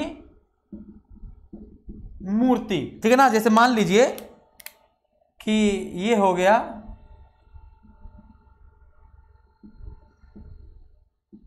है ना? इस प्रकार से योग साधना की मूर्ति है ना? ऐसे इसको मान लिया जाए तो इसके इसके बाई ओर कौन बैठेगा, है ना? इसका बाया कौन होगा? जैसे ये है तो बाया ये होगा ना? तो ये हो गया लेफ़्ट और ये हो गया राइट है ना? तो बाई ओर कौन होगा? बाई ओर गेंडा बैठा होगा और भैंसा होगा। दाई ओर कौन है? हाथी होगा और बाघ होगा। और नीचे क्या होंगे? दो हिरन होंगे। दो क्या होंगे? हिरन होंगे। क्लियर है? तो इसको हमने क्या कहा है? इसी को हमने कहा है पाशुपति। और इसी पाशुपति को, है ना, सर जॉन मार्शल ने इसी पाशुपति को अगर पेपर में आ जाए, पशुपति को शिव जी कहकर किसने पुकारा? तो पशुपति को शिव जी कहकर सर जॉन मार्शल ने पुकारा। क्या कहा था? आद्य शिव। इन्हीं पाशुपति को उन्होंने क्या कहा था? आद्य शिव कहा था। इन्हीं पाशुपति को क्या कहा था भैया? आद्य शिव कहा था। बात समझ आ रही बेटा? क्लियर है? डन है? कोई दिक्कत नहीं, सारी बातें समझ में आ गई। अच्छा हड़प्पा सभ्यता से हमको और भी चीज़ें मिली हैं। जैसे कि हड़प्पा से हड़प्पा से हमको स्वास्थ्य का चिन्ह मिला। हड़प्पा से हमको क्या मिला भैया? स्वास्थ्य का चिन्ह मिला। हमको एक चक्र का चिन्ह मिला। हमको एक चक्र का चिन्ह मिला और हमको एक क्रॉस का चिन्ह मिला। है ना? फिर धार्मिक चीज़ें हैं कि नहीं है? स्वास्थ्य का भी चिन्ह मिला, चक्र का भी चिन्ह मिला और क्रॉस का भी चिन्ह मिला। तो अगर आपसे कह दिया जाए कि बताइए, धार्मिक जीवन पर प्रकाश डालिए। तो धार्मिक जीवन पर प्रकाश हमने डाल दिया है पूरे तरीके से। तो हड़प्पा से हमको स्वास्थ्य का चिन्ह मिला, चक्र का चिन्ह मिला और क्रास का चिन्ह मिला। फिर धर्मों से संबंधित है ना बेटा? ये क्या है बेटा? धर्मों से संबंधित है? डन है? तो आपका धार्मिक जीवन में इतनी बातें हो गई। क्लियर है? अच्छा अब हम लोग आते हैं आर्थिक जीवन में। अब हम लोग किस पर आते हैं भैया? आर्थिक जीवन में। तो आर्थिक जीवन की बात बताई जाए तो सिंधु सभ्यता का मुख्य व्यवसाय क्या था? सिंधु सभ्यता का मुख्य व्यवसाय क्या था? तो भैया, पहला है कृषि। अगर कृषि अच्छी हो जाएगी तो हमें किसी दूसरे से कुछ खरीदना नहीं पड़ेगा। और कृषि अच्छी नहीं हुई तो हमको व्यापार करना पड़ेगा। ठीक है ना? तो अच्छा अगर आपसे कह दिया सिंधु सभ्यता का मुख्य व्यवसाय क्या था तो आपको लगाना है कृषि था। जब कृषि ऑप्शन में ना हो, तब आपको लगाना है क्या? व्यापार। तब आपको क्या लगाना है भैया? व्यापार लगाना है। बात समझ में आ रही है? अब कृषि की बात की जाए तो जब बाढ़ आएगी, तब तो करेगी, नहीं तो बाढ़ नवंबर महीने में उतर जाती थी। सिंधु सिंधु क्षेत्र में जो बाढ़ है, वो नवंबर महीने के, नवंबर महीने में नीचे आ जाती थी, है ना? तो नवंबर में ये लोग अपने बीज बो देते थे। नवंबर में ये लोग अपने बीज बो देते थे और अप्रैल महीने में ये लोग अपने बीज बीज काट लेते थे, है ना? तो गेहूँ हो गया, जौ हो गया, कुल नौ प्रकार की फ़सल हमको प्राप्त हुई है। कितने प्रकार की भैया? कुल नौ प्रकार की फ़सल हमको प्राप्त हुई है। ठीक है ना? कुल नौ प्रकार की हमको फ़सल प्राप्त हुई है और हमको जुते हुए खेत, जुते हुए खेत भी मिले हैं। जुते हुए खेत का साक्ष्य सबसे पहले हमको काली बंगन से मिला, है ना? जिसपे हल लगा हुआ था, ठीक है ना? और जो हल था वो लकड़ी के हल का प्रयोग करते थे, शायद। ये लोग शायद शायद इसलिए कह रहे हैं, है ना? क्योंकि ऐसा लगा हमको, ठीक है ना? कि विद्वानों को, ठीक है ना? आपको ऐसे लगाना है पेपर में। ठीक है ना? कि काली बंगान से हमको सबसे पहले खेती, जुते हुए खेत के साक्ष्य मिले थे, है ना? आप काली बंगान कहाँ है? राजस्थान में है है ना? और शायद ये लोग लकड़ी के हलों का प्रयोग करते थे और फ़सलों को काटने के लिए पत्थर के हंसियों का प्रयोग करते थे। याद रखिएगा, हालाँकि मुझे पता है कि हड़प्पा सभ्यता को कांस युगीन सभ्यता कहते हैं, लेकिन कांसे का सामान मिले तो सही। कांसे के औज़ार नहीं मिल रहे हैं, मूर्तियाँ मिल रही हैं, औज़ार नहीं मिल रहे हैं। हाँ समझ आ रही है? हमको हसिया मिल गया कैसा? पत्थर वाला हसिया। ठीक है ना? और नौ प्रकार की फ़सलों का टोटल इनको ज्ञान था, जिसमें ये लोग कहते हैं, माना जाता है कि गेहूँ की तीन प्रकार की किस्में पैदा करते थे। गेहूँ की तीन प्रजातियाँ ये लोग उगाते थे, है ना? गेहूँ की तीन प्रजातियाँ उगाते थे, जौ की दो प्रजातियाँ उगाते थे, है ना? तिल उगाया, सरसों उगाया, चावल उगाया, तरबूज उगाया, मटर उगाई, है ना? राई उगाई, रागी नहीं उगाई। रागी और तलवार। रागी और तलवार, ये दोनों से ये लोग रागी, तलवार और लोहा, इन तीन चीज़ों से सिंधु सभ्यता के लोग परिचित नहीं थे। और आपसे कह दिया जाए, सिंधु सभ्यता की सबसे प्रमुख फ़सल कौन सी थी? तो सबसे नंबर एक पर आपको लगाना है गेहूँ, और दूसरे नंबर पर आपको लगाना है जौ। ठीक है ना? पहले पर लगाना है गेहूँ, और दूसरे पर क्या लगाना है? जौ। बात समझ आ रही है? क्लियर है? और इनका अनाज का भंडारण कहाँ होता था? अनाज का भंडारण अन्नागार में होता होगा। अनाज का भंडारण कहाँ होता है भैया? अनाज का भंडारण अन्नागार में होता होगा। क्लियर है? डन है? क्लियर है? चलिए अच्छा अनाज आपसे कह दिया राजस्व के रूप में, है ना? जैसे मान के चलो, राजा का अगर शासन होता होगा, राजा का अगर शासन होता होगा तो ये लोग टैक्स के रूप में क्या लिया करते होंगे किसानों से? तो टैक्स के रूप में किसानों से अनाज लिया करते होंगे। टैक्स के रूप में ये सब शायद में चल रहा है, शायद में। और शायद में ही पूरा पेपर बनेगा, क्योंकि सिंधु सभ्यता की लिपि को अभी पढ़ा नहीं जा सका है। सिंधु सभ्यता की लिपि को पढ़ा नहीं जा सका है, दाई ओर से बाई ओर लिखी जाती है। इस लिपि में टोटल 400 अक्षर है। इस लिपि में टोटल 400 अक्षर है, जिसमें चौसठ मूल चिन्ह है। मूल चिन्ह मतलब जो सबसे ज़्यादा बार देखे गए हैं, उनकी संख्या चौसठ है और कुल अक्षर संख्या है कितनी? चार सौ। और उन चौसठ मूल अक्षर को गोमूत्राक्षर कहते हैं। क्या कहते हैं भैया? गोमूत्राक्षर। और उनकी लिपि को कहते हैं बोस्ट्रोफोडन, या फिर अज्ञात, क्योंकि पढ़ी नहीं जा सकी है। समझ आगे बेटा? क्लियर है? डन है? चलो, आगे बढ़ें। तो अब हम लोग को क्या देखना है? तो हमने धार्मिक जीवन की बात कर ली तो हम लोग किसकी बात करेंगे भैया? आर्थिक जीवन की। किसकी बात करेंगे बेटा? आर्थिक जीवन की बात करेंगे तो आर्थिक जीवन में हम लोग पढ़ेंगे। देखते हैं भाई।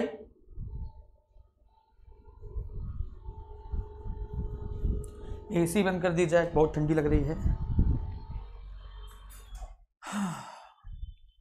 चलो। तो अब हम लोग आएँगे आर्थिक जीवन पर, है ना?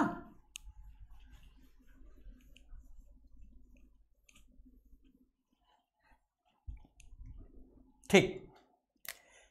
इतना तो समझा रहे हैं, बेटा कितना समझा दे, बताओ। इतना तो समझा रहे हैं, इतना तो शायद नहीं समझाता होगा यार कोई भी, ठीक है ना? तो आर्थिक जीवन में आते हैं। तो आर्थिक जीवन में अगर आपसे कह दिया जाए कि बताइए, मुख्य व्यवसाय क्या था? मुख्य व्यवसाय क्या था? तो आपको बताना है, नंबर एक पर है कृषि, नंबर दो पर है व्यापार। अभी मैं आपको बताऊँगा कि लोग व्यापार करते थे, यानी कहाँ कहाँ से कौन कौन सी चीज़ें खरीदते थे, है ना? कहते हैं कि जो जलीय व्यापार है, जो जलीय व्यापार है, वो मकराना से होता था। मकराना पड़ता है ईरान के आसपास, है ना? मकराना से होता था।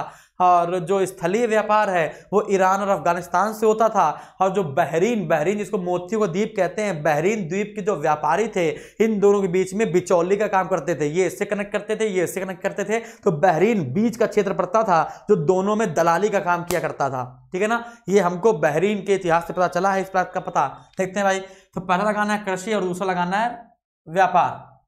आगे आते हैं। कृषि की बात की जाए तो कृषि नौ प्रकार की फ़सल उगाते थे लोग। कितने प्रकार के भैया? इनको नौ प्रकार की फ़सल का ज्ञान था। जैसे जौ हो गया, गेहूँ हो गया, चावल हो गया, सरसों, तिल,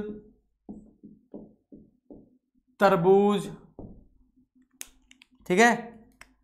राई ठीक है, ये सब हो गया। तो इनको टोटल नौ प्रकार की फ़सलों का ज्ञान था, ठीक है ना? इनको टोटल नौ प्रकार की फ़सलों का ज्ञान था।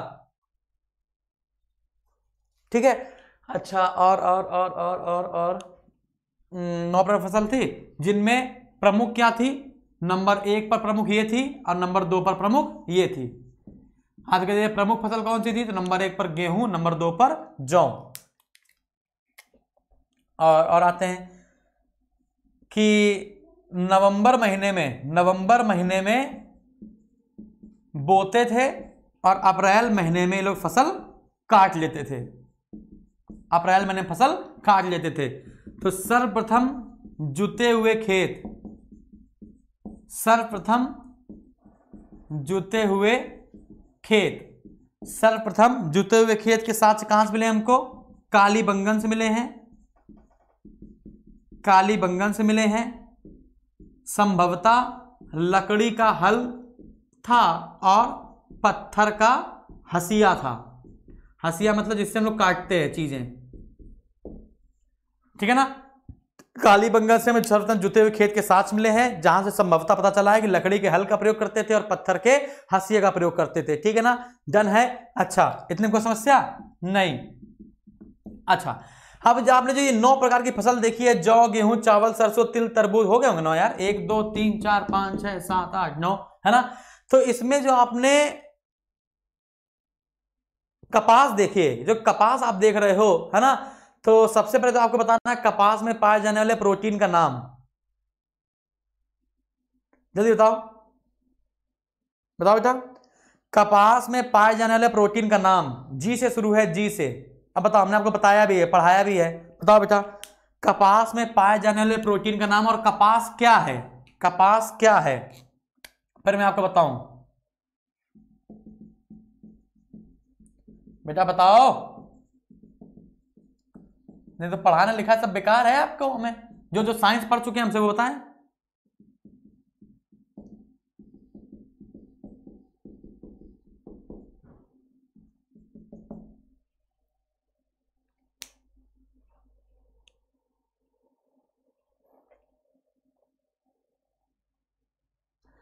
कपास सेल्यूलोज है ये हमें पता है। कपास सेल्यूलोज है ये हमको पता है, लेकिन कपास में पाया जाने प्रोटीन का नाम बताओ। बताया है बेटा, याद करो, जब प्रोटीन चैप्टर हमने पढ़ाया था तो बताया था। दाल का बताया था, मटर का बताया था, मक्का बताया, गेहूँ बताया, याद करो, अंडा बताया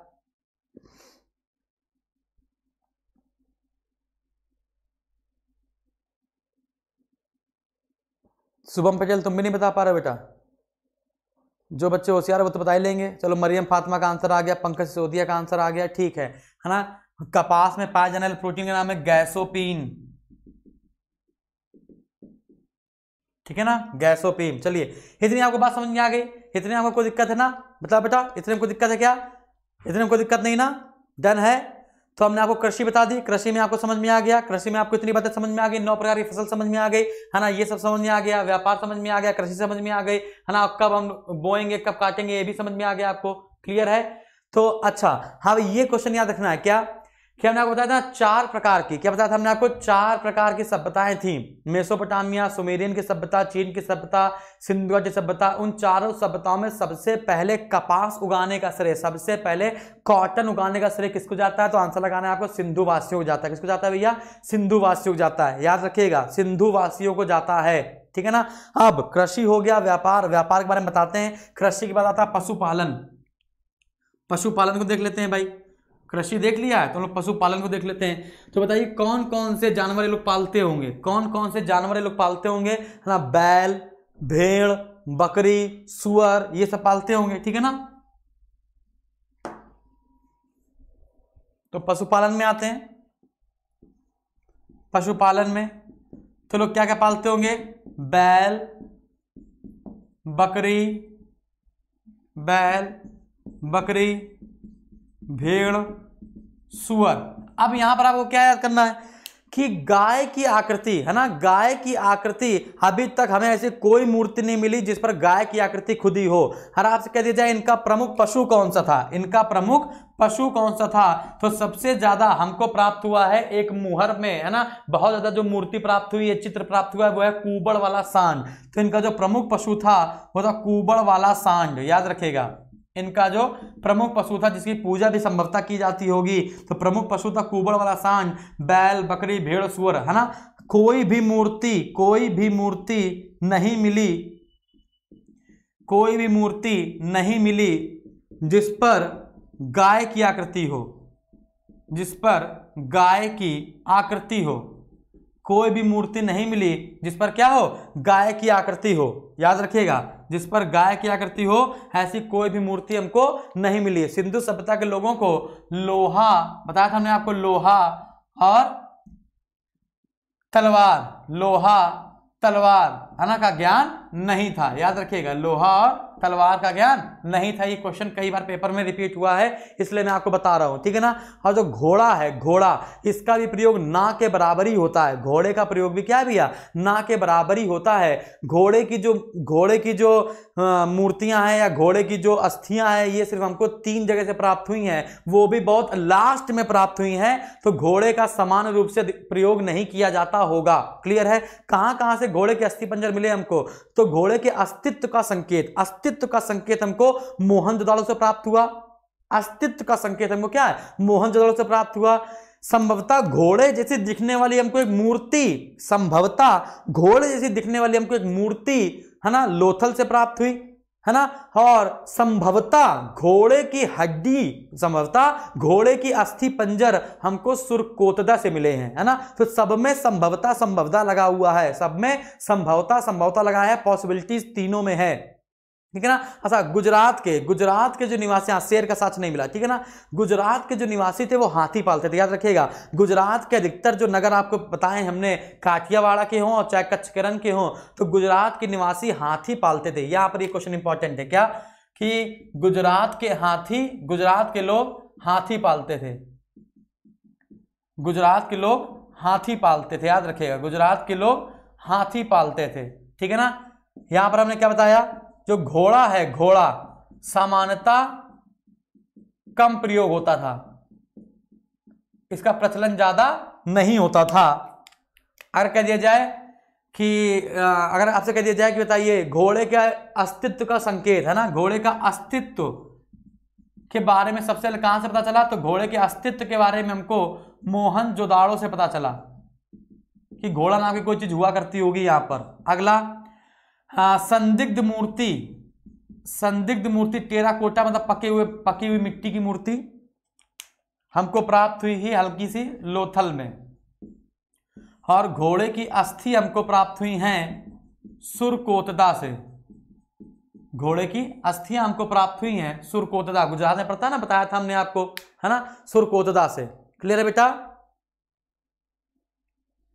हाँ गुजरात के लोग हाथी पालते थे। ठीक है ना बेटा? गुजरात के लोग क्या करते थे भैया? हाथी पालते थे। बात समझ आ रही है? डन है? चलो, अब हम लोग थोड़ी सी बात कर लेते हैं। हाँ अच्छा हड़प्पा के जो बर्तन होंगे, हड़प्पा के जो बर्तन होंगे, उस पर कुछ ना कुछ अभिलेख बने होते थे। हड़प्पा के जो बर्तन होते थे, उन पर कुछ ना कुछ अभिलेख बने होते थे, है ना? जैसे कि मानव की मूर्तियाँ बनी होंगी, है ना? पशु पक्षी के चित्र बने होंगे।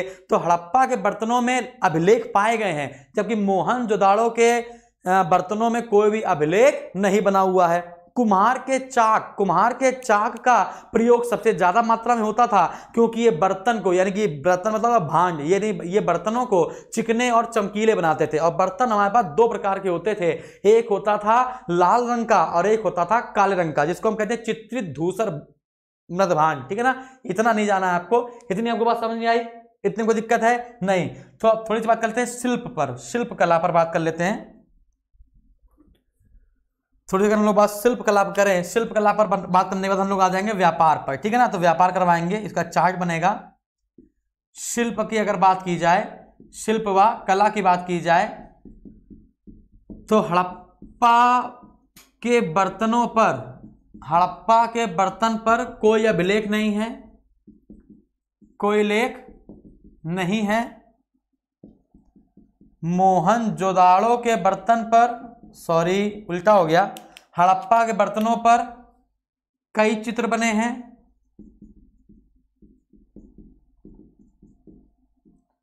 और मोहन जोदाड़ो के बर्तन पर कोई चित्र नहीं बना। कोई चित्र नहीं बना है। अगला पॉइंट क्या कह सकते हैं इसमें? कि जो मृद भांड या बर्तन हैं, वो दो प्रकार के हैं। एक है लाल रंग के और एक है काला रंग का। तो मृदभांड क्या है भैया? दो रंग के हैं हमारे पास, एक क्या है? हाँ लाल रंग का है और एक क्या है? काला रंग का है।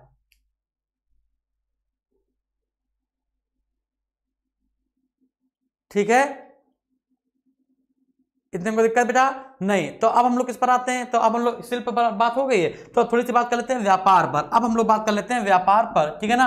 कि कहाँ से हम लोग क्या क्या खरीदते थे? कहाँ से हम लोग क्या क्या क्या खरीदते थे? ठीक है ना? तो क्या क्या खरीदने वाली अगर बात आए क्या क्या खरीदने वाले अगर हम लोग की बात आती है तो आपको तीन चार देश हमेशा याद रखने पड़ेंगे। एक हो जाएगा आपका ईरान, एक हो जाएगा आपका अफ़गानिस्तान, है ना? ईरान और अफ़गानिस्तान बस याद कर लो, है ना? अधिकतर व्यापार यहीं से होगा। ईरान क्या होगा? ईरान अफ़गानिस्तान वाला क्षेत्र समझ रहे हो? मेसोपोटामिया वाला जो क्षेत्र है, जो मेसोपोटामिया वाला क्षेत्र है। है ना? हाँ टेराकोटा, दीपक दीपक पाल टेराकोटा समझते हो क्या होता है?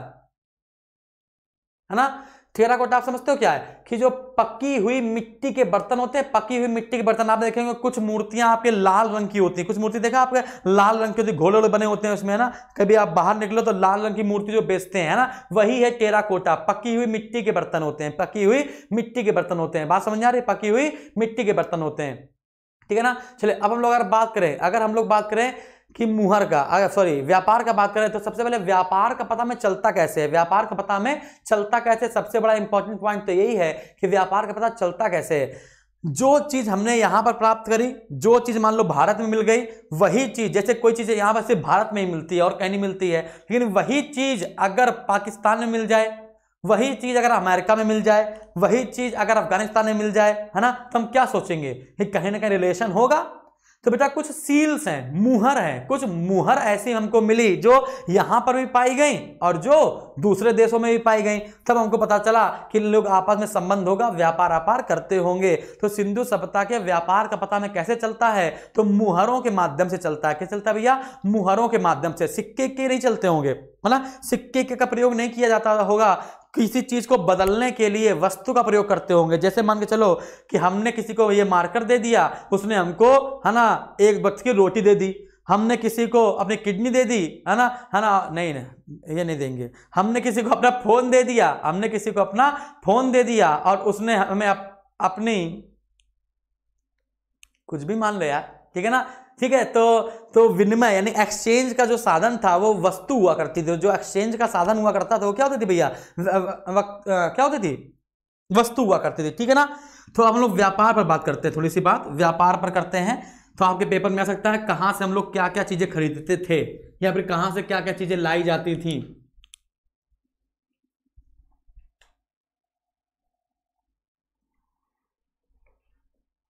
कहाँ से?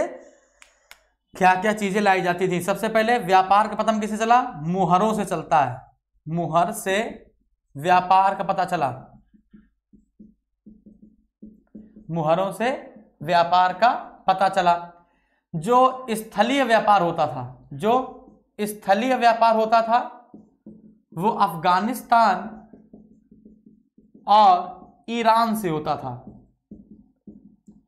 जो स्थलीय व्यापार होता था, वो अफ़गानिस्तान और ईरान से हुआ करता था, लेकिन जो जलीय व्यापार होता था, जो जलीय व्यापार होता था, वो मकरान से हुआ करता था, मकरान। ठीक है ना? सिंध के वाला पास वाला क्षेत्र है मकरान। ठीक है ना? और दोनों व्यापारियों के बीच के बीच दलाली या बिचौलिए के रूप में बिचौलिए के रूप में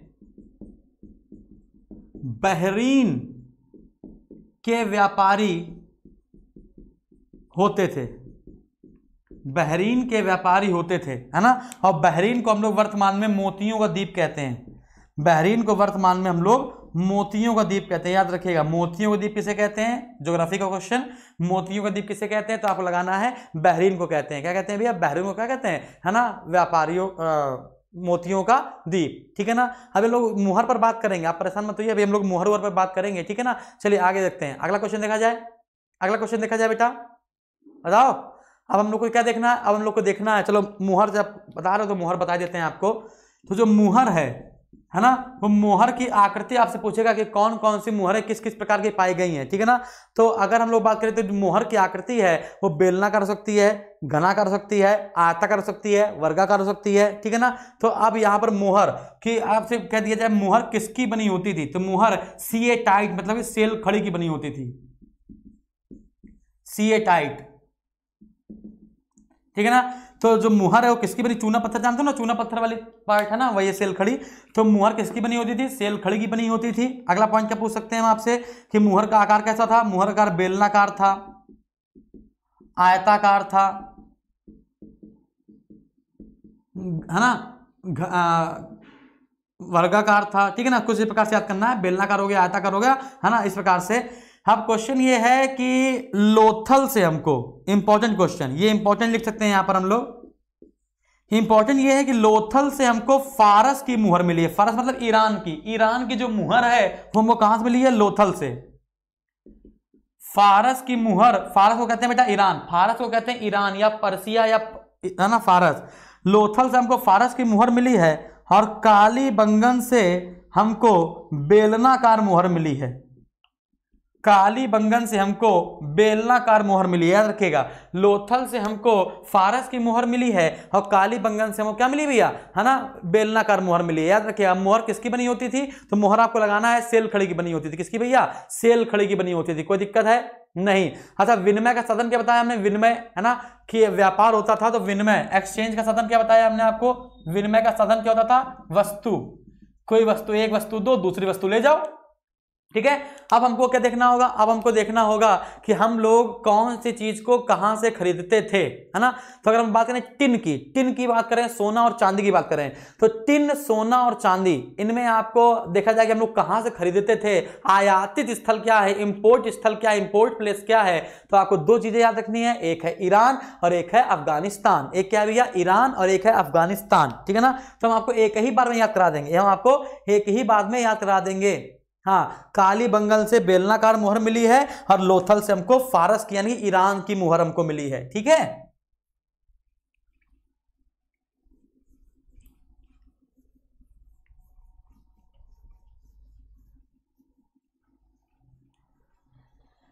चलिए, बात करते हैं भाई। तो हम लोग बात करनी है कि सोना, चांदी और टिन। ये चीज़ हम लोग कहाँ से खरीदते थे? तो ये चीज़ हम खरीदते हैं अफ़गानिस्तान से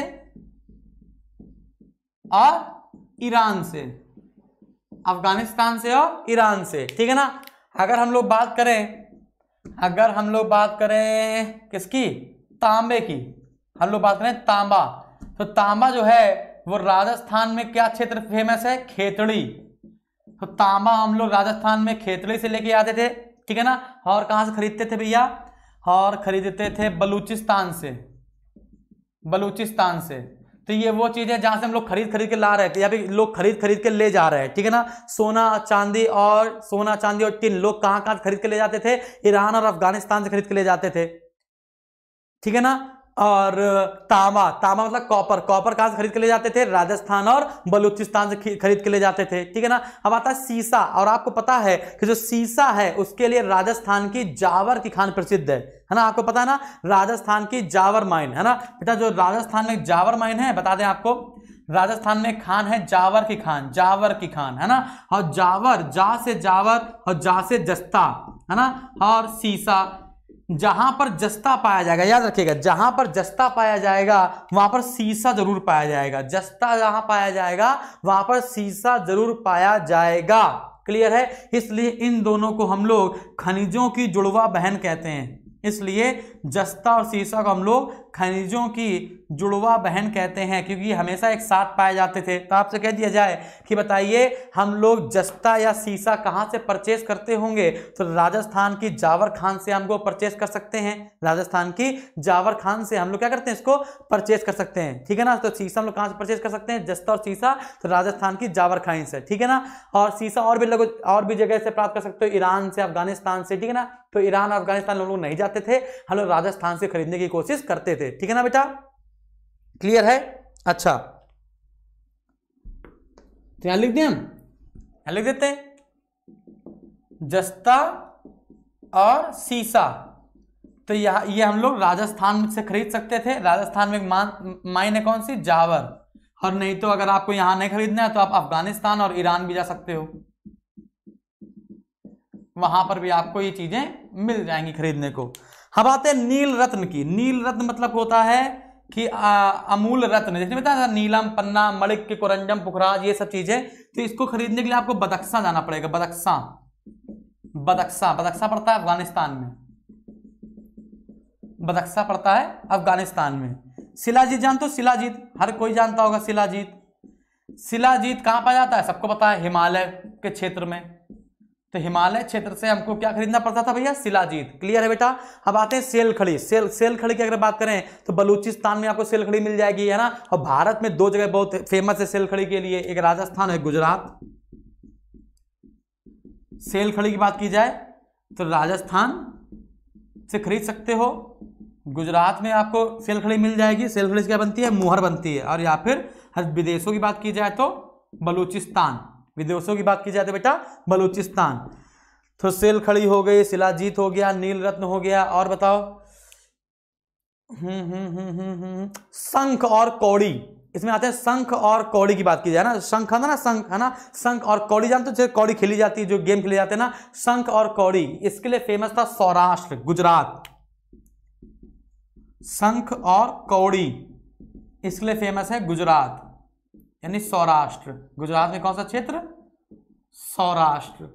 ठीक है ना? बस इतना अगर आपने पढ़ लिया, बहुत है यार इतना। आपको लग रहा है कम है। इतना तो बहुत ज़्यादा है। ये आपको लग रहा है कम है, लेकिन इतना बहुत है बेटा। हाँ अब जैसे लाजवर्त है ना लाजवर्त बेटा पूछा नहीं जाता। है लाजवर्त आप बदक्सा से खरीद सकते हो। लाजवर्त लाजवर्त आप क्या करते हो? बदक्सा से खरीद सकते हो। है ना? अगर दूर जाना तो मेसोपोटामी निकल जाओ। जैसे अनामिका कुमारी जैसे बता रही है ना? है ना? वैसे। ठीक है ना? तो लाजवर्त जो है वो आप बदक्सा से खरीद सकते हो, मेसोपोटामिया खरीद सकते हो, ऐसे इसी प्रकार से जो फिरोजा है वो ईरान से खरीद सकते हो, लेकिन ये नहीं आता ना बेटा पेपर में। ठीक है ना? नहीं आता इसलिए नहीं बता रहे, नहीं तो हम आपको और भी चीज़ें बताते। ठीक है ना? वैसे इतना हम लोग पढ़ लें, इतना अगर हम पढ़ लें तो काम हो जाएगा। ठीक है ना? इतना अगर हम पढ़ लें तो हमारा काम अच्छे से हो जाएगा और हमको कोई भी व्यक्ति, है ना, कभी भी परेशान नहीं कर सकता। ठीक है ना? कोई भी पेपर हमको कभी परेशान नहीं कर सकता। अगर हमको इतना पढ़ लिया हम लोगों ने तो कोई भी हमको परेशान नहीं कर सकता। बात समझ आ रही बेटा? बात क्लियर है? डन है? आगे बताया जाए? आगे बताया जाए? अच्छा अगर मैं आपसे पूछूँ, मुहर अगर सेल खड़ी की बनी थी, मुहर अगर सेल खड़ी की बनी थी, जैसा कि जो सेल खड़ी की क्या बनी थी? मुहर बनी थी। अगर मैं आपसे कुछ पूछूँ कि जो मुहर थी वो सेल खड़ी की बनी थी लोथल से हमको फारस की मुहर मिली है, काली बंगन से बेलनाकार मुहर मिली है। तो आज कह जाए सबसे ज़्यादा मुहर, सर्वाधिक मुहरें हमको कहाँ से मिली हैं? लगभग 2000 मुहरें हमको मिली हैं 2000 उन 2000 में से 500 मुहर 2000 मुहरें पूरी सिंधु सभ्यता से हमको मिली हैं। उनमें से अकेले 500 जो मुहर हैं, वो अकेले मोहन जोदाड़ो से मिली हमको। तो 500 500 मुहर हमको लगभग कितना से मिली है? मोहन जदौड़ से। सबसे ज़्यादा मुहर हमको मोहन जदौड़ से मिली है और मोहन, और मुहरों किसके बनी होती थी? सेल खड़ी की बनी होती थी। सेल खड़ी हम कहाँ से खरीद के लाते थे? राजस्थान से, गुजरात से और बलूचिस्तान से। और मुहरों की संख्या कितनी है लगभग? सिंधु सभ्यता में तो आंसर लगाना है दो हज़ार। ठीक है ना? 2000 ठीक है? अच्छा अगर हड़प्पा में जो हमको मुहर मिली है बताया था आपको, हड़प्पा में जो मुहर मिली है उसमें बर्तन, उसमें चित्र बने हुए हैं, ठीक है ना? तो अगर कह दीजिए हड़प्पा के मुहरों में सबसे ज़्यादा किसका चित्र बना हुआ है? हड़प्पा के मुहर में सबसे ज़्यादा किसका चित्र बना हुआ है? तो हड़प्पा के मुहरों में सबसे ज़्यादा चित्र बना हुआ है एक सींग वाले पशु का, एक सींग वाले सांड का, ठीक है ना? एक सिंग वाले पशु का मान लो सांड है कि बैल है कि गेंडा है, वो नहीं पता चल रहा है, ठीक है ना? तो अगर आपसे कह दिया जाए कि हड़प्पा के मुहरों में, हड़प्पा के मुहर में सबसे ज़्यादा क्या क्या बना हुआ है? हड़प्पा के मुहर में, है ना, कौन सा चित्र सबसे ज़्यादा बना हुआ है? चित्र सर्वाधिक बना हुआ है। तो आप लगाना एक सींग वाला पशु। एक सींग वाला पशु। एक सींग वाला पशु। है ना तो हड़प्पा के मुहरों में सबसे ज़्यादा किसका चित्र बना हुआ है? तो एक सिंह वाले पशु का चित्र बना हुआ है। ठीक है ना? बात क्लियर है बेटा? कोई दिक्कत है क्या? बताओ, कोई दिक्कत है क्या?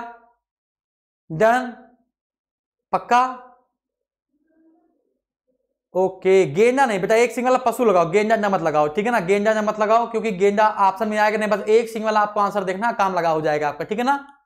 एक सिंह वाला आपको आंसर देखना है। तो और भी क्या मुहर से क्वेश्चन बन सकते हैं? मुहर से और कोई क्वेश्चन याद आ रहा है आपके मन में? मुहर मुहर मुहर मुहर मुहर मुहर मुहर एक क्वेश्चन और याद आया। बटन की आकृति वाला मुहर। बटन बटन की आकृति वाला मुहर हमको कहाँ से प्राप्त हुआ है? तो बटन की आकृति वाला मुहर, बटन, ये क्वेश्चन आया मन में। बटन की आकृति वाला मुहर हमको कहाँ से प्राप्त हुआ तो ऐसा लगाना लोथल। बटन की आकृति वाला मुहर, है ना? तो मुहर से हमने आपको सारे क्वेश्चन बता दिए, है ना? बटन की आकृति वाला मुहर हमको कहाँ से प्राप्त हुआ है? तो आप लगाएँगे लोथल से प्राप्त हुआ है। बात समझ में आई बेटा? इतने में कोई दिक्कत है क्या? बताओ, इतने में कोई दिक्कत है? तो हमने आपको मुहर से सारे क्वेश्चन बता दिए, सामाजिक, आर्थिक, राजनीतिक जानकारी बता दी, है? बताओ। तो अब हम लोग को शायद चर्चा करनी चाहिए कि हड़प्पा से क्या मिला, मोहन जुदाड़ो से क्या मिला, किससे क्या मिला, अब हमको इससे जानकारी लेनी चाहिए। अरे हाँ कि ना? अब हम लोग, अरे ये पढ़ लेंगे तो काम हो जाएगा। हैं? पक्का? आगे बढ़े? हाँ बटन की आकृति वाला मोहर, लोथल। आगे बढ़ा दिया बेटा। ठीक है। तो अच्छा बताओ, सम वो बताओ, शव वाला बताओ, शव वाला पॉइंट शव वाला पॉइंट बताओ कि हड़प्पा में शव को क्या किया जाता है? जल्दी से ऑप्शन आंसर बताइए। हड़प्पा में शव के साथ क्या किया जाता है? शव मतलब लाश। हड़प्पा में लाश के साथ क्या किया जाता है? मोहन जोदाड़ो में लाश के साथ क्या किया जाता है? और और और शव के साथ कौन सी तीन विधियाँ अपनाई जाती हैं? है ना? वो तीन विधियों में क्या क्या है? जरा जल्दी से बताइए। जरा जल्दी जल्दी बताइए। तो, तो इसको रफ कर ले जल्दी बताइए बेटा।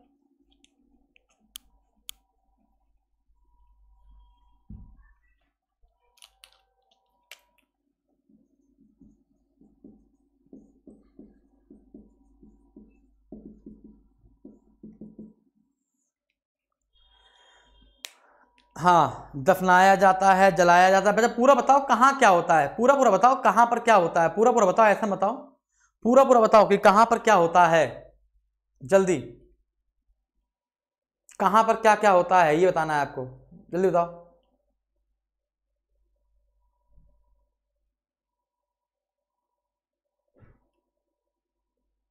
नहीं हाँ हाँ आया आंसर। बहुत बच्चों का आंसर आ रहा है। यानी कि याद हो गया है। लोगों को हमारा याद हो गया है और सभी बच्चे सही आंसर बता रहे हैं। ओके, डन है डन है डन है। और और और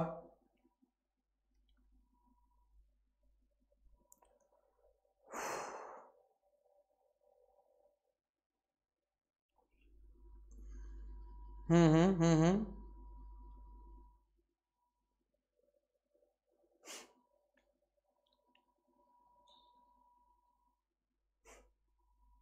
चलिए, आगे बढ़ा जाए। ठीक है, सबका सही है, सबका सही है यार, सबका सही है, सबका सही है, सबका सही है है ना? सबका सही है। चलिए, हम लोग आगे बढ़ते हैं। तो तो तो तो लोथल और कालीबंगन। हाँ इससे क्वेश्चन बनता है बेटा। शव से बता रहे हैं, लोथल और कालीबंगन से। यहाँ पर हमको युगल समाधियाँ मिली हैं। युगल समाधियाँ समझ रहे हो? एक साथ दो लोग।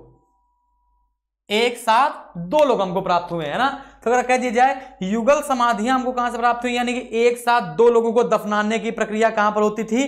तो कालीबंगन और लोथल में हमको एक साथ दो युगल समाधियाँ मिली हैं। अच्छा एक और बात बता दें आपको।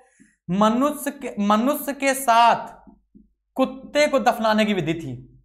मनुष्य के साथ कुत्ते को दफनाने की विधि कहीं पर प्रचलित थी, है ना? जल्दी से इसका आंसर बताइए। मनुष्य के साथ कुत्ते को दफनाने की विधि कहाँ प्रचलित थी?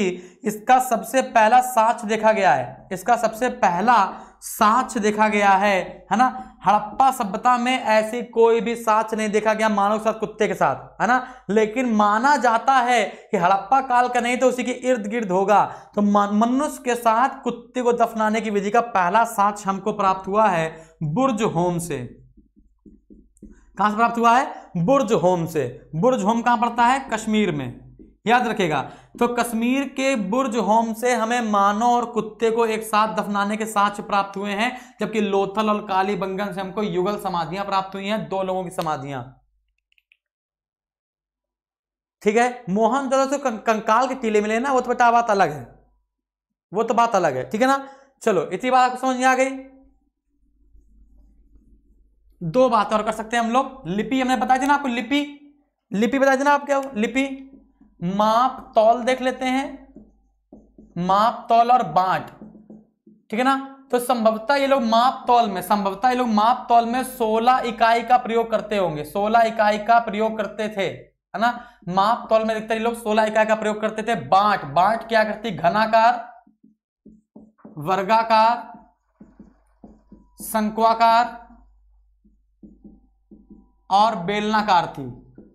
बाट की आकृति घनाकार, शंकुआकार, वर्तुलाकार मतलब बेलनाकार और शंकुआकार थी। सोलह की इकाई का लोग प्रयोग करते होंगे मतलब कि सोलह, बत्तीस, अड़तालीस, चौसठ, है ना? अस्सी है ना, इस प्रकार से, ठीक है ना? तो 16 के गुणज का लोग प्रयोग किया करते होंगे, है ना? ऐसा माना जाता है माप तौल में, ठीक है? माप तौल में लोग मानते हैं कि 16 बत्तीस अड़तालीस, चौसठ, अस्सी, इस प्रकार की चीज़ों का प्रयोग किया जाता होगा 16 की इकाई का, ठीक है ना? और बाट हमने आपको बता दिया है। और क्या कर सकते हैं हम लोग? लिपि लिपि लिपि की बात करते हैं। लिपि और भाषा का बात करते हैं।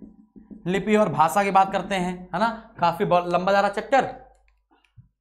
हाँ लिपि और बस आपको आपको याद हो गया ना, सोलह की इकाई का प्रयोग करते हैं मापतौल में। इतना याद हो गया ना, बहुत है इतना। लिपि और भाषा प्रयोग करते हैं तो भाषा, हम चित्र को देख देख के सब कुछ समझ रहे हैं, चित्र को देख देख के सब कुछ समझ रहे हैं। है ना भाषा कैसी है? भाव चित्रात्मक है। भाषा कैसी भैया? तो भाषा है भाव चित्रात्मक, इसे कहते हैं पिक्टोग्राफ इसे कहते हैं पिक्टोग्राफ मतलब कि भाव चित्रात्मक, ठीक है ना? और लिपि, कौन सी प्रयोग होती थी? लिपि। लिपि अगर अक्षर की बात की जाए तो अक्षर, है ना? ढाई सौ से चार सौ अक्षर देखने को मिलते हैं। ढाई सौ से हर मिनिमम आपसे अक्षर पूछे तो ढाई सौ मैक्सिमम पूछे तो चार सौ, है ना? और मूल चिन्ह पूछे, इन अक्षरों के मूल चिन्ह तो मूल चिन्हों की संख्या है चौसठ, है ना? मूल चिन्हों की संख्या चौसठ, और इन चिन्ह को कहते हैं गोमूत्राक्षर। गोमूत्राक्षर, है ना? और लिपि लिपि क्या है भैया? लिपि दाई से बाई और लिखी गई है।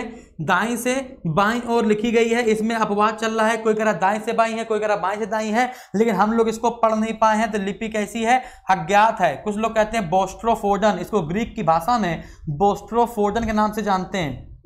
ठीक है ना? तो ये लिपि हो गई और भाषा हो गई। लिपि हो गई, भाषा हो गई माप तौल हो गया, है ना? सामाजिक व्यवस्था, सामाजिक, आर्थिक, राजनीतिक, धार्मिक और पशुपालन, सड़क, नगर, नदी, भवन, सब तो हमने बता दिया, आपको खोज करता, हर एक चीज़ आपको बता दी, ठीक है ना? तो अब हम लोग देखेंगे कि कौन सी चीज़ कहाँ से प्राप्त हुई है। बस बेटा ये सिंधु सभ्यता का लास्ट होगा कि कौन सी चीज़ कहाँ से प्राप्त हुई है? हड़प्पा से हमको क्या क्या मिला है? मोहन जोदाड़ो से हमको क्या क्या मिला है? है ना? कुछ इस प्रकार की चीज़ आपको देखने को मिलेगी। बस काम खत्म। अक्षर मीन्स लेटर अक्षर मीन्स लेटर ठीक है ना? अक्षर मीन्स लेटर ठीक है ना? चलिए। तो सचिन यार, इतना तो समझ में आता होगा। अक्षर मीन्स लेटर शब्द मीन्स है ना? वर्ड बेटा, युगल समाधान, युगल युगल युगल समाधि में सती प्रथा नहीं है बेटा। युगल समाधि मतलब की है कि नहीं, दो लोग आपस में, कोई दो लोग एक मोहल्ले में यहाँ मर गया, कोई एक मोहल्ले में यहाँ मर गया तो दोनों को एक साथ दफना दिया गया गड्ढा खोद के। कुछ इस प्रकार से युगल समाधि है, ठीक है ना? ऐसा नहीं कि आदमी औरत की, आदमी मर जाएगी तो औरत को मार दिया जाएगा, या औरत मर जाएगी तो आदमी मार दिया जाएगा। समाज जब मात्र सत्तात्मक होगा तो ऐसा सती प्रथा कहाँ हो सकती है बेटा? जो महिला चाहेगी वही तो होगा। ठीक है? ओके। तो अब हम लोगों को आज का लास्ट है ना? सिंधु घाटी सभ्यता का लास्ट देखना है और अपने आप को आप करने की कोशिश करेंगे। अपने आप प्रैक्टिस सेट ले आइए आईएएस का ले आइए पीसीएस का ले आइए, किसी का भी ले आइए और प्रैक्टिस सेट करना शुरू कीजिए। और हंड्रेड एंड वन परसेंट हम आपको बता रहे हैं हंड्रेड एंड वन परसेंट आपको इंडस वैली सिविलाइजेशन में कोई फंसा नहीं सकता। ठीक है? तो देखते हैं भाई। अब हम लोग बात करते हैं हड़प्पा की। अब हम लोग बात करते हैं हड़प्पा की तो हड़प्पा को ऋग्वेद में हरि यूपिया के नाम से जाना जाता है। याद रखिएगा, ऋग्वैदिक काल बाद में आएगा मतलब जब हम लोग कल क्लास करेंगे तो कल क्लास किसकी होगी? वैदिक काल की, यानी कल हम आपको वैदिक काल पढ़ाएँगे, है ना? वैदिक काल दो भागों में बटा हुआ है। ठीक है ना? वैदिक काल दो भागों में बटा हुआ है है ना? गोमूत्राक्षर नाम जैसे बोस्ट्रोफोडर नाम है, वैसे गोमूत्राक्षर एक नाम दे दिया गया है, ना? मूल चिन्हों को गोमूत्राक्षर नाम दे दिया गया है, ना? इसको इंग्लिश में बोल सकते हो, गौमूत्राक्षर, ना? ऐसे बोल सकते हो। ठीक है? तो अगर हम लोग बात करें किसकी? क्या लिखा हुआ है? हाँ हड़प्पा की, है ना? तो हम लोग कल बात करेंगे वैदिक संस्कृति की, कल हम लोग वैदिक संस्कृति की बात करेंगे बेटा, ठीक है? घटना चक्र ठीक है, घटना चक्र में बहुत सारे क्वेश्चन गलत भी दिए हुए हैं, है ना? तो कहीं उसके आंसर सही दिए कहीं उसके आंसर गलत दिए हैं। घटना चक्र ठीक है, ले आइए प्रीवियस ईयर की, ठीक है ना? चलो। पंछी के बारे में बता दे, पंछी के बारे में क्या बता दे, बताओ बताओ। पक्षी के बारे में बता दे, क्या पक्षी के बारे में बता दे, बताओ। पक्षी के बारे में क्या क्वेश्चन बनाया? जो क्वेश्चन बनाया, पूछ लो हमसे, बता देंगे हम। है ना? हड़प्पा को ऋग्वेद में हरी यूपिया कहा जाता है। हड़प्पा कहाँ पर है? सिंध प्रांत के मांट गोमरी जिला। मांट गोमरी जिला है। इसकी खुदाई में चार लोग का हाथ रहा है। 1921 के आसपास दयाराम साहनी रहे हैं इसकी खुदाई में। 1921 के आसपास इसकी खुदाई में दयाराम साहनी रहे हैं। और इसके बाद जैसे हड़प्पा के टीले की के बारे में सबसे पहले 1826 में चार्ल्स मिसान ने बताया था सब मैंने आपको बताया था, ठीक है ना? अच्छा तो दयाराम सानी रहे हैं। फिर इसके बाद 1926 के आसपास माधव स्वरूप वत्स ने इसकी खुदाई करी है। माधव स्वरूप वत्स ने इसकी खुदाई करी है। और 1946 के आसपास मार्टिन व्हीलर ने इसकी खुदाई करी है। है ना? तो इसके उत्खनन करता तीन हो गए, नंबर एक, नंबर दो और नंबर तीन, ठीक है ना? तो आपसे कह दिया जाए, बताइए, हड़प्पा संबंधित कौन सा व्यक्ति नहीं है? तो इन तीनों के अलावा जो भी चौथा ऑप्शन में आ जाए, उसको लगा दीजिएगा, ये इसका आंसर नहीं होगा, ठीक है? और और क्या क्वेश्चन हो सकता है कि हड़प्पा से क्या क्या चीज़ें प्राप्त हुई हैं? तो हड़प्पा से क्या क्या चीज़ें प्राप्त हुई हैं? इसको देख लेते हैं भाई। हड़प्पा से क्या क्या चीज़ें प्राप्त हुई हैं? पता है आपको कि हड़प्पा जैसे टीले थे ना, हड़प्पा के टीले थे आ, ये मान लीजिए ये पश्चिम वाला टीला है ये पूर्व वाला टीला है है ना? तो टीले के पीछे टीले के पीछे हमें छह छह छह पंक्ति में हमें छह छह पंक्ति में टोटल बारह अन्नागार प्राप्त हुए हैं। छह छह पंक्ति के टोटल बारह अन्नागार प्राप्त हुए हैं, ठीक है ना?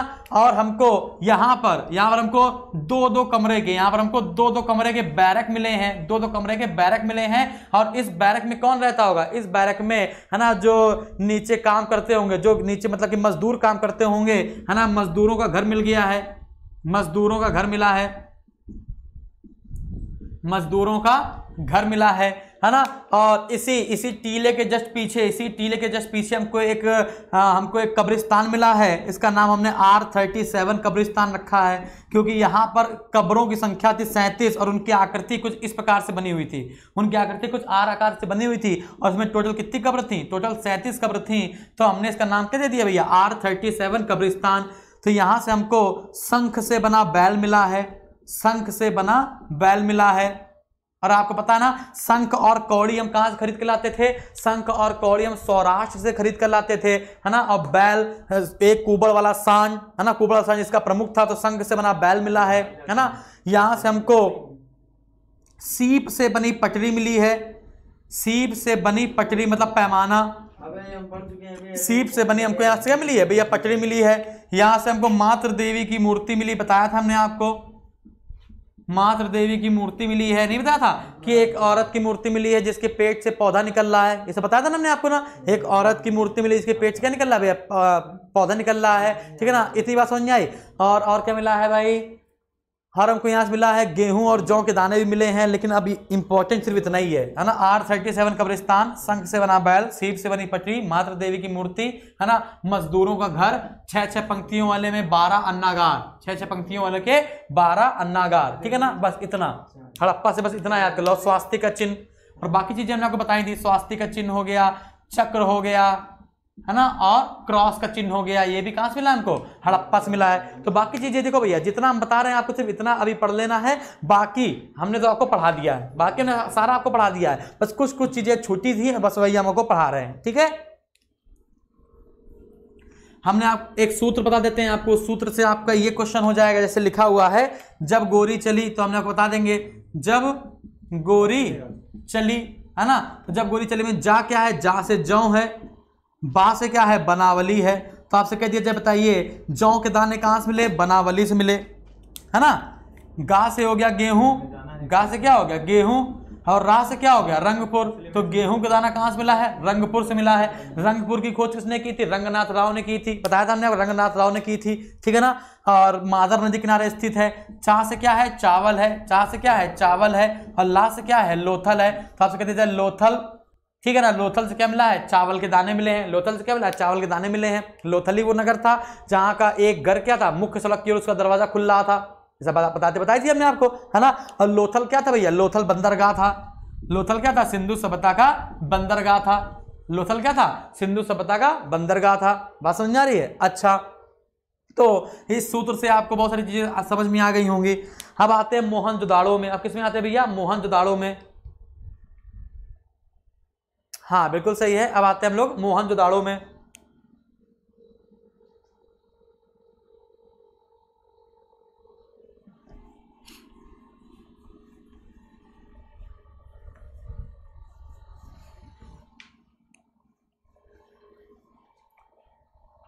मोहन जोदाड़ो की बात करते हैं। मोहन जोदाड़ो का मतलब होता है मृतकों भूतों या प्रेतों का टीला मतलब एक कोई व्यक्ति मर जाता था तो उसी के ऊपर, एक के ऊपर एक व्यक्ति को रख दिया जाता था तो ये हो जाएगा मृतकों भूतों या प्रेतों का टीला। ठीक है, इसी को कहते हैं सिंधु का बगीचा। इसी को कहते हैं सिंधु का बगीचा। ठीक है ना? तो यहाँ से क्या क्या हमको मिला है? यहाँ से हमको मिला है कांसे की नर्तकी कांसे की डांस करती हुई महिला की मूर्ति, कांसे की नर्तकी यहाँ से हमको मिला सूती वस्त्र यहाँ से हमको मिला है अन्नागार स्नानागार। यहाँ से मिला मेरा पुजारी की मूर्ति पुजारी की मूर्ति उसका हाथ टूट गया है उसका हाथ टूट गया है यहाँ पे चोट लगी हुई है ना थोड़ी सी उठी हुई है। ऐसे आपने देखा कि दलाई लामा देखा दलाई लामा कुछ इस, इस प्रकार से है ना? पुजारी की मूर्ति मिली है हमको यहाँ से। ठीक है ना? तो तो और बताइए और क्या मिला होगा? जल्दी बताइए। हाँ का मालूम हो है आम शाम पाम शाम वेरी गुड का मालूम हो है आम शाम पाम शाम अगर आपको याद है तो आपको सब कुछ याद रहेगा। अगर आपको ये याद है तो आपको सब कुछ याद रहेगा, क्योंकि सब कुछ तो इसी में बता दिया गया है। है कि नहीं? बताया जाए ना?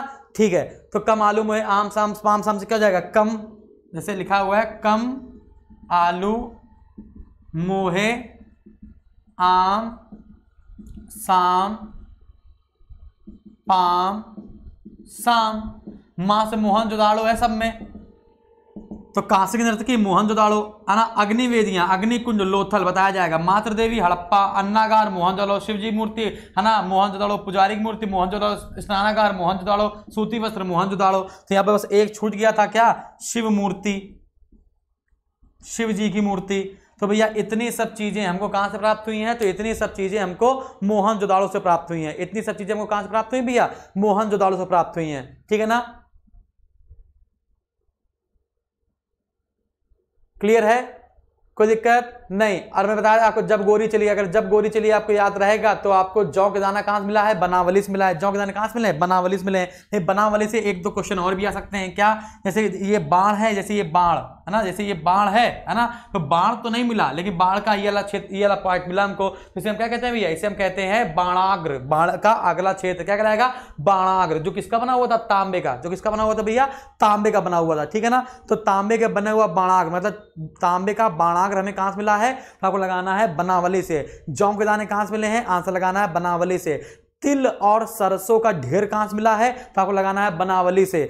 हल की आकृति खिलौने के रूप में कहाँ से मिली है तो भी लगाना है बनावली, ठीक है ना? तो बनावली से आपको तीन चार पॉइंट याद रखने हैं। सिर्फ़ तीन चार पॉइंट बाकी नहीं। बनावली तब क्या क्या याद करना हरियाणा में पड़ता है ना? बनावली से आपको रखना हल की आकृति खिलौने वाली। हल की आकृति खिलौने जैसी, छोटी सी, खिलौने के रूप में, ठीक है ना? तिल और सरसों का ढेर। तिल और सरसों का ढेर, जौ के दाने और जौ की अच्छी प्रजाति, जौ की सबसे अच्छी प्रजाति, बनावली, ठीक है ना? और और बनावली से क्या मिल जाएगा? बताया हमने, तांबे का बाड़ाग्र। क्या बन जाएगा? तांबे का बाड़ाग्र। तांबे का बाड़ाग्र। बाड़ाग्र, ठीक है ना? बस यार, इतना बहुत है, चार बहुत है। इतने नहीं पूछे जाएँगे, ठीक है ना? हल्की आकृति खिलौने के रूप में बनावली, तिल और सरसों ढेर बनावली जौ के दाने, है ना? अच्छी किस्म वाले बनावली और तांबे का बाड़ाग्र तो भी लगाना है बनावली। क्लियर है बेटा? क्लियर है? और हमने आपको बताया था सुरकोतता से क्या मिला था? घोड़े की अस्थियाँ। सुरकोतता से क्या मिला था भैया? घोड़े की अस्थियाँ, ठीक है ना? और अंडाकार कब्र। अभी तक हमको कोई भी कब्र अंडाकार नहीं दिखी है।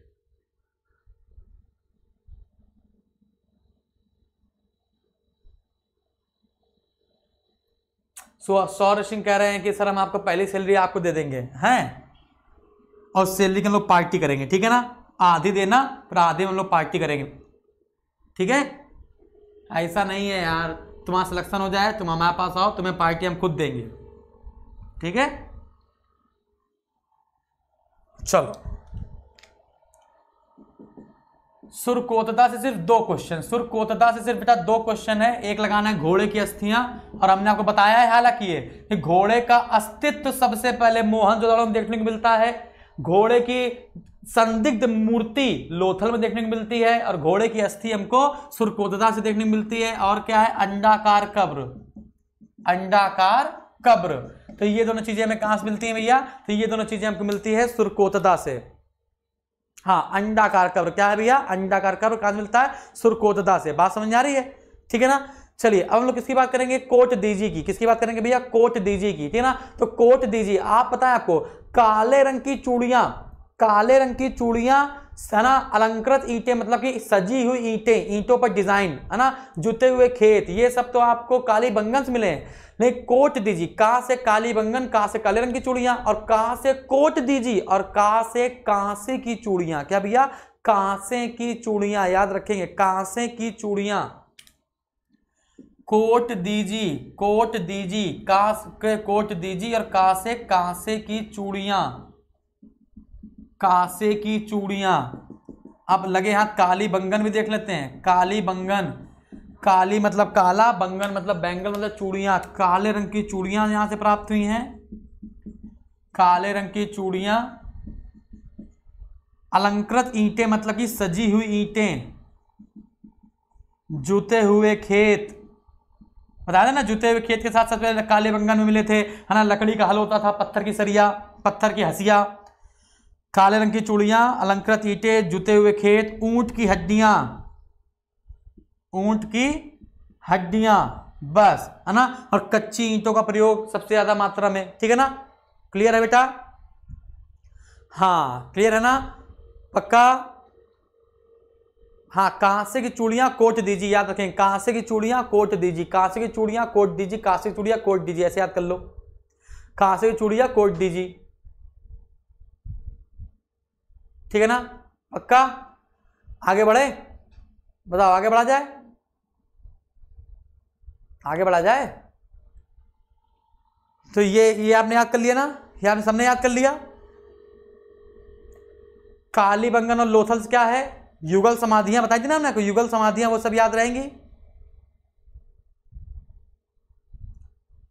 चूड़िया मीन्स बैंगल्स चूड़िया मीन्स बैंगल्स ठीक है, चूड़िया मतलब क्या? बैंगल्स ठीक है?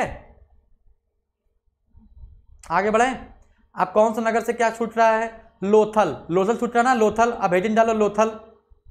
लोथल क्या है? बंदरगाह है। लोथल से क्या मिला है? चावल के दाने। लोथल से क्या मिला? चावल के दाने।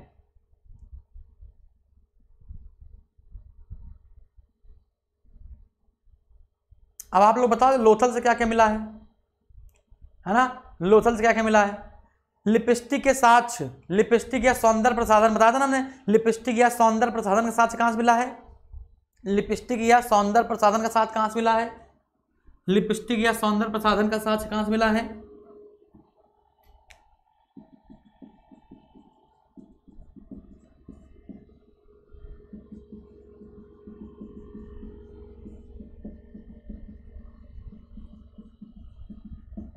सौंदर्य प्रसाधन साथ मिला है। चनूदड़ों में कोई भी दुर्ग नहीं था।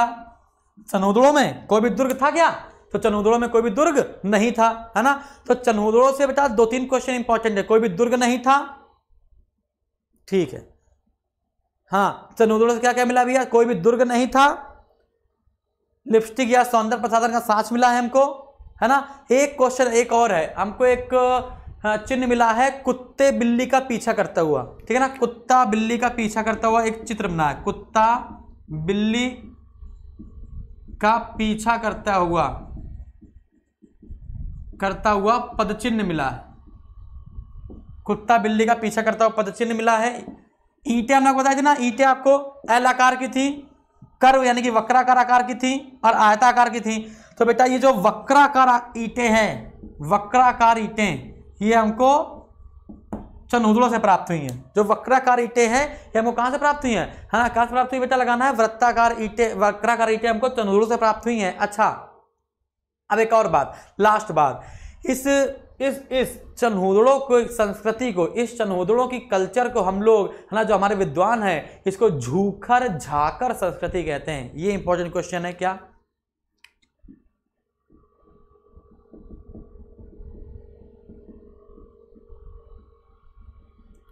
आपसे कह दिया जाए चनोदड़ों की संस्कृति को किस नाम से जाना जाता है? तो झूखर झाकर। याद रखेगा झूकर झाकर। तो झूकर झाकर संस्कृति के नाम से, झूकर झाकर संस्कृति के नाम से हम लोग किस को जानते हैं? तो आपको लगाना है।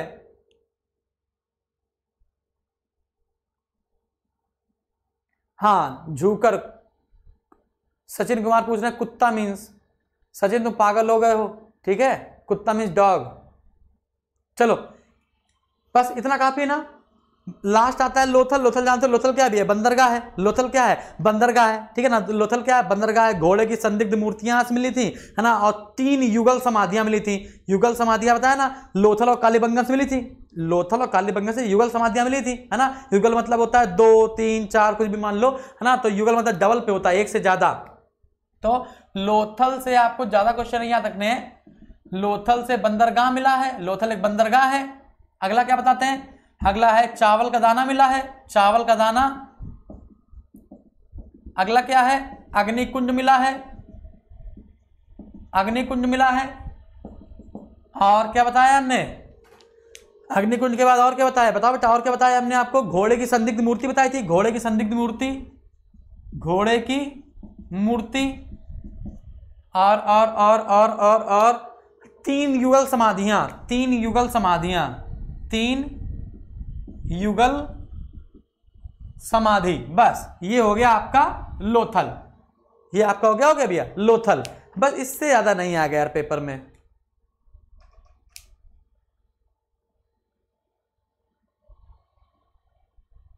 हाँ तो तीन युगल समाधियाँ कहाँ मिली है? तो तीन युगल समाधियाँ आपको लोथल मिली है ना? और युगल समाधियाँ आपको दो जगह से मिलेंगी, एक कालीबंगन होगा और एक लोथल होगा। ठीक है? एक और रह गया। एक बच्चे ने बताया, एक और रह गया। कुणाल, चांदी का मुकुट। कुणाल से मिला है चांदी का मुकुट। तो कुणाल से क्या मिला भैया? चांदी का मुकुट। अब आपको बताना है, अब आपको लास्ट क्वेश्चन बताना है कि कि कि कि कि कि तांबे का रथ कहाँ से मिला है? तांबे का रथ, ये बताओ बेटा। तांबे का रथ कहाँ से मिला है? ये बता दो तो मज़ा आ जाए। बताओ। तांबे का रथ कहाँ से मिला है? तांबे का रथ। तांबे का रथ। हाँ एक शुभम पटेल ने एक क्वेश्चन पूछा था। शुभम पटेल ने क्वेश्चन पूछा था कि लघु हड़प्पा किसे कहते हैं? तो ला से लघु ला से लोथल। ला से लघु और ला से लोथल। तो लघु हड़प्पा हम कहते हैं लोथल को। ठीक है ना, शुभम? लघु हड़प्पा हम कहते हैं लोथल। ठीक है ना? अब बताओ।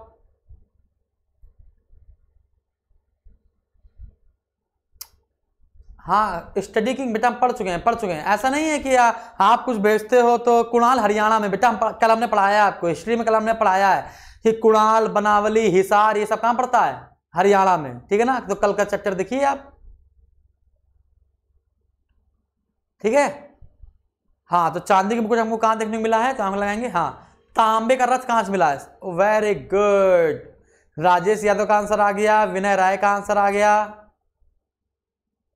तांबे का रथ कहाँ से मिला है? बच्चा सिंह का आंसर आ गया, नताशा का आंसर आ गया, विश्वजीत का आंसर आ गया वेरी गुड तांबे का रथ आपको मिला है दामाबाद से। तांबे का रथ आपको कहाँ से मिला है? दामाबाद से। याद करो, हमने कल सूत्र बताया था उम पुआ दद पशु दद पशु तो ये दास से दामाबाद बताया था। सिंधु सभ्यता का सबसे दक्षिणी बिंदु क्या है? दायमाबाद क्या है? दायमाबाद और दायमाबाद से क्या मिला है? तांबे का रथ मिला है। क्या मिला भैया? तांबे का रथ मिला है। ठीक है ना? और सबसे पूर्वी क्षेत्र क्या है? सबसे पूर्वी क्षेत्र है आलमगीरपुर। और आलमगीरपुर की खोज यज्ञदत्त शर्मा ने की थी। और यज्ञदत्त शर्मा से पहले, है ना, एक भारत सेवक भारत सेवक समाज नाम का एक संगठन था। उसने सबसे पहले आलमगीरपुर के बारे में बताया है। ये यार इंटरव्यू का क्वेश्चन था। कि आलमगीरपुर का उत्खनन यज्ञदत्त शर्मा ने तो किया है। यज्ञदत्त शर्मा से पहले, है ना, इस इस आलमगीरपुर के बारे में किस संगठन ने सबसे पहले बताया था? तो भारत सेवक समाज। भारत सेवक समाज नाम का एक संगठन था। उसने सबसे पहले, है ना, उत्तर प्रदेश के मेरठ के हिंड नदी के किनारे आलमगीर के बारे में सबसे पहले बताया था। राजेश यादव, दुर्गीकृत क्षेत्र कौन सा नहीं था? बताया तो था बेटा, दुर्गीकृत क्षेत्र कौन सा नहीं था? चनहुदड़ो, लिखा भी होगा कहीं पे। देखो, लिखा नहीं है, दुर्ग नहीं थे। ठीक है? डन? तो चलते हैं भाई, अब आराम से क्वेश्चन आप करिएगा, आराम से आप क्वेश्चन करिएगा, आपको कोई भी व्यक्ति परेशान नहीं कर सकता। ठीक है ना? आप कोई भी क्वेश्चन करिए, आपको कोई व्यक्ति परेशान नहीं करेगा। कोई भी एग्जामिनर नहीं परेशान कर सकता, कोई भी पेपर नहीं परेशान कर सकता। अगर कोई आपसे कहे इसमें क्या आता है? तो हमें सिंधु घाटी सभ्यता आती है, एक बार तुम हमसे पूछ लो और एक बार हम तुमसे पूछ लें। ठीक है? हाँ प्रशांत यादव बिल्कुल सही है। आलमगीरपुर की खोज उन्नीस सौ अट्ठावन यज्ञदत्त शर्मा ने की थी। डन है, बिल्कुल सही बेटा, बिल्कुल सही है। और रोपड़ की खोज भी यज्ञदत्त शर्मा ने की थी। ठीक है ना? चलो, चलते हैं बेटा थैंक यू